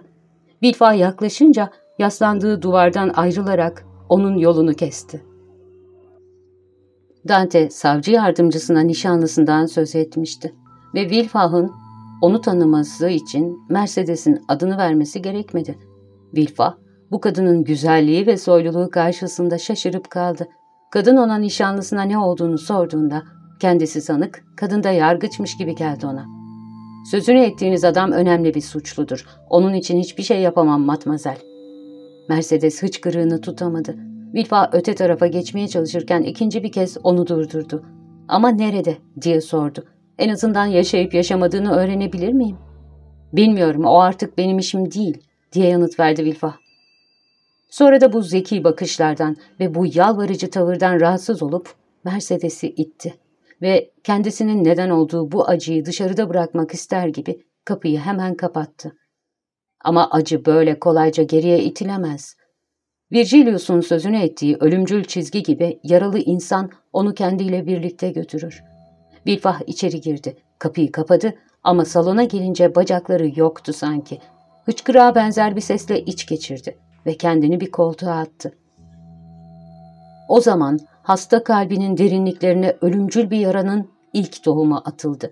Tutkusuna kurban ettiği bu adam, babasının yerine bedel ödeyen bu masum, elini kendisi gibi solgun nişanlısına vermiş, eski çağların kader kurbanları gibi hastayı yerinden sıçratan birinin vicdan azabını değil, kimi anlarda insanı kalbinden vuran ve onu geçmiş bir eylemin anısıyla yaralayan şu ağır ve acılı çınlamayı bitmez tükenmez acılarla kıvrandırarak ölüme kadar gittikçe daha da ağırlaşan bir hastalığa yol açan şu yarayı arkasından sürükleyen bu adam ona solgun ve tehdit edici göründü. O zaman Wilfah'ın ruhunda bir anlık bir duraksama oldu. Daha önce birçok kez sanıkla yargıcın arasındaki mücadelenin heyecanından başka bir heyecan duymadan tutuklular için ölüm cezası istemişti. Ama onun jüriyi de yargıçları da etkilemiş olan çarpıcı konuşması sayesinde ölüm cezasına çarptırılan bu tutuklular onun vicdanında küçücük bir leke bile bırakmamıştı. Çünkü bu tutuklular suçluydular ya da en azından Wilfah böyle olduklarına inanıyordu. Ama bu kez durum başkaydı, bambaşkaydı. Bu ömür boyu hapis cezası bir masuma, mutlu olabilecek bir masuma uygulanıyordu. Onun sadece özgürlüğü değil, mutluluğu da yerle bir ediliyordu.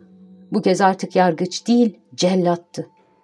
Bunu düşününce biraz önce anlattığımız gibi o zamana kadar kendisine yabancı, kalbinin derinliklerinde yankılanan ve göğsünü anlaşılmaz kaygılarla dolduran o boğuk kalp çarpıntısını hissediyordu. Böylece yaralı adam içinden kopup gelen şiddetli bir acıyla açılmış ve kanayan yarasına bu yara kapanmadan bir daha asla titremeden elini süremeyeceğini anladı. Ama Wilfah'ın aldığı yara hiçbir zaman kapanmayan ya da ancak eskisinden daha kanlı ve acılı olarak yeniden açılmak üzere kapanan yaralardandı. Eğer o anda Reni'nin tatlı sesi ondan iyilik dilemek için kulağında yankılansaydı, eğer güzel Mercedes o sırada içeri girip ona bizi izleyen ve yargılayan Tanrı aşkına nişanlımı bana geri verin deseydi, evet zorunluluk karşısında yarı eğik duran başı tümüyle öne düşer ve Dante'yi özgür bırakma emrini kendisi için doğurabileceği tüm tehlikeleri göze alarak buz kesmiş elleriyle imzalardı kuşkusuz. Ama sessizlik içinde fısıldayan tek bir ses bile yoktu ve kapı sadece posta atlarının yolcu arabasına koşulduğunu onu söylemeye gelen Bilfah'ın özel uşağının içeri girmesi için açıldı. Bilfah ayağa kalktı ya da daha doğrusu bir iç savaşımı kazanmış bir adam gibi sıçradı. Çekmecelerin birinde bulunan tüm altınları cebine boşalttı. Kısa bir süre odanın içinde eli alnında durmadan bir şeyler söyleyerek ürkmüş gibi dolaştı. Daha sonra özel uşağının mantosunu omuzlarına koyduğunu hissederek dışarı çıktı. Sert bir sesle arabacıya Grand Cours sokağına, Monsieur de Saint-Megan'ın evine çekmesini emretti. Zavallı Dante hüküm giymişti. Villefort, Monsieur de Saint-Megan'ın söz vermiş olduğu gibi Markizi ve Rene'yi çalışma odasında buldu. Genç adam Rene'yi görünce ürperdi. Çünkü onun kendisine Dante'nin özgürlüğüyle ilgili yeniden soru soracağını sandı. Ama heyhat, bencilliğimizden utanarak söylemeliyiz. Güzel genç kızın kafası tek bir şeyle meşguldü. Vilfah'ın gidişiyle. Vilfah'ı seviyordu ve Vilfah tam kocası olacağı sırada gidiyordu. Vilfah ne zaman döneceğini söyleyemiyordu ve Reni Dante'ye acıyacağına, işlediği suçla aşığını ondan ayıran adama lanet okuyordu. Bu durumda Mercedes ne demeliydi peki? Zavallı Mercedes, Laloş sokağının köşesinde onu izlemiş olan Fernand'la karşılaşmıştı. Sonra Katalanlara geri dönmüş, canı çekilmiş ve umutsuz bir halde kendini yatağına atmıştı. Fernand yatağın önünde diz çökmüş, Mercedes'in geri çekmeyi düşünmediği buz gibi elini sıkıyor, Mercedes'in hiç hissetmediği yakıcı öpücüklere boğuyordu. Mercedes geceyi böyle geçirdi. Gazı bitince lamba söndü. Işığı görmediği gibi karanlığı da görmedi ve o görmeden yeni bir gün başladı. Acı onun gözlerine sadece Edmond'u görebileceği bir perde indirmişti. ''Ah, buradasınız demek.'' dedi sonunda Fernand'dan yana dönerek. ''Dünden beri yanınızdan ayrılmadım.'' diye yanıt verdi Fernand. Acı bir iç çekişle. Monsieur Mogel kendini yenilmiş saymamıştı. Sorgulamadan sonra Dante'nin hapse atıldığını öğrenmişti. Tüm dostlarını görmeye gitmiş, Marsilya'nın etkili olabilecek kişileriyle görüşmüştü. Ama daha şimdiden genç adamın Bonaparte ajanı olarak tutuklandığı söylentileri yayılmıştı. Ve o dönemde en serüvenci insanlar bile Napolyon'un yeniden tahta çıkmak için tüm girişimlerini saçma bir düş gibi gördükleri için her yerde sadece soğukluk, korku ya da redle karşılaştı ve evine umutsuz ama durumun ciddi olduğunu ve kimsenin bir şey yapamayacağını itiraf ederek döndü. Öte yandan Kadegus çok kaygılı ve çok sıkıntılıydı. Monsieur Mogel'in yaptığı gibi dışarı çıkmak, Dante için bir şeyler yapmaya çalışmak yerine zaten onun için hiçbir şey yapamazdı. Kendini iki şişe şarapla eve kapatmış, duygularını sarhoşlukla boğmaya çalışmıştı. Ama bulunduğu ruh hali içinde duygularını bastırmak için iki şişe çok azdı. Başka şarap almaya gitmek için çok fazla sarhoş, sarhoşluğun anılarını yok etmesi içinse yeterince sarhoş olmayan Kadegus, üstünde iki boş şişe duran bir ayağı aksak masaya dirseklerini dayamış, uzun fitilli lambasının yanması, yansımasında Hoffman'ın punçtan nemlenmiş el yazmalarının üstüne siyah ve fantastik bir toz gibi saçtığı tüm hayaletlerin dans ettiğini görerek oturup kalmıştı. Sadece Dankler ne sıkıntılıydı ne de kaygılı. Hatta neşeliydi bile. Çünkü bir düşmanından intikamını almış ve Fravun gemisinde yitirmekten korktuğu yerini sağlamlaştırmıştı. Dankler kulağının arkasında bir kalem, kalbinin yerinde bir mürekkep okkasıyla doğan o hesap adamlarından biriydi. Bu dünyada her şey onun için toplama çıkarmaydı ve eğer bir sayı bir insanın azaltabileceği toplamı artırabilecekse bu sayı onun için bir insandan çok daha değerliydi. Bu nedenle Dankler her zamanki saatinde yatmış, sakin sakin uyuyordu. Bilfah, Monsieur de Salviyu'nun mektubunu alıp Rene'nin iki yanağını, Madame de Saint Megan'ın elini öpüp Markin'in de elini sıktıktan sonra X yolunda hızla ilerliyordu. Dante baba acıdan ve kaygıdan ölüyordu. Edmond'a gelince onun başına gelenleri biliyoruz. Tulege'deki küçük çalışma odası. Vilfah'ı üç kat para ödediği kılavuzlar sayesinde hızla gittiği Paris yolunda bırakalım ve öndeki iki üç salondan geçerek Napolyon'un ve 18. Louis'nin en sevdikleri çalışma odası olduğu bilinen, bugünse Louis Philippe'nin olan Tulege'nin penceresi kemerli bu küçük odasına girelim. Bu çalışma odasında Kral 18. Louis önemli kişilere özgü bir merakla Hartwell'den getirdiği ve özellikle çok sevdiği ceviz ağacından bir masanın arkasına oturmuştu. Horatius'un Grapius yayınlarından çıkan ve çok beğenilmiş olsa da yanlışlarla dolu ve Kral Hazretlerinin filolojik görüşlerinin ilgisini çeken bir cildinin sayfa kenarlarına notlar yazarak 50-52 yaşlarında kır saçlı, aristokrat görünüşlü, titiz giyimli bir adamı oldukça dikkatsiz bir biçimde dinliyordu. ''Ne diyordunuz efendim?'' dedi kral. ''Kimse benim kadar kaygılı olamaz Haşmet Meyap.'' ''Sahi mi? Düşünüzde yedi semiz, yedi cılız inek görmüş olmayasınız.'' ''Hayır Haşmet Meyap. Çünkü bu bize yedi yıl bolluk, yedi yıl kıtlık bildirirdi. Ama kral hazretlerinin oldukları kadar öngörülü bir kralla kıtlık korkulacak bir şey değildir.'' O zaman başka nasıl bir felaket söz konusu sevgili Blakas? Haşmet Meyap, sanıyorum güney bölgesinde bir fırtına oluştuğunu düşünmekte çok haklıyım. Pekala sevgili Dük, diye yanıt verdi 18. Louis. Yanlış bilgilendirildiğinizi sanıyorum. Ben tam tersine o taraflarda havanın çok güzel olduğunu biliyorum. Nedenli zeki biri de olsa 18. Louis ucuz şakalardan hoşlanıyordu. Haşmet Meapt, dedi Monsieur Blacas. Sadık bir hizmetkarı yatıştırmak için bile olsa, Kral Hazretleri, Languedoc'a, Provence'a ve Dauphine'ye bu üç eyaletin ne düşündüğünü rapor edecek güvenli adamlar gönderemezler mi? Sağırlar için şarkı söylüyoruz, diye yanıt verdi kral. Haşmet Meap, diye yanıt verdi saray görevlisi gülümseyerek. Venüs'ün şairinin yarım dizesini anlamış gibi görünmek için. Kral Hazretleri Fransa'nın ince zekasına güvenmekte son derece haklı olabilirler. Ama umutsuz bir takım girişimlerden korkmakta tümüyle haksız olmadığımı sanıyorum. Kim tarafından? Bonaparte ya da en azından onun yandaşları tarafından. Sevgili Blakas, dedi kral, korkularınızla çalışmamı engelliyorsunuz. Ya ben Haşmet Meyap, güvenliğinizi düşünmekten gözüme uyku girmiyor.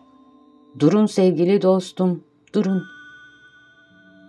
Odlar taşıyan çoban hakkında çok iyi bir not yazıyorum. Durun, sonra devam edersiniz. Bir an sessizlik oldu. Bu sırada 18. Louis olabildiğince küçük bir hızıyla Horatius'un sayfa kenarına yeni bir not yazdı. Not yazıldıktan sonra ''Devam ediniz sevgili Dük'' dedi. Bir başkasının düşüncesine yorum getirdiğinde bir düşünceye ulaştığını sanan bir insanın hoşnut görünüşüyle ayağa kalkarak ''Devam ediniz, sizi dinliyorum.'' Haşmet Meab dedi bir an Vilfah'ı kendi çıkarı için ele geçirdiği umuduna kapılan Blakas. Bunların hiç de tümüyle temelden yoksun, ciddiyetten uzak basit haberler olmadığını ve bu konuda kaygı duyduğumuzu size söylemek zorundayım. İyi düşünen, tüm güvenimi kazanmış ve benim tarafından güneyi kollamakla görevlendirilmiş, Dük bu sözcükleri söylerken duraksadı.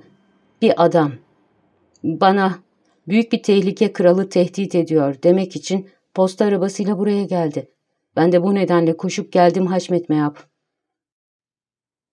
Uğursuz kehanetlerini evine götürüyorsun diye devam etti 18. Louis notlar alarak.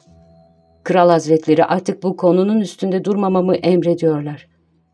Hayır sevgili dük ama elinizi uzatın. Hangisini? Hangisini isterseniz. Şunu, sol elinizi. Bu mu haşmetme yap? Ben size sol diyorum, siz sağ anlıyorsunuz. Benim solumdaki demek istiyorum. Oraya. Tamam. Orada Güvenlik Bakanı'nın dünkü tarihli raporunu bulacaksınız. Ama işte bakın, Monsieur Dandre. Monsieur Dandre demiştiniz değil mi? diye sözünü yarıda kesti. Güvenlik Bakanı'nın geldiğini haber veren odacıya dönerek. Evet Haşmet Merhaba. Monsieur Baron Dandre dedi odacı. Doğru Baron dedi 18. Lüo anlaşılmaz bir gülüşle. İçeri girin Baron ve Monsieur de Bonaparte hakkında en son öğrendiğiniz şeyleri düke anlatın. Ne kadar önemli olursa olsun durum hakkında hiçbir şeyi bizden gizlemeyin.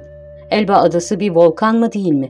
Ve bu volkandan yakıcı ve kudurgan bir savaş çıkacak mı, çıkmayacak mı bir anlayalım.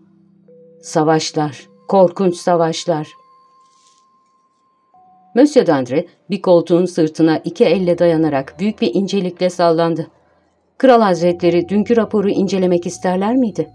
Evet evet, onu bulamayan Düke raporun içerdiği şeyi söyleyin. Zorba'nın adasında neler yaptığını ona ayrıntılarıyla anlatın. Monsieur, dedi Baron Düke. Kral Hazretlerinin tüm hizmetkarları Elba Adası'ndan, Napolyon'dan bize ulaşan en yeni haberlerden çok memnun olmalılar.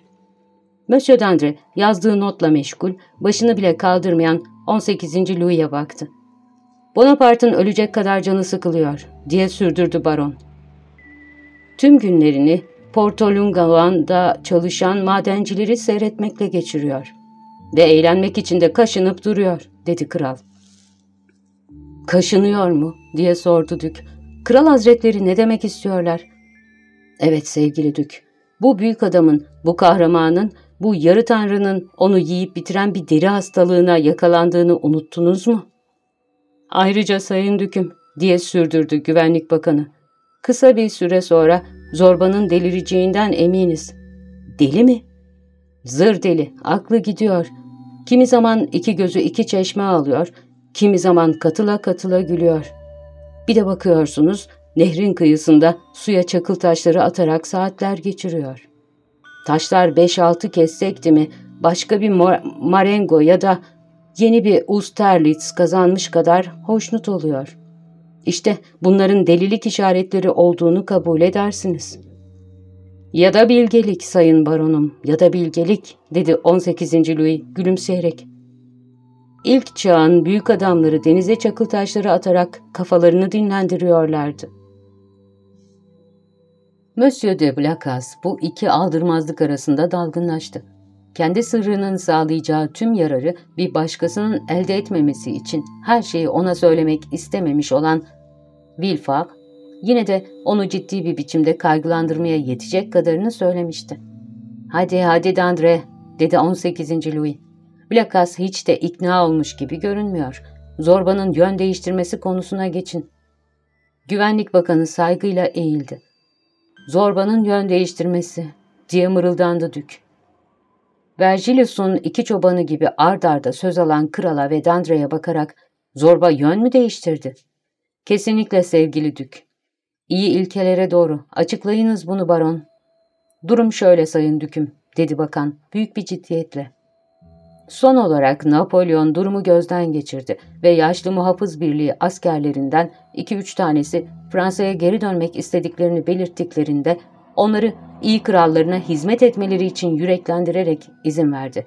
Bunlar onun kendi sözleri sayın Düküm. Kanıtlarım var. Pekala, Blakas bu konuda ne düşünüyorsunuz? dedi kral. Zafer kazanmışçasına önünde açık duran eski yapıtları açıklayıcı kaim kitabı karıştırmayı bir an bırakarak. Haşmet Meap, ya benim ya da Sayın Güvenlik Bakanı'nın ikimizden birimizin yanıldığını söylüyorum. Ama Kral Hazretlerinin güvenlerini ve saygılarını kazandıklarına göre Güvenlik Bakanı'nın yanılması olanaksız. Ben yanılmış olmalıyım. Yine de Haşmet Meap, Kral Hazretlerinin yerinde ben olsaydım, size sözünü ettiğim kişiyi sorgulamak isterdim. Hatta Kral Hazretlerinin ona bu onuru vermeleri için ısrar da ediyorum. Memnuniyetle Dük, sizin desteğinizle kimle isterseniz görüşebilirim. Ama onu donanımlı bir şekilde karşılamak isterim. Bakan Bey, bundan daha yeni bir raporunuz var mı? Çünkü bu 20 Şubat tarihli. Oysa bugün 3 Mart. Hayır Haşmet Meyap. Ama her an yeni bir tane bekliyorum. Çünkü bu sabah çıktım. Belki ben yokken gelmiştir. Polis merkezine gidin ve gelmemişse, evet gelmemişse diye gülümseyerek sürdürdü. Yeni bir tane hazırlayın. Hep böyle yapılıyor değil mi? Evet Haşmet Meap dedi bakan. Tanrı'ya şükür bu konuda hiçbir şeyi kafadan uydurmak gerekmiyor. Her gün bürolarımızı sunamadıkları ama sunmak istedikleri hizmetler için biraz iyilik umut eden bir sürü zavallı fakir insandan gelen son derece ayrıntılı ihbar mektupları dolduruyor. Onlar rastlantıya bel bağlıyorlar ve bir gün beklenmedik bir olayın kehanetlerini bir biçimde gerçekleştirmesini umut ediyorlar. Bu iyi, hadi Monsieur, dedi 18. Louis. Sizi beklediğimi unutmayın. Hemen gidip geleceğim. 10 dakika sonra dönmüş olurum. Ve ben de Haşmet Meap, dedi Monsieur de Blacas. Habercimi karşılamaya gidiyorum. Bekleyin, bekleyin biraz, dedi 18. Louis. Aslında Blacas, sizin silahlarınızı değiştirmem gerekir.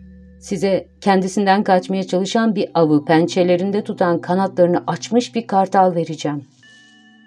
Haşmet Meap, dinliyorum, dedi Monsieur de Blacas, sabırsızlıktan huzursuz ve tedirgin olarak. Şu bölüm hakkında sizi düşüncenizi öğrenmek istiyorum. Soluk soluğa kaçacaksın. Biliyorsunuz, kurdun önünden kaçan geyikten söz ediyor. Siz hem avcı hem de kurt avcılarının komutanı değil misiniz? Bu iki unvana sahip biri olarak nasıl buluyorsunuz?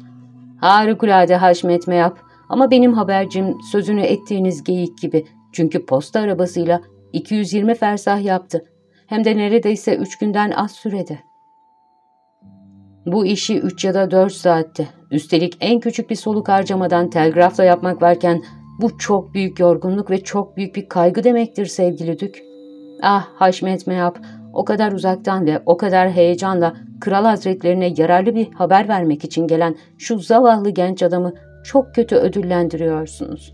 Onu bana Monsieur de Salvieux tavsiye ettiğine göre yalvarırım onu iyi karşılayın. Monsieur de Salvieux mü? Erkek kardeşimin mabeyincisi mi? Ta kendileri. Gerçekten de o Marsilya'da. Bana oradan yazmış. Size hükümete karşı bu komplodan mı söz ediyor?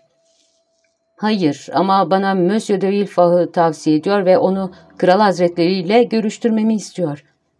Monsieur de Villefah mı? diye çığlık attı kral. Bu habercinin adı Monsieur de Villefah mı? Evet Haşmet Meyap. Marsilya'dan gelen o mu? Ta kendisi. Neden bana adını hemen söylemediniz? dedi kral.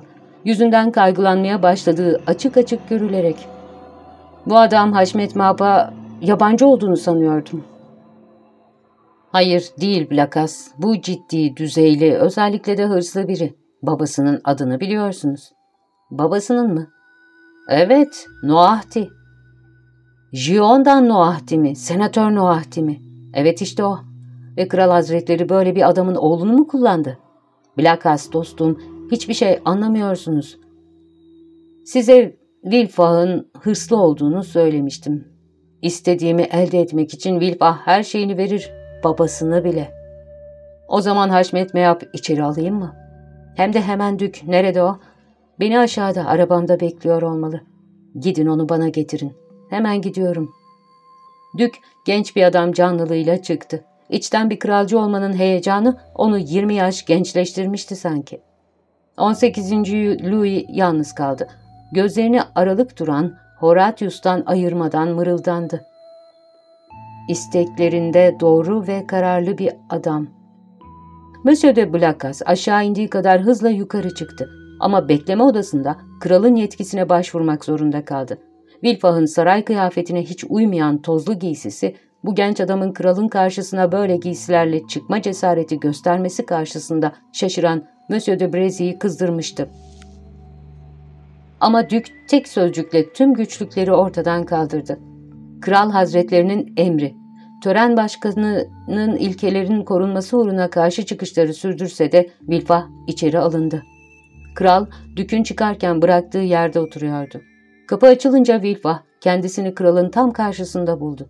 Genç savcı yardımcısının yaptığı ilk hareket durmak oldu. ''Giriniz Monsieur de Vilfa'' dedi kral. ''Giriniz.''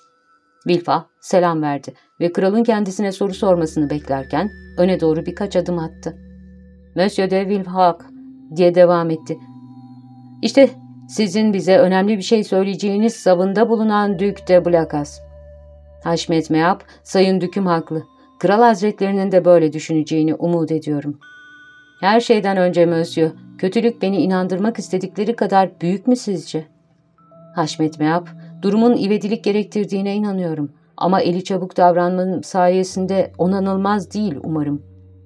Uzun uzun anlatın isterseniz Monsieur, dedi kral. Monsieur de Blacas'ın yüzünü alt üst eden, Wilfah'ın sesini değiştiren heyecana o da kendini kaptırmaya başlamıştı. Anlatın ve özellikle de baştan başlayın. Her şeyde düzeni severim. Haşmet Maap, dedi Wilfah. Kral hazretlerine doğru bir rapor vereceğim. Ama eğer içinde bulunduğum heyecan sözlerimde bir takım karanlık noktalar bırakırsa beni bağışlamanızı rica edeceğim. Bu dokunaklı girişten sonra krala bir göz atan Bilfah, yüce dinleyicisinin iyi niyetinden emin oldu ve devam etti. Haşmet Meap, görevli olduğum yargı çevresinde her gün halkın ve ordunun en alt sınıflarında gizlice hazırlanan önemsiz ve sıradan komplolardan birini değil, hükümete karşı gerçek bir komployu, Kral Hazretlerinin tahtını gerçekten tehdit eden bir fırtınayı ortaya çıkardığımı Kral Hazretlerine bildirmek için olabilecek en hızlı biçimde Paris'e geldim. Haşmet Maap, zorba üç gemiyi silahlandırıyor. Birkaç tasarı üzerinde düşünüyor. Aklı başında değildir belki ama belki de daha korkuncu aklının tamamen başında olması. Şu anda Elba adasının terk etmiş olmalı ama nereye gitmek için? Bunu bilmiyorum. Ama genellikle ya Napoli'ye ya Toskana kıyılarına hatta belki de Fransa'ya çıkmaya çalışıyor. Kral Hazretleri Elba Adası hükümdarının İtalya ve Fransa'da ilişkilerini sürdürdüğünü biliyorlar. Evet Monsieur biliyorum, dedi kral çok heyecanlı. Son olarak da Bonaparte yanlılarının toplantılarının Saint-Jacques sokağında yapıldığını da haber verdiler. Ama siz devam ediniz rica ederim. Bu ayrıntıları nasıl öğrendiniz?'' Haşmet Meap, bunlar Marsilya'da uzun zamandır izlettiğim ve buraya gelmeden tutuklattığım bir adamı sorguladığım sırada ortaya çıktı. Bonaparte yanlısı olduğundan kuşkulandığım bu ele avuca sığmaz adam gizlice Elba Adası'na gitti. Orada kendisine adını bir türlü söyletemediğim bir Bonaparte'ye iletilmek üzere sözlü bir görev veren Büyük Mareşal'i gördü. Bu Bonaparte'ye verilen görev insanları dönüşe, Bunların sorguda ortaya çıkarıldığını görüyorsunuz Haşmet Map. Çok yakında zamanda gerçekleşecek bir dönüşe hazırlamasıydı. Şimdi bu adam nerede? diye sordu 18. Louis. Hapishanede Haşmet Map. Durum size tehlikeli mi görünüyor? O kadar tehlikeli ki Haşmet Map. Olay bana bir aile eğlencesinin ortasında nişan günümde ansızın bildirilince hissettiğim korkuları ve bağlılığımın güvencesini kral hazretlerinin ayaklarına sermek için her şeyi, nişanlımı, dostlarımı orada bırakıp her şeyi başka bir zamana erteleyip geldim. Doğru, dedi 18. Louis. Matmazel de Saint Megan'la aranızda bir evlilik tasarısı yok muydu? Kral hazretlerinin en sadık hizmetkarlarından birinin kızı. Evet evet, şu komploya dönelim Monsieur de Villefort. Haşmet Meyap, ben bunun artık sadece basit bir komplo değil, hükümete karşı ciddi bir komplo olmasından korkuyorum. Bu zamanda hükümete karşı bir komployu düşünmek kolay ama amacına ulaştırmak zor, dedi kral gülümseyerek. Üstelik çok eskiden atalarımızın kurduğu taht üzerinde gözlerimiz hem geçmişe hem bugüne hem de geleceğe bakıyor. On aydır bakanlarım Akdeniz kıyılarının iyi korunması için gözetimlerini artırdılar. Eğer Bonaparte Napoli'ye çıksaydı, daha o Piombino'ya varmadan koalisyon tümüyle ayağa kalkardı. Toskana'ya çıksaydı düşman bir ülkeye ayak basmış olurdu. Fransa'ya çıkarsa bu bir avuç insanla olacaktır ve halk tarafından hiç sevilmediği için biz de kolayca onun hakkından geliriz. Bu nedenle kaygılanmayın Monsieur. Ama sonsuz minnettarlığımızı da kabul edin. Ah, işte Monsieur d'André diye haykırdı Duc de Blacast. O anda gerçekten de solgun, titrek, gözlerini ışıktan kamaşmış gibi kırpıştıran güvenlik bakanı kapının eşiğinde göründü. Villefort geri çekilmek için bir adım attı. Ama Monsieur de Blacas elini sıkarak onu orada tuttu. Korsika canavarı 18. Louis bu alt üst olmuş suratı görünce önünde durduğu masayı şiddetle itti. ''Neyiniz var sayın baron?'' diye bağırdı. ''Allak bullak olmuş gibisiniz. Bu sarsıntının, bu duraksamanın Monsieur de Blacas'ın söyledikleriyle Monsieur de Vlafak'ın da biraz önce bana doğruladıklarıyla bir ilgisi var mı?'' Öte yandan Monsieur de Blacas hızla barona yaklaştı. Ama dal kavukluk kaygısı devlet adamı gururunun baskın çıkmasını engelliyordu. Gerçekten de böyle bir durumda güvenlik bakanı tarafından aşağılanmak onun için böyle bir konuda onu aşağılamaktan çok daha iyiydi. Haşmet Meap diye dili dolaşmaya başladı baronun. Evet hadi dedi 18. Louis. Güvenlik bakanı umutsuz bir hareketle kendini 18. Louis'nin ayaklarına attı. Kral kaşlarını çatarak bir adım geriledi. Konuşacak mısınız dedi. Ah Haşmet Meyap ne korkunç felaket. Öyle acınacak bir durumdayım ki kendimi hiçbir zaman affetmeyeceğim. Monsieur dedi 18. Louis. Size konuşmanızı emrediyorum. Evet Haşmet Meyap.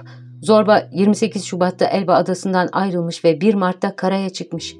Nereye çıkmış diye hemen sordu kral. Fransa'ya Haşmet Meyap. Antibes yakınında küçük bir limana, Huan koyuna. Zorba 1 Mart'ta Fransa'da Antibes yakınındaki Huan koyunda Paris'e 150 fersah uzakta karaya çıkıyor ve siz bu haberi ancak bugün 3 Mart'ta öğreniyorsunuz. Eh monsieur, bu bana söylediğiniz şey olanaksız. Ya size yanlış bir rapor verilmiş ya da siz delisiniz. Ne yazık ki Haşmet Meyap, bu çok doğru bir haber. 18. Louis öfke ve dehşetten anlaşılmaz bir hareket yaptı ve aynı anda hem yüzüne hem de kalbine beklenmedik bir darbe almış gibi dimdik doğruldu. Fransa'da diye haykırdı. Zorba Fransa'da. Ama bu adam gözaltında tutulmuyor muydu? Ama kim bilir, belki de onunla anlaşmışlardı. Ah Haşmet Meap diye haykırdı Dük Blacas. Monsieur d'André gibi bir adam ihanetle suçlanamaz. Haşmet Meap, hepimiz kör olmuştuk. Güvenlik Bakanı da bu genel körlüğü paylaştı. Hepsi bu. Ama, dedi Vilfah, sonra birdenbire durdu. Ah, bağışlayın, bağışlayın Haşmet Meap, dedi eğilerek. Hizmet aşkım beni rahat bırakmıyor. Kral hazretleri beni bağışlamak lütfunda bulunsunlar. Konuşun efendim, korkmadan konuşun, dedi kral. Bize kötülüğü yalnız siz haber verdiniz. Buna bir çare bulmamız için bize yardım ediniz. Haşmet Meyap, dedi Vilfah. Güneyde zorbadan nefret ediliyor. Olur da güneye giderse Provence, Provence ve Languedoc kolayca ona karşı ayaklandırılabilir gibi geliyor bana. Evet buna kuşku yok, dedi bakan.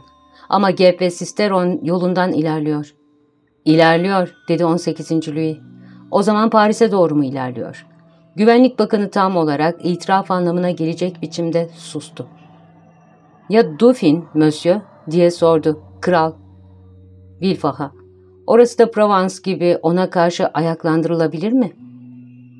Haşmet Mahap, korkunç bir gerçeği size söyleyeceğim için çok üzgünüm.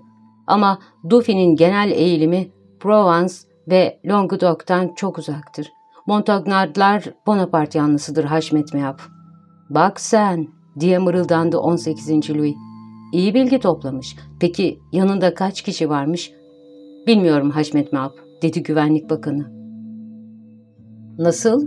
Bilmiyor musunuz? Bu durum hakkında bilgi almayı unuttunuz mu? Doğru, bunun pek önemi yok diye ekledi ezici bir gülümsemeyle. Haşmet Mehap, bu konuda bilgi almama olanak yoktu. Gelen yazı sadece karaya çıkışını ve zorbanın yola koyulduğunu haber veriyordu. Bu yazı size nasıl ulaştı? diye sordu kral. Bakan başını eğdi ve yüzü kıpkırmızı kesildi. Telgrafla Haşmet Mehap diye ekledi. 18. Louis öne doğru bir adım attı. Napolyon'un yaptığı gibi kollarını kavuşturdu. Böylece, dedi, öfkeden benzi solmuştu. Güç birliği yapmış yedi ordu bu adamı devirsin. Tanrı'nın bir mucizesi, beni 25 yıllık sürgünden sonra dedelerimin tahtına geçirsin. Ben 25 yıl boyunca bana vaat edilen bu Fransa'nın insanlarını, olaylarını inceleyeyim, araştırayım, çözümleyeyim, tam tüm isteklerimi elde etmek üzereyken ellerimin arasında tuttuğum bir güç bölünsün ve beni mahvetsin. Haşmet Meap bu alın yazısı diye mırıldandı bakan. Yazgı için hafif olan böyle bir ağırlığın bir insanı ezmeye yeteceğini hissederek. Demek düşmanlarımızın bizimle ilgili söyledikleri doğru. Hiçbir şey öğrenilmedi, hiçbir şey unutulmadı ha. Ben de onun gibi ihanete uğrasaydım kendimi avutabilirdim. Ama yüksek görevlere benim tarafımdan getirilmiş, benim yazgım onların yazgısı olmuş. Benden önce hiçbir şey olmadıkları ve benden sonra da hiçbir şey olamayacakları için kendilerinden çok daha özenle beni gözetmeleri gereken insanların ortasında olmak ve yeteneksizlik, uyuşukluk nedeniyle acınacak bir biçimde düşmek. Ah, evet Monsieur, haklısınız bu alın yazısı. Bakan bu ürkütücü saldırı karşısında iki büklüm duruyordu. Monsieur de Blacas ter içinde kalmış alnını siliyordu. Vilfah için için gülüyordu çünkü öneminin arttığını hissediyordu. Düşmek diye sürdürüyordu. İlk bakışta monarşinin düşmek üzere olduğu uçurumu görmüş olan 18. Louis. Düşmek ve düşüşünü telgrafla öğrenmek. Ah, ah kardeşim 16. Louis'nin idam sehpasına çıkmayı o gülünç adam tarafından kovulup Tulege'nin merdivenlerinden inmeye yeğlerdim. Gülünç adam, monsieur. Bunun Fransa'da ne demek olduğunu bilmezsiniz. Ama yine de bilmeliydiniz. Haşmet Maap, diye mırıldandı bakan. Acıyın. Yaklaşın Monsieur de Villefort, diye sürdürdü kral. Arkada ayakta, hareketsiz, bir krallığın yazgısının büyük sallantıda olduğunu gösteren bu konuşmanın gidişini dikkatle izlemekte olan genç adama dönerek. Yaklaşın ve beyefendiye onun bilmediği her şeyin önceden bilinebileceğini söyleyin. Haşmet Vahap bu adamın herkesten sakladığı tasarıları önceden sezmek maddeden olanaksızdı. Maddeten olanaksıza evet işte büyük bir söz Monsieur. Ne yazık ki büyük insanlar gibi büyük sözler de vardır. Bunları ölçüp biçtim. Yönetimin başında olan büroları, casusları, ispiyonları, gizli polisleri, 150 bin franklık gizli ödeneği olan bir bakanın Fransa kıyılarından 60 fersah uzakta ne olup bittiğini bilmesi maddeten olanaksız.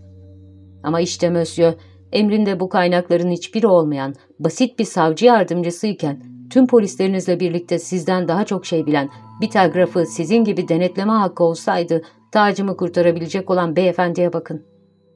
Güvenlik Bakanı büyük bir sıkıntıyla Zafer'in alçak gönüllülüğü içinde başını eğmiş olan Vilfah'a baktı. ''Bunu sizin için söylemiyorum Blakas.'' diye sürdürdü 18. Louis. Çünkü siz hiçbir şey keşfetmemiş olsanız da en azından kuşkularınızda diretme akıllılığını gösterdiniz. Sizden başka biri Monsieur de Villefacht'ın açıklamalarını anlamsız bulabilir ya da çıkarcı bir hırs gibi düşünebilirdi. Bu sözler Güvenlik Bakanı'nın bir saat önce onca güvenle yaptığı konuşmayı anıştırıyordu. Vilfah kralın oyununu anladı. Bir başkası belki de kendini övgünün sarhoşluğuna bırakırdı.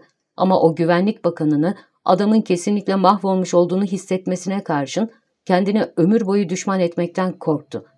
Gerçekten de gücünün doruğundayken Napolyon'un gizini tahmin edememiş olan bakan, can çekişirken çırpınmaları arasında Vilfah'ın gizini çözebilirdi. Bunun için sadece Dante'yi sorgulaması yeterdi. Bu nedenle bakanı ezmek yerine onun yardımına koştu.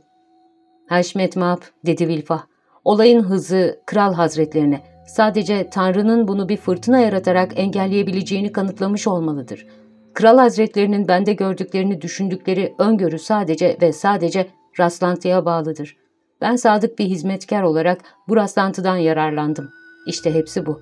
Benim hakkımda edindiğiniz ilk izlenime bir daha hiç dönmemeniz için Haşmet Mahap, bana hak ettiğimden fazlasını vermeyiniz. Güvenlik Bakanı genç adama anlamlı bir bakışla teşekkür etti ve Vilfa planında başarılı olduğunu anladı.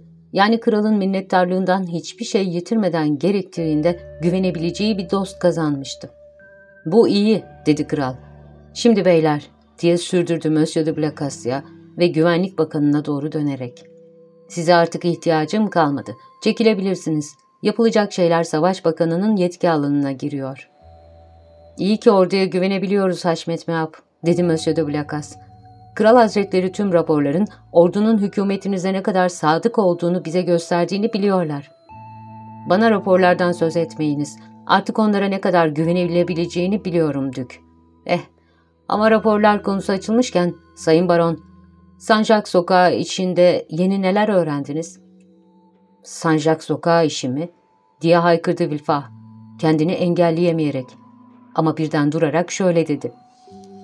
Bağışlayın Haşmet Maap, Kral Hazretlerine bağlılığım ona karşı saygıyı değil. Çünkü bu saygı kalbime çok derin kazılmıştır ama davranış kurallarını bana unutturuyor. Söyleyin, söyleyin Monsieur, dedi 18. Louis. Bugün soru sorma hakkını kazanmış bulunuyorsunuz. Haşmet Meyap, diye yanıt verdi Güvenlik Bakanı. Kral Hazretlerinin dikkati korkunç körfez felaketine çevrilmişken ben de bugün tam bu olayla ilgili yeni bilgileri Kral Hazretlerine vermeye geliyordum. Şimdi bu bilgilerin kralı için hiçbir önemi kalmadı. Tam tersine Monsieur, tam tersine, dedi 18. Louis. Bu işin bizim ilgilendiğimiz işle doğrudan ilgisi var gibi geliyor bana. Ve General Coesnel'in ölümü bize belki de büyük bir iç komplonun izini sürdürecek. General Coesnel'in adı geçince Vilfah ürperdi. Gerçekten de Haşmet Meap, dedi güvenlik bakanı. Her şey bu ölümün önceleri sanıldığı gibi bir intihar değil, bir cinayet olduğunu düşündürüyor. Öyle görünüyor ki General Kuisnel ortadan yok olmadan önce Bonaparte'çı bir kulüpten çıkıyordu. Bilinmeyen bir adam o sabah onu görmeye gelmiş ve ona Sanjak sokağında randevu vermiş. Ne yazık ki yabancı çalışma odasına girdiğinde generalin saçlarını tarayan özel uşağı Sanjak sokağının adını söylediğini duymuş ama numarayı aklında tutamamış. Güvenlik bakanı 18. Louis'e bu bilgileri verirken onun dudaklarından gözlerini ayıramayan Vilfah kızarıp bozarıyordu. Kral Vilfah'a doğru döndü. Benim gibi sizde zorbadan yana olduğu sanılan General Kuesnef'in aslında tamamen bana bağlı olduğunu ve Bonapartçılar tarafından pusuya düşürülüp öldürüldüğünü düşünmüyor musunuz? Bu olabilir Haşmet Maap diye yanıt verdi Vilfah. Daha fazla bir şey bilinmiyor mu? Ona randevu veren adamın izi üzerindeyiz. İzi üzerinde miyiz? diye yineledi Vilfah. Evet, hizmetçi dış görünüşünü anlattı. Esmer, siyah gözlü, kaim kaşlı, bıyıklı, 50-52 yaşlarında bir adam. Mavi bir redingot giymiş. Yakasında bir Legion Honor nişanı taşıyor. Dün biraz önce söylediğim tanıma tıpatıp uyan birini izlediler ama adamı Yüzen ve Koheron sokaklarının birleştiği köşede gözden yitirdiler. Bilfa bir koltuğun arkalığına yaslanmıştı. Çünkü güvenlik bakanı konuştukça yerin ayaklarının altından kaydığını hissediyordu. Ama yabancının onu izleyen ajandan kaçıp kurtulduğunu duyunca derin bir soluk aldı. ''Bu adamı araştıracaksınız Monsieur'' dedi kral güvenlik bakanına. Çünkü şu anda bize o kadar yararı dokunacak olan General Coisnel Bonaparte'cı ya da değil bir cinayete kurban gitmişse ki her şey bana bunu düşündürüyor, katillerinin acımasızca cezalandırılmalarını istiyorum. Kralın bu emrinin onda uyandırdığı büyük korkuyu açığa vurmamak için Wilfah'ın tüm soğukkanlılığını koruması gerekti. Garip şey diye sürdürdü kral kızgın bir hareketle. Polis bir cinayet işlendi dediği zaman her şeyi söylediğini, suçluların izi üzerindeyiz diye eklediğinde de her şeyi yaptığını sanıyor. Haşmet Meap, en azından bu konuda kral hazretlerinin memnun olacaklarını umuyorum. İyi, göreceğiz. Sizi daha çok tutmayayım baron. Monsieur de Villefort, bu kadar uzun bir yolculuktan sonra yorgun olmalısınız. Gidin dinlenin. Kuşkusuz babanızın evine indiniz, değil mi? Villefort'un gözlerinden bir şaşkınlık geçti. Hayır Haşmet Meap, dedi.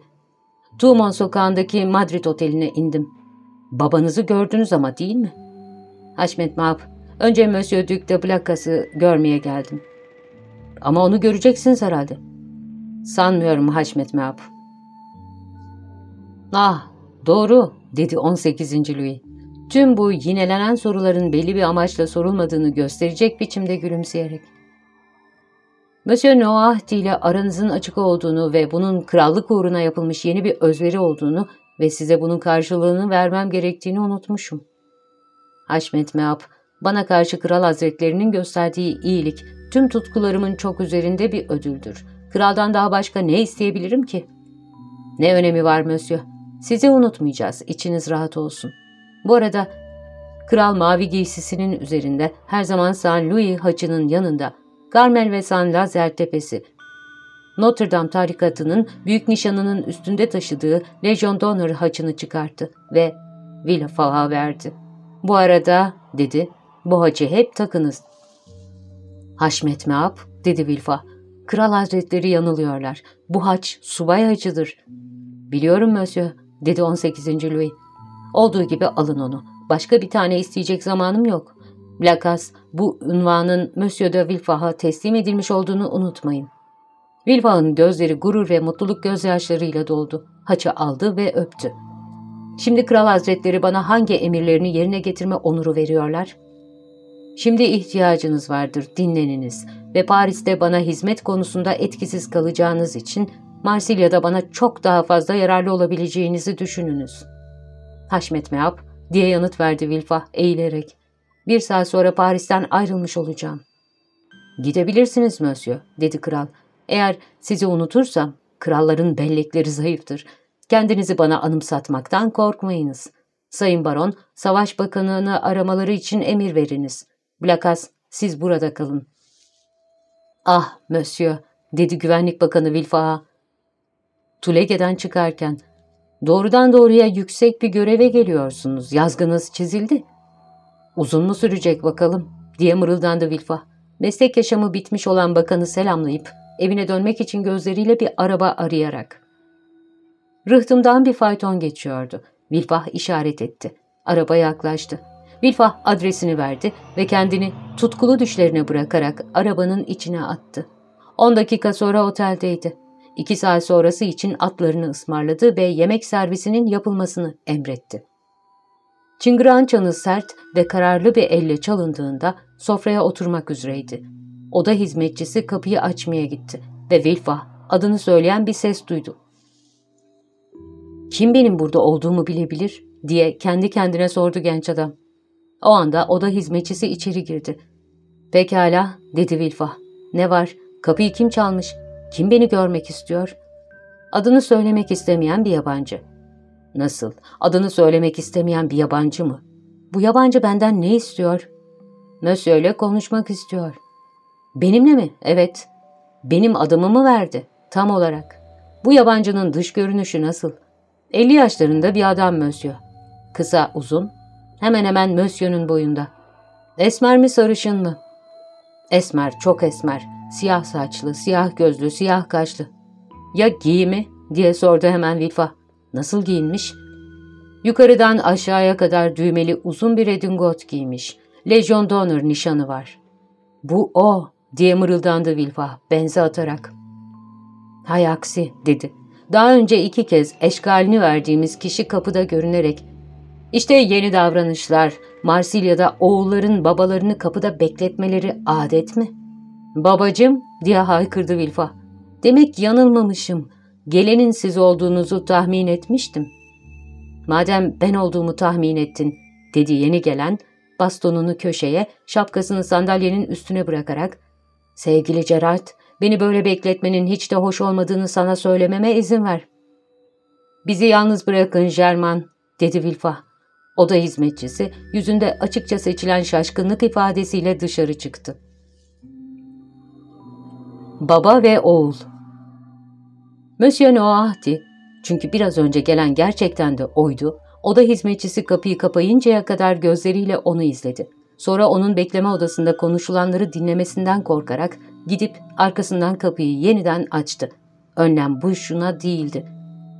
German'ın dışarı çıkmakta gösterdiği acelecilik onun ilk atalarımızı yoldan çıkaran günahtan hiç de uzak olmadığını kanıtlıyordu. Monsieur no Noahdi bu nedenle bekleme odasının kapısını kapama zahmetine girişti. Sonra dönüp yatak odasının kapısını kapattı ve sürgüyü indirdi. Sonra da tüm bu hareketleri şaşkınlıkla izleyen, hala kendine gelememiş olan Vilfa'a elini uzattı. ''Sevgili Gerard'' dedi tanımlaması oldukça zor bir gülümsemeyle genç adama bakarak. ''Beni görmekten pek de memnun olmuş gibi değilsin. Biliyor musun?'' ''Memnunum babacığım'' dedi Vilfa. ''Çok memnunum ama ziyaretinizi hiç beklemiyordum. Bu nedenle biraz şaşırdım.'' ''Ama sevgili dostum'' dedi Monsieur Noahdi oturarak. ''Sanırım ben de sizin için aynı şeyleri söyleyebilirim. Neden mi? Bana 28 Şubat'ta Marsilya'da nişanınızın olduğunu haber veriyorsunuz. 3 Mart'ta Paris'tesiniz. Eğer şimdi buradaysam babacığım, dedi Gerard, Monsieur Noah diye yaklaşarak, bundan hiç yakınmayınız çünkü buraya sizin için geldim ve bu yolculuk belki de sizi kurtaracak. Ah demek öyle, dedi Monsieur Noahdi, oturduğu koltukta uyuşuk bir biçimde uzanarak. O zaman bunu bana anlatın Yargıç Bey, bu ilginç olmalı. Babacım, Sancak sokağında bulunan Bonapartçı bir kulüpten söz edildiğini duymuşsunuzdur, öyle değil mi? 53 numarada mı? Evet, ben o kulübün ikinci başkanıyım. Babacım, soğukkanlılığınız içimi ürpertiyor. Elden ne gelir sevgili oğlum? Montagnardlar tarafından sürgüne yollandıktan, Paris'ten bir at arabasının içinde çıktıktan, Bordo fundalıklarında Robespierre'in av köpekleri tarafından kovalandıktan sonra İnsan bu gibi güçlüklere alışıyor. Devam edin bakalım. Evet, Saint-Jacques sokağındaki kulüpte ne olmuş? General Kuisnel ortaya çağrılmış. Akşam saat 9'da evinden çıkan general ertesi gün Sen Nehri'nde bulundu. Olan bu. Bu güzel hikayeyi size kim anlattı? Kralın kendisi efendim. O zaman ben de bu hikayenize karşılık diye sürdürdü Noahti. Size bir haber vereceğim. Babacım sizin bana anlatacağınız şeyi bildiğimi sanıyorum. Aa, İmparator Hazretlerinin karaya çıktığını biliyor musun? Sessiz olun, rica edeceğim babacım. Önce kendiniz için sonra da benim için. Evet, bu haberi biliyordum. Hem de sizden önce biliyordum. Çünkü beynimi yakan düşünceyi benden 200 fersah öteye fırlatamamamın öfkesiyle üç gündür yoldayım. Marsilya'dan Paris'e yıldırım hızıyla geldim. Üç gün önce mi? Deli misiniz? Üç gün önce imparator daha karaya çıkmamıştı. Ne önemi var? Ben planı biliyordum. Nasıl biliyordunuz? Elba adasından size yazılmış bir mektuptan. Bana mı? Evet size. Haberi getirenin cebinde bulduğum bir mektuptan öğrenmiştim. Eğer bu mektup bir başkasının eline geçseydi o anda babacım belki de kurşuna dizilirdiniz. Wilfah'ın babası gülmeye başladı. Hadi hadi dedi. Öyle görünüyor ki restorasyon imparatorluktan işleri çabucak halledivermenin yolunu öğrenmiş. Kurşuna dizilmek. Sevgili oğlum, ne çabuk buraya vardınız. Ya o mektup, o nerede? Onu ortalıkta bırakmış olabileceğinizden korkacak kadar iyi tanıyorum sizi. Bir tek parçası bile kalmaması için onu yaktım. Çünkü bu mektup sizin mahkumiyetiniz olurdu.'' Sizin de geleceğinizin mahvolması diye yanıt verdi soğuk bir biçimde Noahti. Evet bunu anlıyorum ama beni koruduğunuza göre korkacak hiçbir şeyim yok. Bundan iyisini yapıyorum Mösyö. Sizi kurtarıyorum. İş daha dramatik hale geliyor. Ne demek istiyorsunuz? Mösyö, Sancak sokağındaki şu kulübe geliyorum. Bu kulüp güvenlik görevlilerinin kafasını kurcalıyor gibi görünüyor. Neden daha iyi aramamışlar? Arasalar bulurlardı. Bulamadılar ama iz üzerindeler. Bu kutsal bir sözdür, iyi bilirim. Polis hata yaptığında iz üzerinde olduğunu söyler, hükümette polisin süklüm püklüm gelip izin yok olduğunu söyleyeceği güne kadar sakin sakin bekler. Evet ama bir ceset bulundu. General Kueisnel öldürüldü ve dünyanın her yerinde buna cinayet derler. Cinayet mi dediniz? Ama generalin bir cinayete kurban gittiğini gösteren hiçbir kanıt yok. Her gün sen nehrinde umutsuzluktan kendisini suya atmış, yüzme bilmediği için boğulmuş insanlar bulunuyor. Babacım, generalin umutsuzluk yüzünden boğulmadığını, Ocak ayında sende yüzülmediğini çok iyi biliyorsunuz. Hayır hayır, kendinizi kandırmayın. Bu ölüm cinayet olarak nitelendiriliyor. Kim bunun böyle olduğunu söylüyor? Kralın kendisi. Kral. Ben onu politikada cinayet olmadığını anlayacak kadar filozof sanırdım. Politikada sevgili oğlum benim kadar siz de bilirsiniz ki insanlar yoktur. Düşünceler vardır. Duygular yoktur. Çıkarlar vardır. Politikada bir adam öldürülmez. Bir engel ortadan kaldırılır. İşte hepsi bu. Olayların nasıl geliştiğini öğrenmek ister misin? Pekala, size bunu anlatacağım. General Kueznel'e güvenilebileceğini sanıyorduk. O bize Elba Adası'ndan tavsiye edilmişti. İçimizden biri evine gitti. Onu dostlarını bulacağı bir toplantıya Sanjak sokağına gelmesi için davet etti. Oraya geldi ve orada ona tüm tasarılar anlatıldı. Elba Adası'ndan hareket, düşünülen karaya çıkma, her şeyi dinledikten, her şeyi duyduktan sonra öğreneceği hiçbir şey kalmayınca bize kralcı olduğu yanıtını verdi. O zaman herkes birbirine baktı. Ona yemin ettirildi. O da yemin etti. Ama öyle kötü niyetliydi ki böyle yemin etmesi bizi tehlikeye atması demekti. Tüm bunlara karşın general özgürce, tam anlamıyla özgürce dışarı bırakıldı. Evine dönmemiş ne yapalım sevgili oğlum? Bizden çıktı. Yolunu şaşırmış olmalı. İşte bu. Bir cinayet. Gerçekten de beni şaşırtıyorsunuz Vilfa. Siz krallık savcı yardımcısı. Bir suçlamayı böylesine kötü kanıtlar üzerine dayandırmakla beni şaşırtıyorsunuz. Siz bir kralcı olarak görevinizi yaptığınızda, benimkilerden birinin kafasını kopardığınızda hiç size oğlum bir cinayet işliyorsunuz demeyi aklımdan geçirdim mi? Hayır. Ne dedim? Çok iyi Mösyö. Kahramanca savaştınız. Yarın öç alma günü. Ama babacım kendinizi koruyun. Biz öc aldığımızda bu çok korkunç olacak. Sizi anlamıyorum. Zorba'nın geri dönüşüne mi güveniyorsunuz? Bunu itiraf ediyorum. Yanılıyorsunuz babacım. Fransa içinde vahşi bir hayvan gibi izlenmeden, sıkıştırılmadan ve yakalanmadan on fersah bile gidemez. Sevgili dostum, İmparator şu anda Grenoble yolunda 10 ya da 12'sinde Lyon'da olacak ve 20 ya da 25'inde de Paris'te. Halk ayaklanacak. Onu karşılamak için. Yanında sadece birkaç kişi var. Ona karşı ordular gönderilecek. Başkente girmesi için onun yanında olacak ordular. Gerçekten de sevgili Gerard, siz daha çocuksunuz. İmparator karaya çıktıktan üç gün sonra bir telgrafın size zorba birkaç adamıyla Kanes'te karaya çıktı. İzindeyiz demesiyle kendinizi iyi bilgilenmiş sanıyorsunuz. Ama imparator nerede? Ne yapıyor? Bu konuda hiçbir şey bilmiyorsunuz. İzleniyor. İşte bildiklerinizin hepsi bu.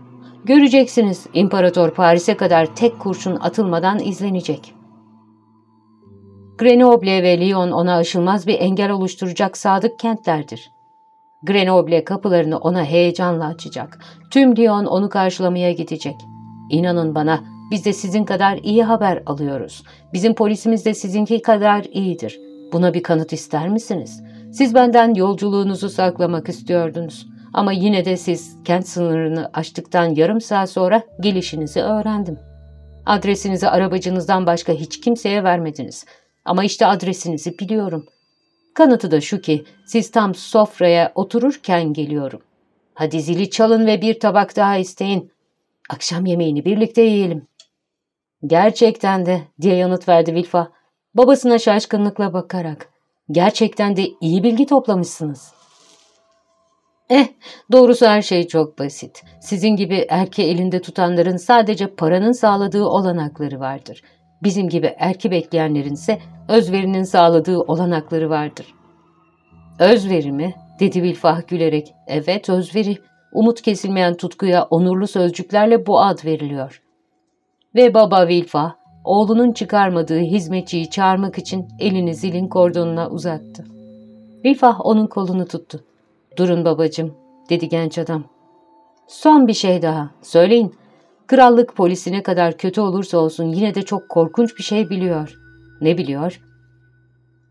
General Kuesnel'in kaybolduğu sabah onun evine giden adamın dış görünüşünü. Ah, akıllı polis bunu biliyor mu? Nasılmış şu dış görünüş? Esmer tenli, siyah gözlü, siyah saçlı, favorili, çenesine kadar ilikli mavi redingotlu, yakasında Legion d'Honneur subay nişanı, geniş kenarlı şapkası ve hasır bastonu olan biri. ''Ha, bildikleri bu mu?'' dedi Noahti. ''Öyleyse neden o zaman bu adamı yakalamamışlar?'' Çünkü onu dün ya da önceki gün Kokaeron sokağının köşesinde gözden kaybetmişler. Polisinizin budala olduğunu söylememiş miydim?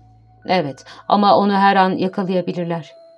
Evet dedi Noahti hiç tasasız çevresine bakınarak. Evet eğer bu adam uyarılmamışsa ama uyarıldı ve gülerek ekledi. O da yüzünü ve giysisini değiştirecek. Bu sözlerden sonra ayağa kalktı. Redingotunu ve kravatını çıkardı. Üstünde oğlunun gerekli tüm tuvalet eşyalarının hazır bulunduğu masaya doğru gitti. Bir tıraş bıçağı aldı. Yüzünü sabunladı. Kusursuz bir ustalıkla polise çok değerli bir ipucu verecek olan tehlikeli favorilerini kesti.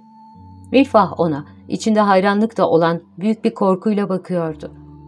Noahti, favorilerini kestikten sonra saçlarına başka bir biçim verdi. Siyah kravatının yerine açık duran bir valizin üstünde görünen renkli bir kravat taktı. Mavi ve düğmeli redingotunun yerine Wilfah'ın kahverengi ve etek ucu geniş bir redingotunu sırtına geçirdi. Aynanın önünde genç adamın kenarı kıvrık şapkasını denedi ve kendine yakıştığını görüp memnun oldu. Hasır bastonunu biraz önce koyduğu şöminenin köşesine bırakarak zarif savcı yardımcısının yürüyüşüne en önemli özelliklerinden biri olan aşırı özgürlüğü sağlayan bambudan küçük esnek değneğini sinirli eline alarak havada ıslık çaldırdı. ''İşte bu'' dedi. Görünüşündeki bu değişim tamamlandığında şaşkınlık içindeki oğluna dönerek ''İşte bu, polisin şimdi beni tanıyabileceğine inanıyor musunuz?'' ''Hayır babacığım'' diye kekeledi Vilfa. ''En azından öyle umuyorum.'' ''Şimdi sevgili Gerard'' diye sürdürdü Noahdi. Size bıraktığım tüm eşyayı ortadan kaldırmak için sizin ihtiyatlılığınıza güveniyorum. Ah içiniz rahat etsin babacığım. Evet evet şimdi sanırım haklısınız. Gerçekten de hayatımı kurtarmış olabilirsiniz. Ama rahat olun. Bunu size çok yakında ödeyeceğim. Milfah başını salladı. İkna olmadınız mı? En azından yanıldığınızı umuyorum. Kralı yeniden görecek misiniz? Belki. Onun gözünde bir kahin olmak ister misiniz? Felaketi haber veren kahinler sarayda hoş karşılanmaz babacığım. Evet ama bir gün onlara yapılan haksızlık giderilir. İkinci bir restorasyon olacağınız varsayın. O zaman önemli bir adam olursunuz. Peki krala ne söylemeliyim? Ona şunu söyle. Haşmet Maap, sizi Fransa'nın eğilimi hakkında, kentlerin görüşü hakkında, ordunun düşünceleri hakkında yanıltıyorlar. Sizin Paris'te Korsika canavarı dediğiniz, Nevers'te hala zorba denen kişiye Lyon'da Bonaparte, Grenoble'de imparator deniyor. Siz onun kaçmakta olduğunu, izlendiğini, sıkıştırıldığını sanıyorsunuz. O taşıdığı kartal gibi hızla ilerliyor. Açlıktan öldüklerini, yorgunluktan ezildiklerini, bırakıp kaçmaya hazır olduklarını sandığınız askerler, yuvarlanan bir topun çevresindeki karatomları gibi çoğalıyorlar. Haşmet Meap gidiniz. Fransa'yı gerçek sahibine, onu satın almamış ama kazanmış birine bırakınız. Gidiniz Haşmet Meap. Sadece tehlike içinde olduğunuz için değil. Çünkü hasmımız bağışlayacak kadar güçlüdür. Ama St. Louis'nin torunu için hayatını Arkül, Marengo ve Ustertliz'in kahramanına borçlu olmak aşağılayıcı olacağı için. Ona bunları söyle Gerard ya da git. Hiçbir şey söyleme. Yolculuğunu gizli tut, yapmaya geldiğin şeyle, Paris'te yaptıklarınla övünme. Arabana bin. Gelmek için yolları nasıl olabildiği kadar hızlı aşmışsan, dönerken de boşluğu yutar gibi git. Marsilya'ya gece olunca gir. Evine arka kapıdan gir ve orada çok sakin, çok alçak gönüllü, hiç giz vermeden yaşa. Özellikle kimseye zarar verme. Çünkü bu kez sana yemin ediyorum düşmanlarını iyi tanıyan sert insanlarla harekete geçiyoruz. Hadi oğlum, hadi sevgili Gerard, baba emirlerine uyarsanız ya da daha çok hoşuna gidecekse bir dostun öğütlerine saygı duyarsanız sizi yerinizde tutarız. Eğer siyaset terazisi bir gün sizi yukarı, beni aşağı koyarsa bu sizin beni ikinci bir kez kurtarmanız için bir imkan yaratır, diye ekledi Noahdi gülümseyerek. Elveda sevgili Gerard. Bir dahaki gelişinizde benim evimde kalın. Ve bu sözler üzerine Noahdi bu kadar zor bir görüşme süresince bir an bile bırakmadığı sakinliğiyle çıktı gitti. Vilfa solgun ve heyecanlı pencereye koştu. Perdeyi araladı ve sokak sınır taşlarının köşesinde ve sokakların birleştiği yerde belki de siyah favorili, mavi redingotlu ve geniş kenarlı şapkalı bir adamı tutuklamak için orada bulunan pusuya yatmış, kötü suratlı iki ya da üç adamın ortasından babasının sakin ve soğukkanlı bir biçimde geçtiğini gördü. Vilfa, babası Bassi kavşağında kayboluncaya kadar ayakta ve soluğu tıkanmış halde öylece kala kaldı. Sonra hemen onun bıraktığı eşyalara doğru atıldı. Siyah kravatı ve mavi redingotu valizinin en dibine koydu. Kıvırıp büktüğü şapkayı bir dolabın altına sıkıştırdı. Hasır bastonu parçalara ayırdı ve ateşe attı. Bir yolculuk kasketi giydi. O da hizmetçisini çağırdı. Bir bakışıyla onun binlerce soru sormasını engelledi. Otelle hesabını kesti. Hayvanları koşulmuş arabasına atladı. Lyon'da Napolyon'un Grenoble'ye daha yeni girdiğini öğrendi ve tüm yol boyunca sıkıntı içinde insanın kalbine tutku ve yüksek görev aşkının saldığı büyük korkuların pençesinde Marsilya'ya vardı. Yüz gün Monsieur Noahti gerçek bir kahindi ve olaylar onun söylediği gibi çabuk gelişti. Herkes bu Elba adasından dönüşü, garip, inanılmaz, geçmişte örneği olmadığı gibi büyük bir olasılıkla gelecekte de benzersiz kalacak dönüşü bilir. 18. Louis bu korkunç darbeyi savuşturmakta yetersiz kaldı. İnsanlara olan birazcık inancı da olaylar sırasında kaybolup gitti. Onun kurduğu krallık ya da daha çok monarşi sağlam olmayan temeli üzerinde sallandı ve imparatorun küçücük bir hareketi eski önyargılarla yeni düşüncelerin biçimsiz bir karışımı olan tüm bu yapıyı yerle bir etti. Vilfah kralından o an için sadece yararsız değil, aynı zamanda tehlikeli de olan bir minnettarlık gördü bir tek. Her ne kadar Monsieur de Blacas, kralın istediği gibi unvanı büyük bir özenle ona göndertmişse de, Legion d'Honneur subay haçını ortaya çıkarmama ihtiyatlılığını gösterdi. Yüz gün hükümetinde karşılaştığı tehlikeler ve yaptığı hizmetler nedeniyle çok güçlü bir kişi olan Noahdi'nin koruması olmasaydı, Napolyon kuşkusuz Vilfah'ı görevinden alırdı. Böylece Vilfah'a söylediği gibi 93'ün Gionda'nı 1806'nın senatörü bir gün önce kendisini korumuş olan kişiyi korudu. İkinci kez düşüşünün şimdiden görülmesi çok kolay olan imparatorluğun yeniden hüküm sürdüğü süre içinde Vilfah'ın tüm gücü Dante'nin açığa vurmak üzere olduğu sırrı örtbas etmekle sınırlı kaldı. Sadece krallık başsavcısı Bonapartçılığa karşı ılımlı davrandığından kuşkulanıldığı için yerinden oldu. Bu sırada imparatorluk iktidarı daha yeni kurulmuş. Yani imparator Kral 18. Louis'nin kısa bir süre önce bırakıp gittiği Tulegen'de yeni oturmaya başlamış. Vilfah'ı ardından okuyucularımızı içerisine soktuğumuz ve ceviz masasının üzerinde 18. Louis'nin kapağı hala açık, yarısı dolu enfiye kutusu duran küçük çalışma odasından çok sayıda ve birbirinden farklı emirler vermeye başlamıştı ki, Marsilya, yüksek görevlilerinin tutumuna karşın, güneyde her zaman kötü bir biçimde söndürülmüş sivil savaş meşalelerinin kendi bölgesinde de tutuşmaya başladığını hissetti.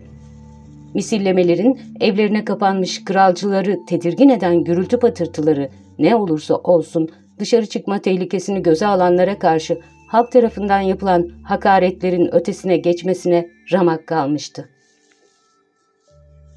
Halk Partisi'ne katılmış olduğunu belirttiğimiz saygıdeğer armatör de çok doğal olarak 180 derecelik değişimin sonunda çok güçlü diyemesek de çünkü Monsieur Mogel ağır ağır ve çalışa çalışa ticari bir servet edinmiş tüm insanlar gibi ihtiyatlı ve biraz da utangaçtı. Onu ılımlı gören Bonapartçı güçlerin dışında kalmasına rağmen bir isteğini duyurmak için sesini yükseltebilecek güçteydi. Bu istek de tahmin edeceğiniz gibi Dante ile ilgiliydi. Bilfa üstünün düşmesine karşın ayakta kalmış, evliliği karartılmamış olmasına karşın daha iyi bir zamana ertelenmişti. Eğer imparator tahta kalırsa Gerard için bir başka evlilik düşünülmesi gerekiyordu ve babası ona yeni bir eş bulma işini üstlenmişti. Eğer ikinci bir restorasyon 18. Louis'i Fransa'ya geri getirirse, Monsieur de Saint-Mega'nın etkisi dolayısıyla onunki de artacaktı ve evlilik her zamankinden daha uygun olacaktı. Krallık savcı yardımcısı bir sabah kapısı açılıp da ona Monsieur Mogel'in geldiğini haber verdiklerinde Marsilya başsavcısıydı artık. Başkası olsa armatörü hemen karşılamaya giderdi ve bu acele onun zayıflığını göstermiş olurdu. Ama Vilfa deneyimi olmasa bile en azından her konuda içgüdüleri olan bir yüksek görevliydi. Restorasyon zamanında yaptığı gibi yanında hiç kimse olmamasına karşın kralın savcı yardımcısının bekletme göreneğine uymak gibi basit bir nedenle Monsieur Mogel'i bekletti. 15 dakika kadar farklı görüşlerde 2-3 gazete okuduktan sonra armatörün içeri alınmasını emretti. Monsieur Mogel, Bilfah'ı yıkılmış bulacağını sanıyordu. Oysa onu 6 hafta önce gördüğü gibi yani sakin, kararlı ve yüksek düzeyde birini halktan birinden ayıran tüm engellerin en aşılmazı olan soğuk bir nezaket içinde buldu. Mogel, Bilfah'ın odasına, yargıcın onu görünce titreyeceğinden emin olarak girmişti. Oysa tam tersine, masasına dirseğini dayamış onu bekleyen bu sorgulayıcı insanın önünde heyecanlı ve titrek olan kendisiydi. Kapıda durdu. Bilfah tanımakta güçlük çekiyormuş gibi ona baktı. Saygıdeğer armatörün şapkasını elinde evirip çevirdiği birkaç saniye boyunca süren inceleme ve sessizlikten sonra ''Monsieur Mogel sanırım'' dedi Vilfa. ''Evet Monsieur benim'' diye yanıt verdi armatör. ''Yaklaşın'' diye sürdürdü yargıç eliyle koruyucu bir işaret yaparak. ''Ziyaretinizi neye borçlu olduğumu söyler misiniz?'' ''Hiç tahmin etmiyor musunuz Monsieur?'' diye sordu Mogel. ''Hayır, hiçbir fikrim yok. Ama bu yapabileceğim bir şey varsa size yardımcı olmama engel değil. Bu tümüyle size bağlı Monsieur, dedi Mogel. Açıklayınız o zaman. Monsieur, diye sürdürdü armatör. Durumunun açıklığının ve nedeninin haklılığının kendisine güç kazandırdığını hissederek konuştukça güvenini yeniden kazanmıştı. İmparator Hazretlerinin karaya çıktığını öğrenmemizden birkaç gün önce gemimin ikinci kaptanı olan genç bir adam, bir denizci bir zavallı için bağışlayacağımızı istemek için geldiğimi hatırlıyorsunuzdur. Hatırlarsanız Elba Adası'yla ilişkileri nedeniyle suçlanmıştı. O dönemde suç olan bu ilişkiler bugün saygınlık niteliği taşıyor. Siz o zaman 18. Louis'e hizmet ediyordunuz ve bu adamı gözetmediniz Monsieur. Bu sizin görevinizdi. Bugün Napolyon'a hizmet ediyorsunuz. Bu adamı korumalısınız. Bu yine sizin göreviniz. Size onun ne olduğunu sormaya geldim.'' Bilfa kendine hakim olmak için büyük bir çaba harcayarak ''Bu adamın adı neydi?'' diye sordu. ''Lütfen bana onun adını söyleyiniz.'' ''Edmond Dante.'' Kuşkusuz Vilfa, kulağının dibinde bu adı söylendiğini duymak yerine bir düelloda 25 metreden hasmının tabancasından çıkan kurşunu yemeyi yeğlerdi. Yine de hiç kılını bile kıpırdatmadı. Bu şekilde dedi kendi kendine Vilfa, bu genç adamı tutuklamış olduğum için bunun kişisel bir sorun olduğunu ileri sürerek kimse beni suçlayamaz. Dante mi? Edmond Dante mi demiştiniz diye yineledi. Evet efendim. Rifa yandaki evrak dolabına yerleştirilmiş kain bir sicil dosyasını açtı. Bir masaya koştu. Masadan dosyalara geçti ve armatöre dönerek ''Yanılmadığınızdan emin misiniz Monsieur?'' dedi çok doğal bir biçimde. Eğer Mogel daha kurnaz ya da bu iş hakkında daha bilgili olsaydı, krallık savcı yardımcısının kendi yargı çevresinin tümüyle dışında kalan böyle bir konuda ona yanıt vermeye tenezzül etmiş olmasını garip bulurdu. Ve Wilfah'ın onu neden tutuklama emri kütüklerine, hapishane müdürlüklerine, bölüm başkanlığına göndermediğini kendi kendine sorardı. Ama Wilfah'ta boşuna korku görmeye çalışan Mogel, onun hiç korkusunun olmadığını, tersine alçak gönüllü olduğunu gördü. Wilfah doğru davranmıştı. ''Hayır Monsieur'' dedi Mogel. ''Yanılmıyorum. Zaten o zavallı çocuğu on yıldır tanıyorum. Dört yıldır da benim hizmetimde. Size geldim, hatırlıyor musunuz? Bugün şu zavallı çocuğa karşı hak bilir olmanızı rica etmek için geldiğim gibi altı hafta önce de bağışlayıcı olmanızı rica etmeye gelmiştim. Beni çok kötü karşılamıştınız ve bana sinirli yanıtlar vermiştiniz. Ah, o zamanlar kralcılar Bonapartçılara karşı çok katıydılar. Monsieur, diye yanıt verdi Vilfa, gösterişli bir biçimde her zamanki soğukkanlılığı ve aceleciliğiyle savunmaya geçerek. Borbonların sadece tahtın yasal mirasçıları değil, ulusun seçtikleri olduklarına inandığım zamanlar kralcıydım. Ama hepimizin tanık olduğu mucizevi geri dönüş bana yanıldığımı kanıtladı. Napolyon'un dehası galip geldi. Yasal hükümdar sevilen hükümdar oldu. Çok şükür diye haykırdı Mogel büyük içtenliğiyle. Böyle konuşmanız beni memnun etti. Edmond'un yazgısı içinde böyle olur umarım. Bekleyin bakalım dedi Wilfa yeni bir sicil dosyasını karıştırarak. Buldum. Bu bir denizciydi değil mi? Bir Katalan kızıyla evlenecekti. Evet evet, ah şimdi anımsıyorum. Durum çok ciddiydi. Nasıl ciddi? Benim evimden çıkarıldıktan sonra onun adalet sarayına götürüldüğünü biliyorsunuz. Evet, sonra? Sonra ben Paris'e raporumu yazdım. Üstünde bulduğumuz kağıtları gönderdim. Bu benim görevimdi, ne yaparsınız? Tutuklandıktan sekiz gün sonra tutuklu götürülmüş. Götürülmüş mü? diye haykırdım o gel. O zavallı çocuğa ne yapmış olabilirler? Ah, sakin olun. Fenestgele, Pin Pinyehole ve Sant Margarite adalarına götürülmüştür. İdari terimlerle yeni değiştirilmiştir. Günün birinde onun geri gelip geminizin kumandasını aldığını göreceksiniz. İstediği zaman gelsin, yeri hazır olacak. Ama ne oldu da şimdiye kadar geri dönmedi? Bonapartçı adaletin yapacağı ilk şey kralcı adaletin içeri attıklarını dışarı çıkarmak olmalıydı bence. Düşünüp taşınmadan suçlamayınız sevgili Monsieur Mogel, diye yanıt verdi Vilfa. Her şeyde yasalara uygun olarak davranmak gerekir. Tutuklama emri yukarıdan gelmişti. Özgür bırakma emrinin de yukarıdan gelmesi gerekir. Napolyon geleli daha 15, 15 gün bile olmadı. Yürürlükten kaldırma mektupları da ancak gönderilmiş olmalı. Ama şimdi kazanan biz olduğumuza göre yazışmaları hızlandırmanın yolu yok mudur? Bazı dostlarım var, etkili dostlar. Tutuklama kararının kaldırılmasını sağlayabilirim. Tutuklama kararı yoktu. Ya tutuklama emri? Siyaset alanında tutuklama emri kütüğü yoktur. Kimi zaman hükümetler bir adamı arkasında hiç iz bırakmadan ortadan kaldırmakta yarar görürler. Tutuklama emir belgeleri araştırmalara yol gösterebilir.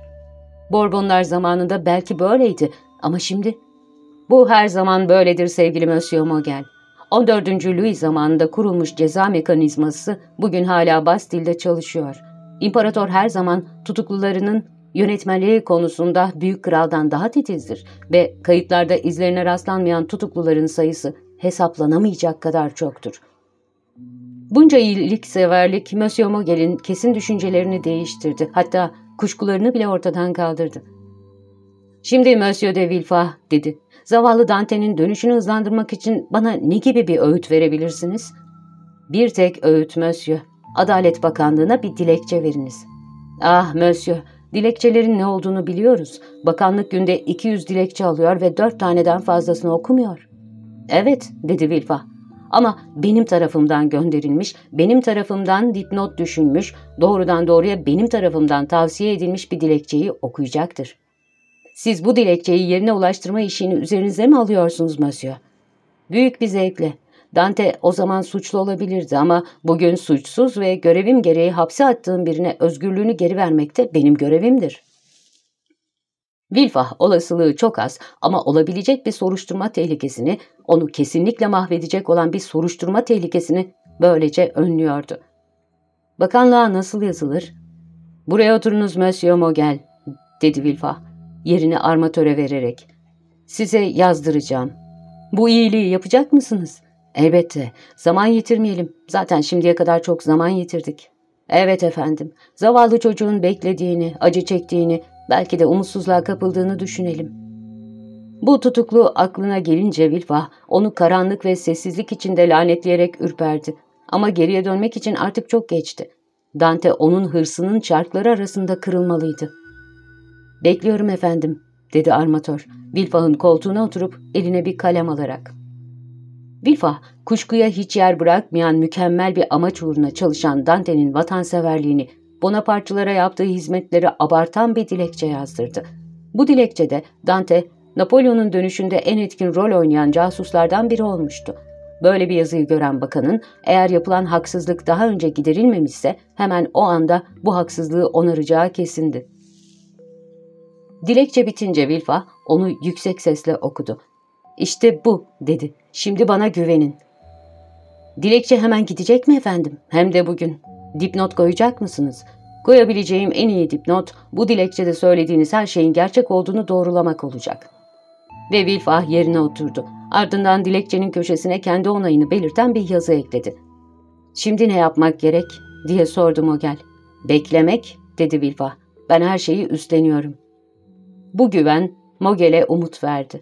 Krallık savcı yardımcısının yanından çok hoşnut ayrıldı ve oğlunu yeniden göreceği günün gecikmeyeceğini haber vermek için Dante'nin yaşlı babasına gitti.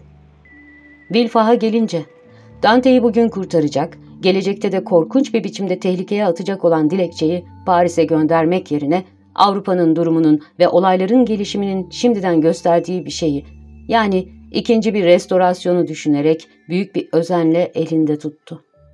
Bu durumda Dante'nin tutukluluğu devam etti. Hücresinin dibinde unutulmuş olan Dante, 18. Louis'nin tahttan düşüşünün çıkardığı büyük gürültüyü, ondan daha tüyler ürpertici olan imparatorluğun çöküşünün yankılarını hiç duymadı. Ama Wilfa dikkatli gözleri ve keskin kulaklarıyla her şeyi izlemişti. İmparatorluğun yüz gün adı verilen kısa süreli ortaya çıkışı sırasında Mogel iki kez Dante'nin özgürlüğü için ısrar ederek bu isteğini yinelemek için gelmişti. Ve her defasında Bilfah yeni sözler ve umutlar vererek onu sakinleştirmişti. Sonunda Waterloo geldi. Mogel bir daha Wilfah'ın karşısına çıkmadı. Armatör genç dostu için insan olarak yapılabilecek her şeyi yapmıştı. İkinci restorasyon sırasında yeni girişimlerde bulunmak boşu boşuna kendini tehlikeye atmak olacaktı. 18. Louis tekrar tahta çıktı. Marsilya'da pişmanlıklarla dolu birçok anısı olan Vilva, Toulous'ta açık bulunan krallık savcılığı kadrosu için başvurdu ve o görevi aldı. Yeni konutuna yerleştikten 15 gün sonra babası sarayda her zamankinden daha iyi bir yer edinmiş olan Mademoiselle Rainey de Saint-Megan'la evlendi. İşte Dante 100 gün dönemi boyunca ve Waterloo'dan sonra insanlar tarafından olmasa da Tanrı tarafından unutulmuş olarak böyle hapiste kaldı. Napolyon'un Fransa'ya geri döndüğünü gören Dankler, Dante'ye vurduğu darbenin ne kadar önemli olduğunu kavradı. Yaptığı ihbar tam isabetti. Suça belli bir eğilimi olan ve günlük yaşamda orta zekalı tüm insanlar gibi o da bu garip rastlantıya Tanrı'nın buyruğu adını verdi. Ama Napolyon Paris'e girdiğinde ve sesi yeniden buyurgan ve güçlü yankılandığında Dankler korktu. Her an Dante'nin her şeyi bilen, tüm intikamını alacak güce sahip ve tehditkar Dante'nin yeniden ortaya çıkmasını bekledi. Bu nedenle Monsieur Mogel'e deniz üstündeki görevinden ayrılmak istediğini belirtti ve onun tarafından bir İspanyol tüccara tavsiye edildi. Ve Mart sonuna doğru yani Napolyon'un Tulege'ye gelişinden 10-12 gün sonra bu tüccarın yanında küçük bir memur olarak çalışmaya başladı. Onunla Madrid'e gitti ve bir daha ondan söz edildiği duyulmadı. Fernand ise hiçbir şey anlamadı. Dante ortada yoktu. Onun istediği de buydu zaten. Ne olmuştu? Hiç bunu öğrenmeye çalışmadı. Sadece onun yokluğunun kendisine sağladığı rahatlık sırasında kah Dante'nin ortadan yok olmasının nedenleri konusunda Mercedes'i yanıltmak, kah kaçırma ve göç etme planları kurmak için çaba gösterdi. Zaman zaman bunlar yaşamının karanlık saatleri oldu. Fago burnunun hem Marsilya'yı hem de Katalanların kasabasını gören ucunda, avını gözleyen bir kuş gibi hüzünlü ve hareketsiz bir halde etrafa göz gezdirerek, özgür yürüyüşlü, başı dik, kendisi için katı bir intikam habercisi olan güzel genç adamın bu iki yolun birinde görünüp görünmeyeceğini anlamaya çalışıyordu. O zaman Fernand'ın tasarıları suya düşüyordu. Kendi kendine bir tüfek atışıyla Dante'nin kafasını dağıtmayı, sonra da cinayetine renk katmak için kendini öldürmeyi düşünüyordu. Ama Fernand yanılıyordu. O adam hiçbir zaman kendini öldürtmedi. Çünkü hep umudu vardı. Tam o sırada acılı onca çalkantının arasında imparatorluk eli silah tutabilecek kim varsa askere çağırdı. Ve imparatorun gürleyen sesiyle birlikte bu insanlar Fransa dışına yöneldiler. Fernand da kulübesini ve Mercedes'i bırakarak arkasından belki de hasmanın geri gelip sevdiği kadınla evlenebileceği gibi karanlık ve korkunç bir düşünceyle kendi kendini yiyerek herkes gibi gitti. Eğer Fernand kendini öldürecek olsaydı Mercedes'i bırakıp giderken öldürürdü. Mercedes'e gösterdiği yakınlık, onun acısı karşısında duyar gibi göründüğü merhamet, en küçük bir isteğini yerine getirmek için gösterdiği özen, özverinin cömert kalplerde her zaman yapacağı etkiyi yaptı. Mercedes, Fernand'ı her zaman bir dost olarak sevmişti. Ona karşı dostluğu yeni bir duyguyla, minnettarlıkla daha da arttı. ''Kardeşim'' dedi Katalan'ın omzuna asker çantasını asarken. ''Kardeşim, tek dostum, kendinizi öldürtmeyiniz. Acı çektiğim ve siz olmazsanız tek başıma kalacağım bu dünyada beni yalnız bırakmayınız.'' Ayrılık anında söylenmiş bu sözler Fernanda bazı umutlar verdi. Demek Dante geri dönmezse bir gün Mercedes onun olabilecekti. Mercedes ona hiçbir zaman bu kadar çorak görünmemiş olan bu çıplak arazi üzerinde ufka kadar uzanan sonsuz denizle yapayalnız kaldı. Gözyaşları içinde tıpkı acılı öyküsü bize anlatılan o deli kadın gibi küçük Katalan kasabası çevresinde durmadan başıboş dolaşırken görülüyordu. Kimi zaman güneyin kızgın güneşi altında ayakta, hareketsiz, bir heykel gibi sessiz durarak ve Marsilya'ya bakarak, kimi zaman nehrin kıyısına oturmuş denizin kendi acısına benzer sonsuz sızlanışını dinleyerek ve umutsuz bir bekleyişin tüm bu zalimce seçenekleriyle acı çekeceğine öne doğru eğilse, kendini ağırlığına bırakıverse, dipsiz derinlik açılsa da orada sulara gömülse daha iyi olup olmayacağını durmadan kendi kendine sorarak. Bu düşüncesini gerçekleştirmek için Mercedes'te eksik olan cesaret değildi. Onun yardımına koşan ve onu intihardan kurtaran dini inancıydı. Cadegus da Fernand gibi askere çağrılmıştı. Ama Katalan'dan 8 yaş büyük ve evli olduğu için sadece 3. birlikte yer almış ve kıyılara gönderilmişti. Artık sadece umudun ayakta tuttuğu yaşlı Dante, imparatorun düşüşüyle umudunu yitirmişti. Oğlundan ayrı düşmesinden günü gününe beş ay sonra hemen hemen onun tutuklandığı saatte Mercedes'in kollarında son nefesini verdi. Monsieur Mogel tüm cenaze giderlerini karşıladı ve yaşlı adamın hastalığı sırasında yaptığı küçük borçların hepsini ödedi. Böyle davranmak için sadece iyiliksever olmak yetmiyor, cesaret de gerekiyor. Güney ateşler içindeydi.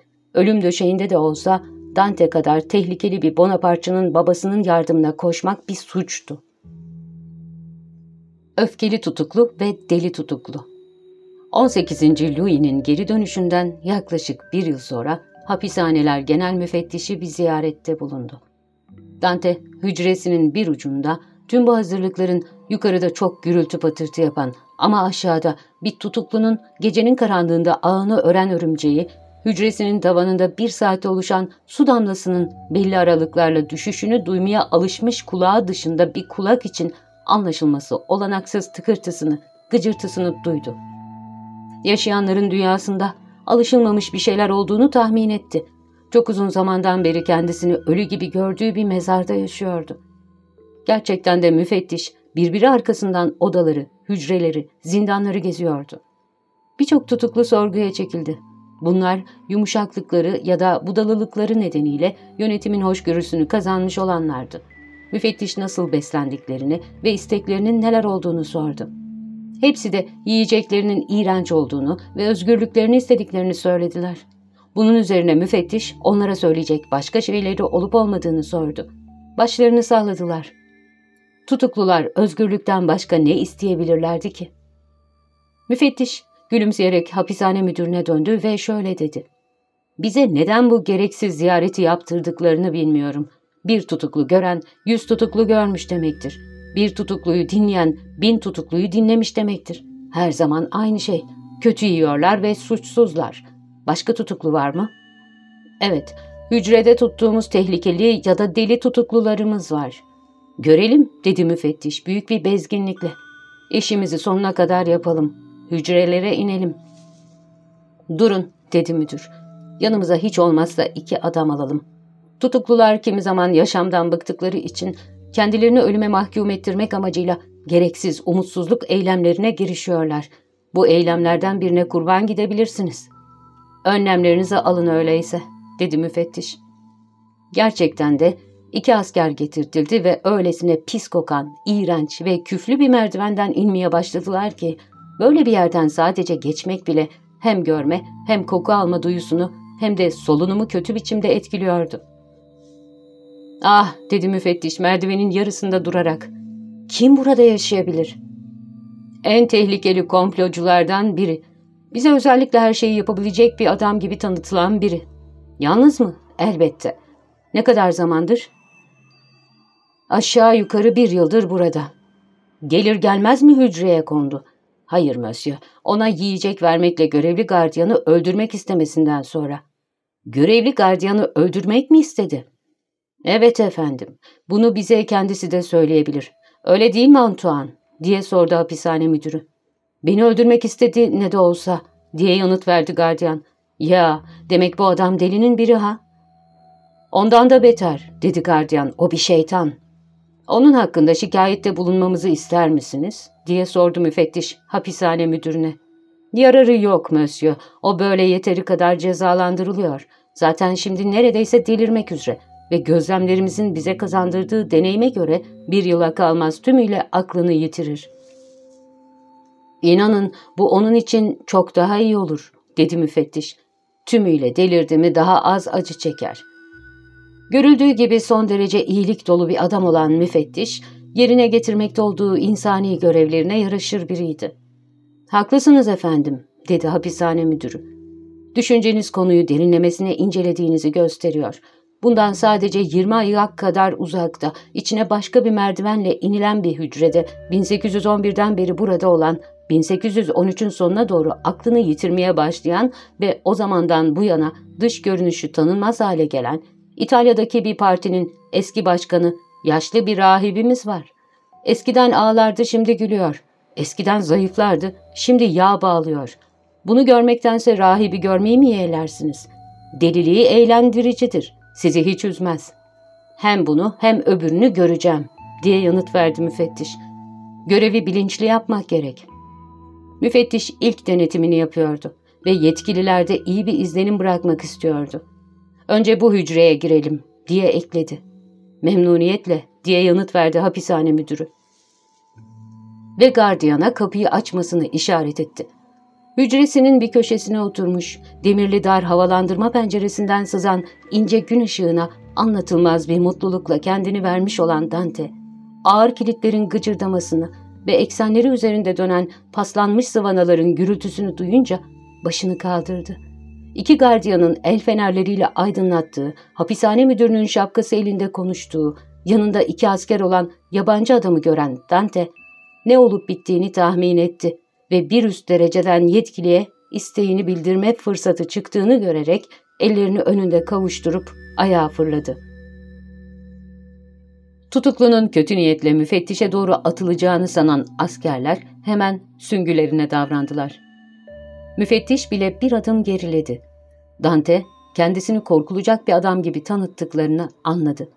O zaman insan yüreğinin taşıyabileceği tüm alçak gönüllülüğü ve iyilikseverliği bakışlarında topladı ve yanında bulunanları şaşırtan bir tür dindarca konuşmayla kendini anlatarak ziyaretçinin ruhuna ulaşmaya çalıştı. Müfettiş Dante'nin konuşmasını sonuna kadar dinledi. Sonra hapishane müdürüne dönerek ''İman yoluna girecek'' dedi kısık sesle. Daha yumuşak duygulara şimdiden hazır. Görüyorsunuz korku onu etkilemiş. Süngülerin karşısında geriledi. Oysa bir deli hiçbir şey karşısında gerilemez. Şagontun'da bu konuda çok ilginç gözlemlerde bulundum. Sonra tutukluya dönerek ''Kısaca ne istiyorsunuz?'' diye sordu. ''Hangi suçu işlediğimi öğrenmek istiyorum. Yargıçların benimle ilgilenmesini istiyorum. Davamın soruşturulmasını istiyorum. Eğer suçluysam kurşuna dizilmek, suçsuzsam özgür bırakılmak istiyorum.'' İyi beslenmiyor musunuz? diye sordu müfettiş. Evet sanırım bu konuda bir şey bilmiyorum ama bunun pek önemi yok. Sadece benim için, zavallı tutuklu için değil. Adaleti sağlayan tüm görevliler, hatta bizi yöneten kral için bile önemli olması gereken şey bir masumun alçakça bir ihbarın kurbanı olmaması ve cellatlarına lanet okuyarak kilit arkasında ölmemesidir. Bugün çok alçak gönüllüsünüz, dedi hapishane müdürü. Her zaman böyle değilsiniz. Gardiyanınızı öldürmek istediğiniz gün bambaşka konuşuyordunuz. Bu doğru efendim, dedi Dante ve bana karşı her zaman iyi davranan bu adamdan alçak gönüllülükle özür diliyorum. Ama ne yaparsınız? Delirmiştim, öfkeliydim. Artık değil misiniz? Hayır monsieur. Çünkü hapishane hayatı beni dize getirdi, bitirdi, mahvetti. O kadar uzun zamandır buradayım ki. O kadar uzun zaman mı? Hangi dönemde tutuklandınız? diye sordu müfettiş. 28 Şubat 1815, öğleden sonra saat 2'de. Müfettiş hesapladı. Şimdi 30 Temmuz 1816.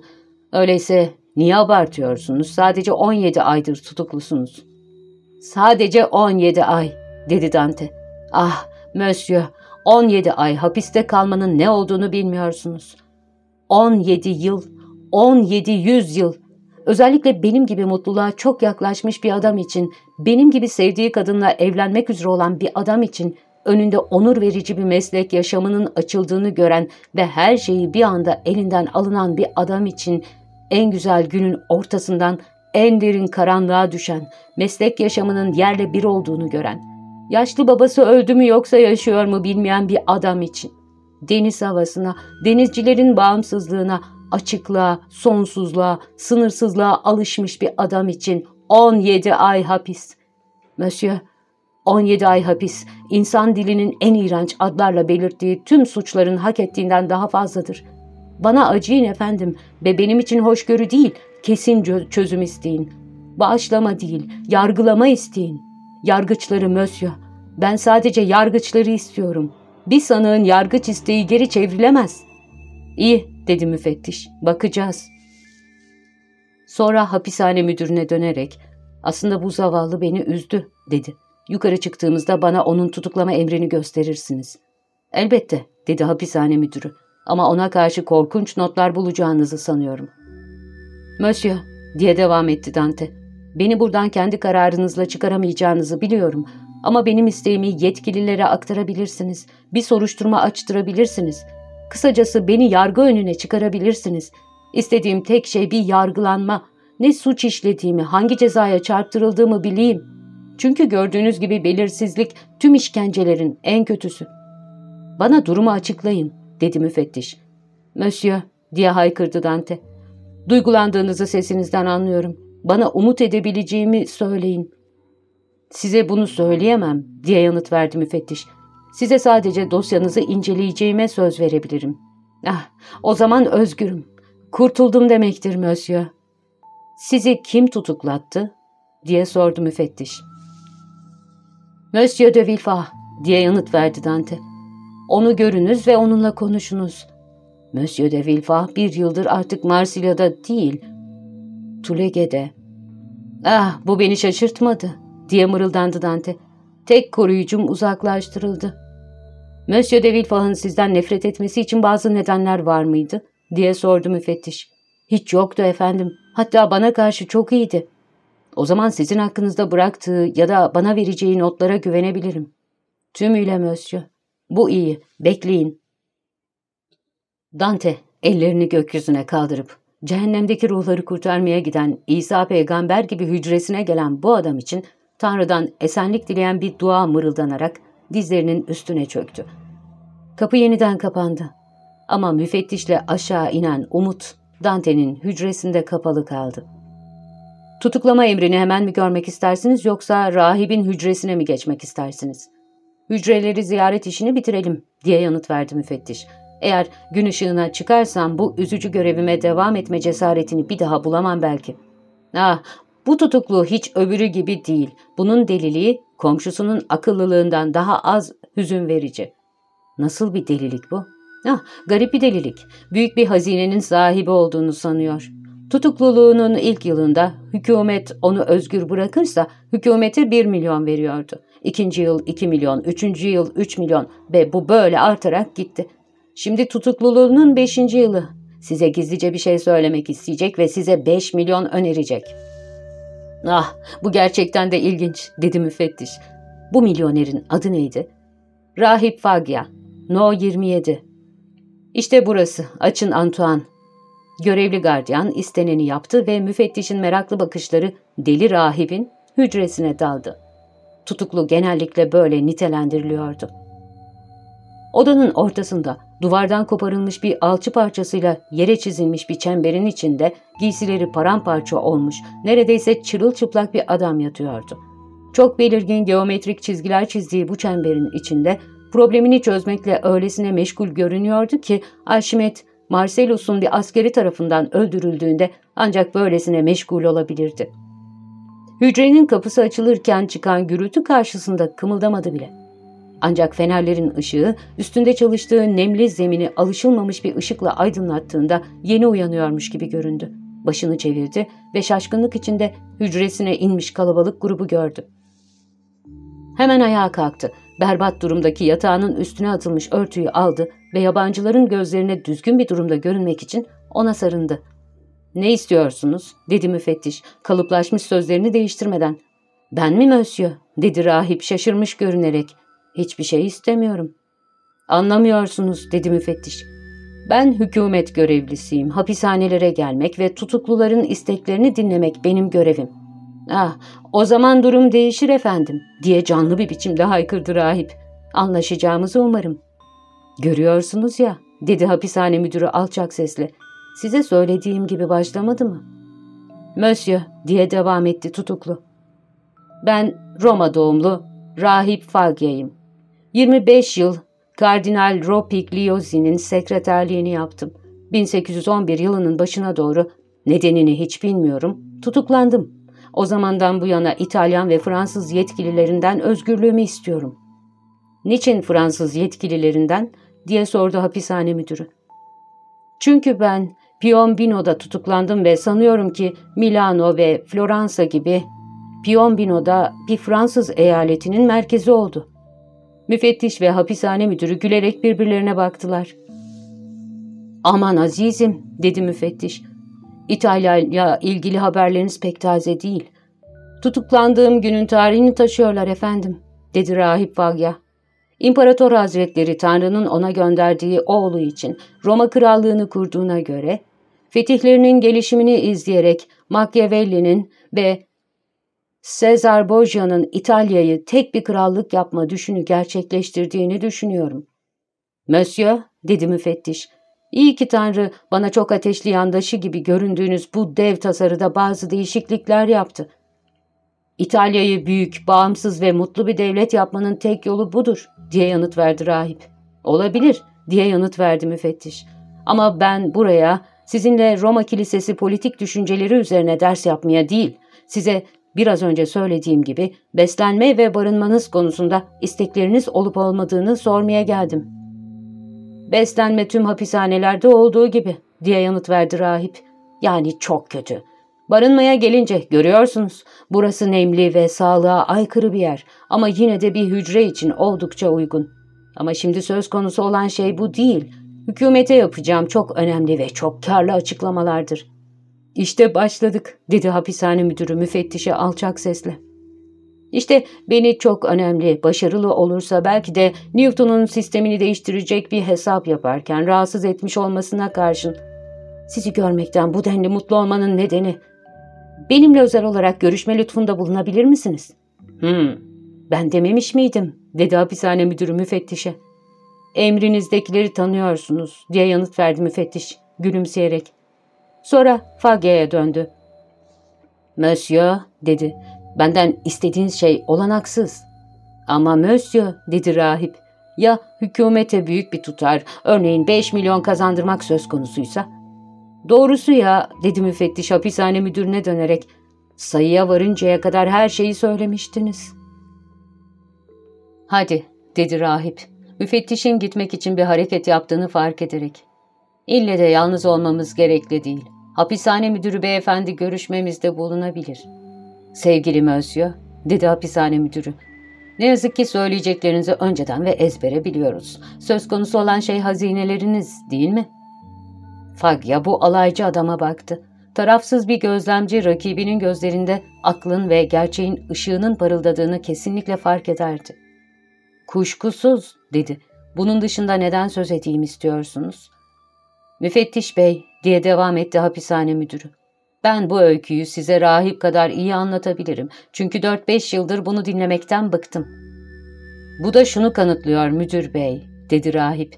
Siz de kutsal kitapların sözünü ettiği, gözleri olup da görmeyen, kulakları olup da duymayan şu insanlar gibisiniz. Sevgili Mösyö, dedi müfettiş, hükümet zengindir ve Tanrı'ya şükür sizin paranıza ihtiyacı yoktur. Paranızı hapishaneden çıktığınız gün için saklayın. Rahibin gözleri fal taşı gibi açıldı. Müfettişin eline sarıldı. Ama ya hapishaneden çıkamazsam, dedi. Ya tüm adalete karşı beni bu hücrede tutarlarsa, ya sırrımı hiç kimseye açıklayamadan ölürsem, bu hazine kayıp mı olacak? Bundan hem hükümet hem de ben yararlansak daha iyi olmaz mı? Altı milyona kadar çıkarım Mösyö. Evet, altı milyondan vazgeçerim. Kalanıyla yetinirim eğer bana özgürlüğüm geri verilirse. Yemin ederim, dedi müfettiş kısık sesle. Bu adam öyle inandırıcı bir tonda konuşuyor ki deli olduğu bilinmese söylediklerinin gerçek olduğu sanılabilir. Ben deli değilim Mösyö ve gerçeği söylüyorum, dedi. Tutuklulara has, keskin duyma yetisiyle müfettişin sözlerinin bir tekini bile kaçırmamış olan Fagya. Size sözünü ettiğim hazine gerçekten var ve sizinle bir anlaşma yapmayı öneriyorum. Buna göre siz beni belirttiğim yere götüreceksiniz. Gözlerinizin önünde toprak kazılacak. Eğer yalan söylüyorsam, eğer hiçbir şey bulunmazsa, eğer ben deliysem, sizin söylediğiniz gibi o zaman beni sonsuza kadar kalacağım ve ne sizden ne başkasından artık hiçbir şey istemeyeceğim bu hücreye geri getirirsiniz. Hapishane müdürü gülmeye başladı. Hazineniz uzakta mı? diye sordu. Buradan yaklaşık yüz fersah uzakta, dedi Fagya. Hiç de fena tasarlanmamış, dedi hapishane müdürü. Eğer tüm tutuklular gardiyanlarını yüz fersah dolaştırarak eğlenmek isteselerdi, eğer gardiyanlar da böyle bir gezinti yapmaya razı olsalardı, bu tutukluların fırsat bulduklarında kaçmaları için harika bir şans olurdu ve böyle bir yolculukta da kesinlikle böyle bir fırsat çıkardı. Bu çok bilinen bir yol, dedi müfettiş. Bunu ilk bulma onuru da beyefendinin değil. Sonra rahibe dönerek, size iyi beslenip beslenmediğinizi sormuştum, öyle değil mi? dedi. Monsieur, diye yanıt verdi Fagya. Size gerçeği söylemişsem, beni kurtaracağınıza İsa üzerine yemin edin. Ben de size hazinenin gömüldüğü yeri göstereyim. İyi besleniyor musunuz? diye yineledi müfettiş. Monsieur, Hiçbir şeyi tehlikeye atmayacaksınız. Bunun kaçmam için bir fırsat yaratmak amacıyla olmadığını göreceksiniz. Çünkü yolculuk sırasında ben hapishanede kalacağım. Benim soruma yanıt vermiyorsunuz, dedi müfettiş sabırsızlıkla. Siz de benim isteğime, diye haykırdı rahip. Bana inanmak istemeyen diğer sağduyudan yoksun insanlar gibi size de lanet olsun. Benim altınımı istemiyorsanız ben de onu saklarım.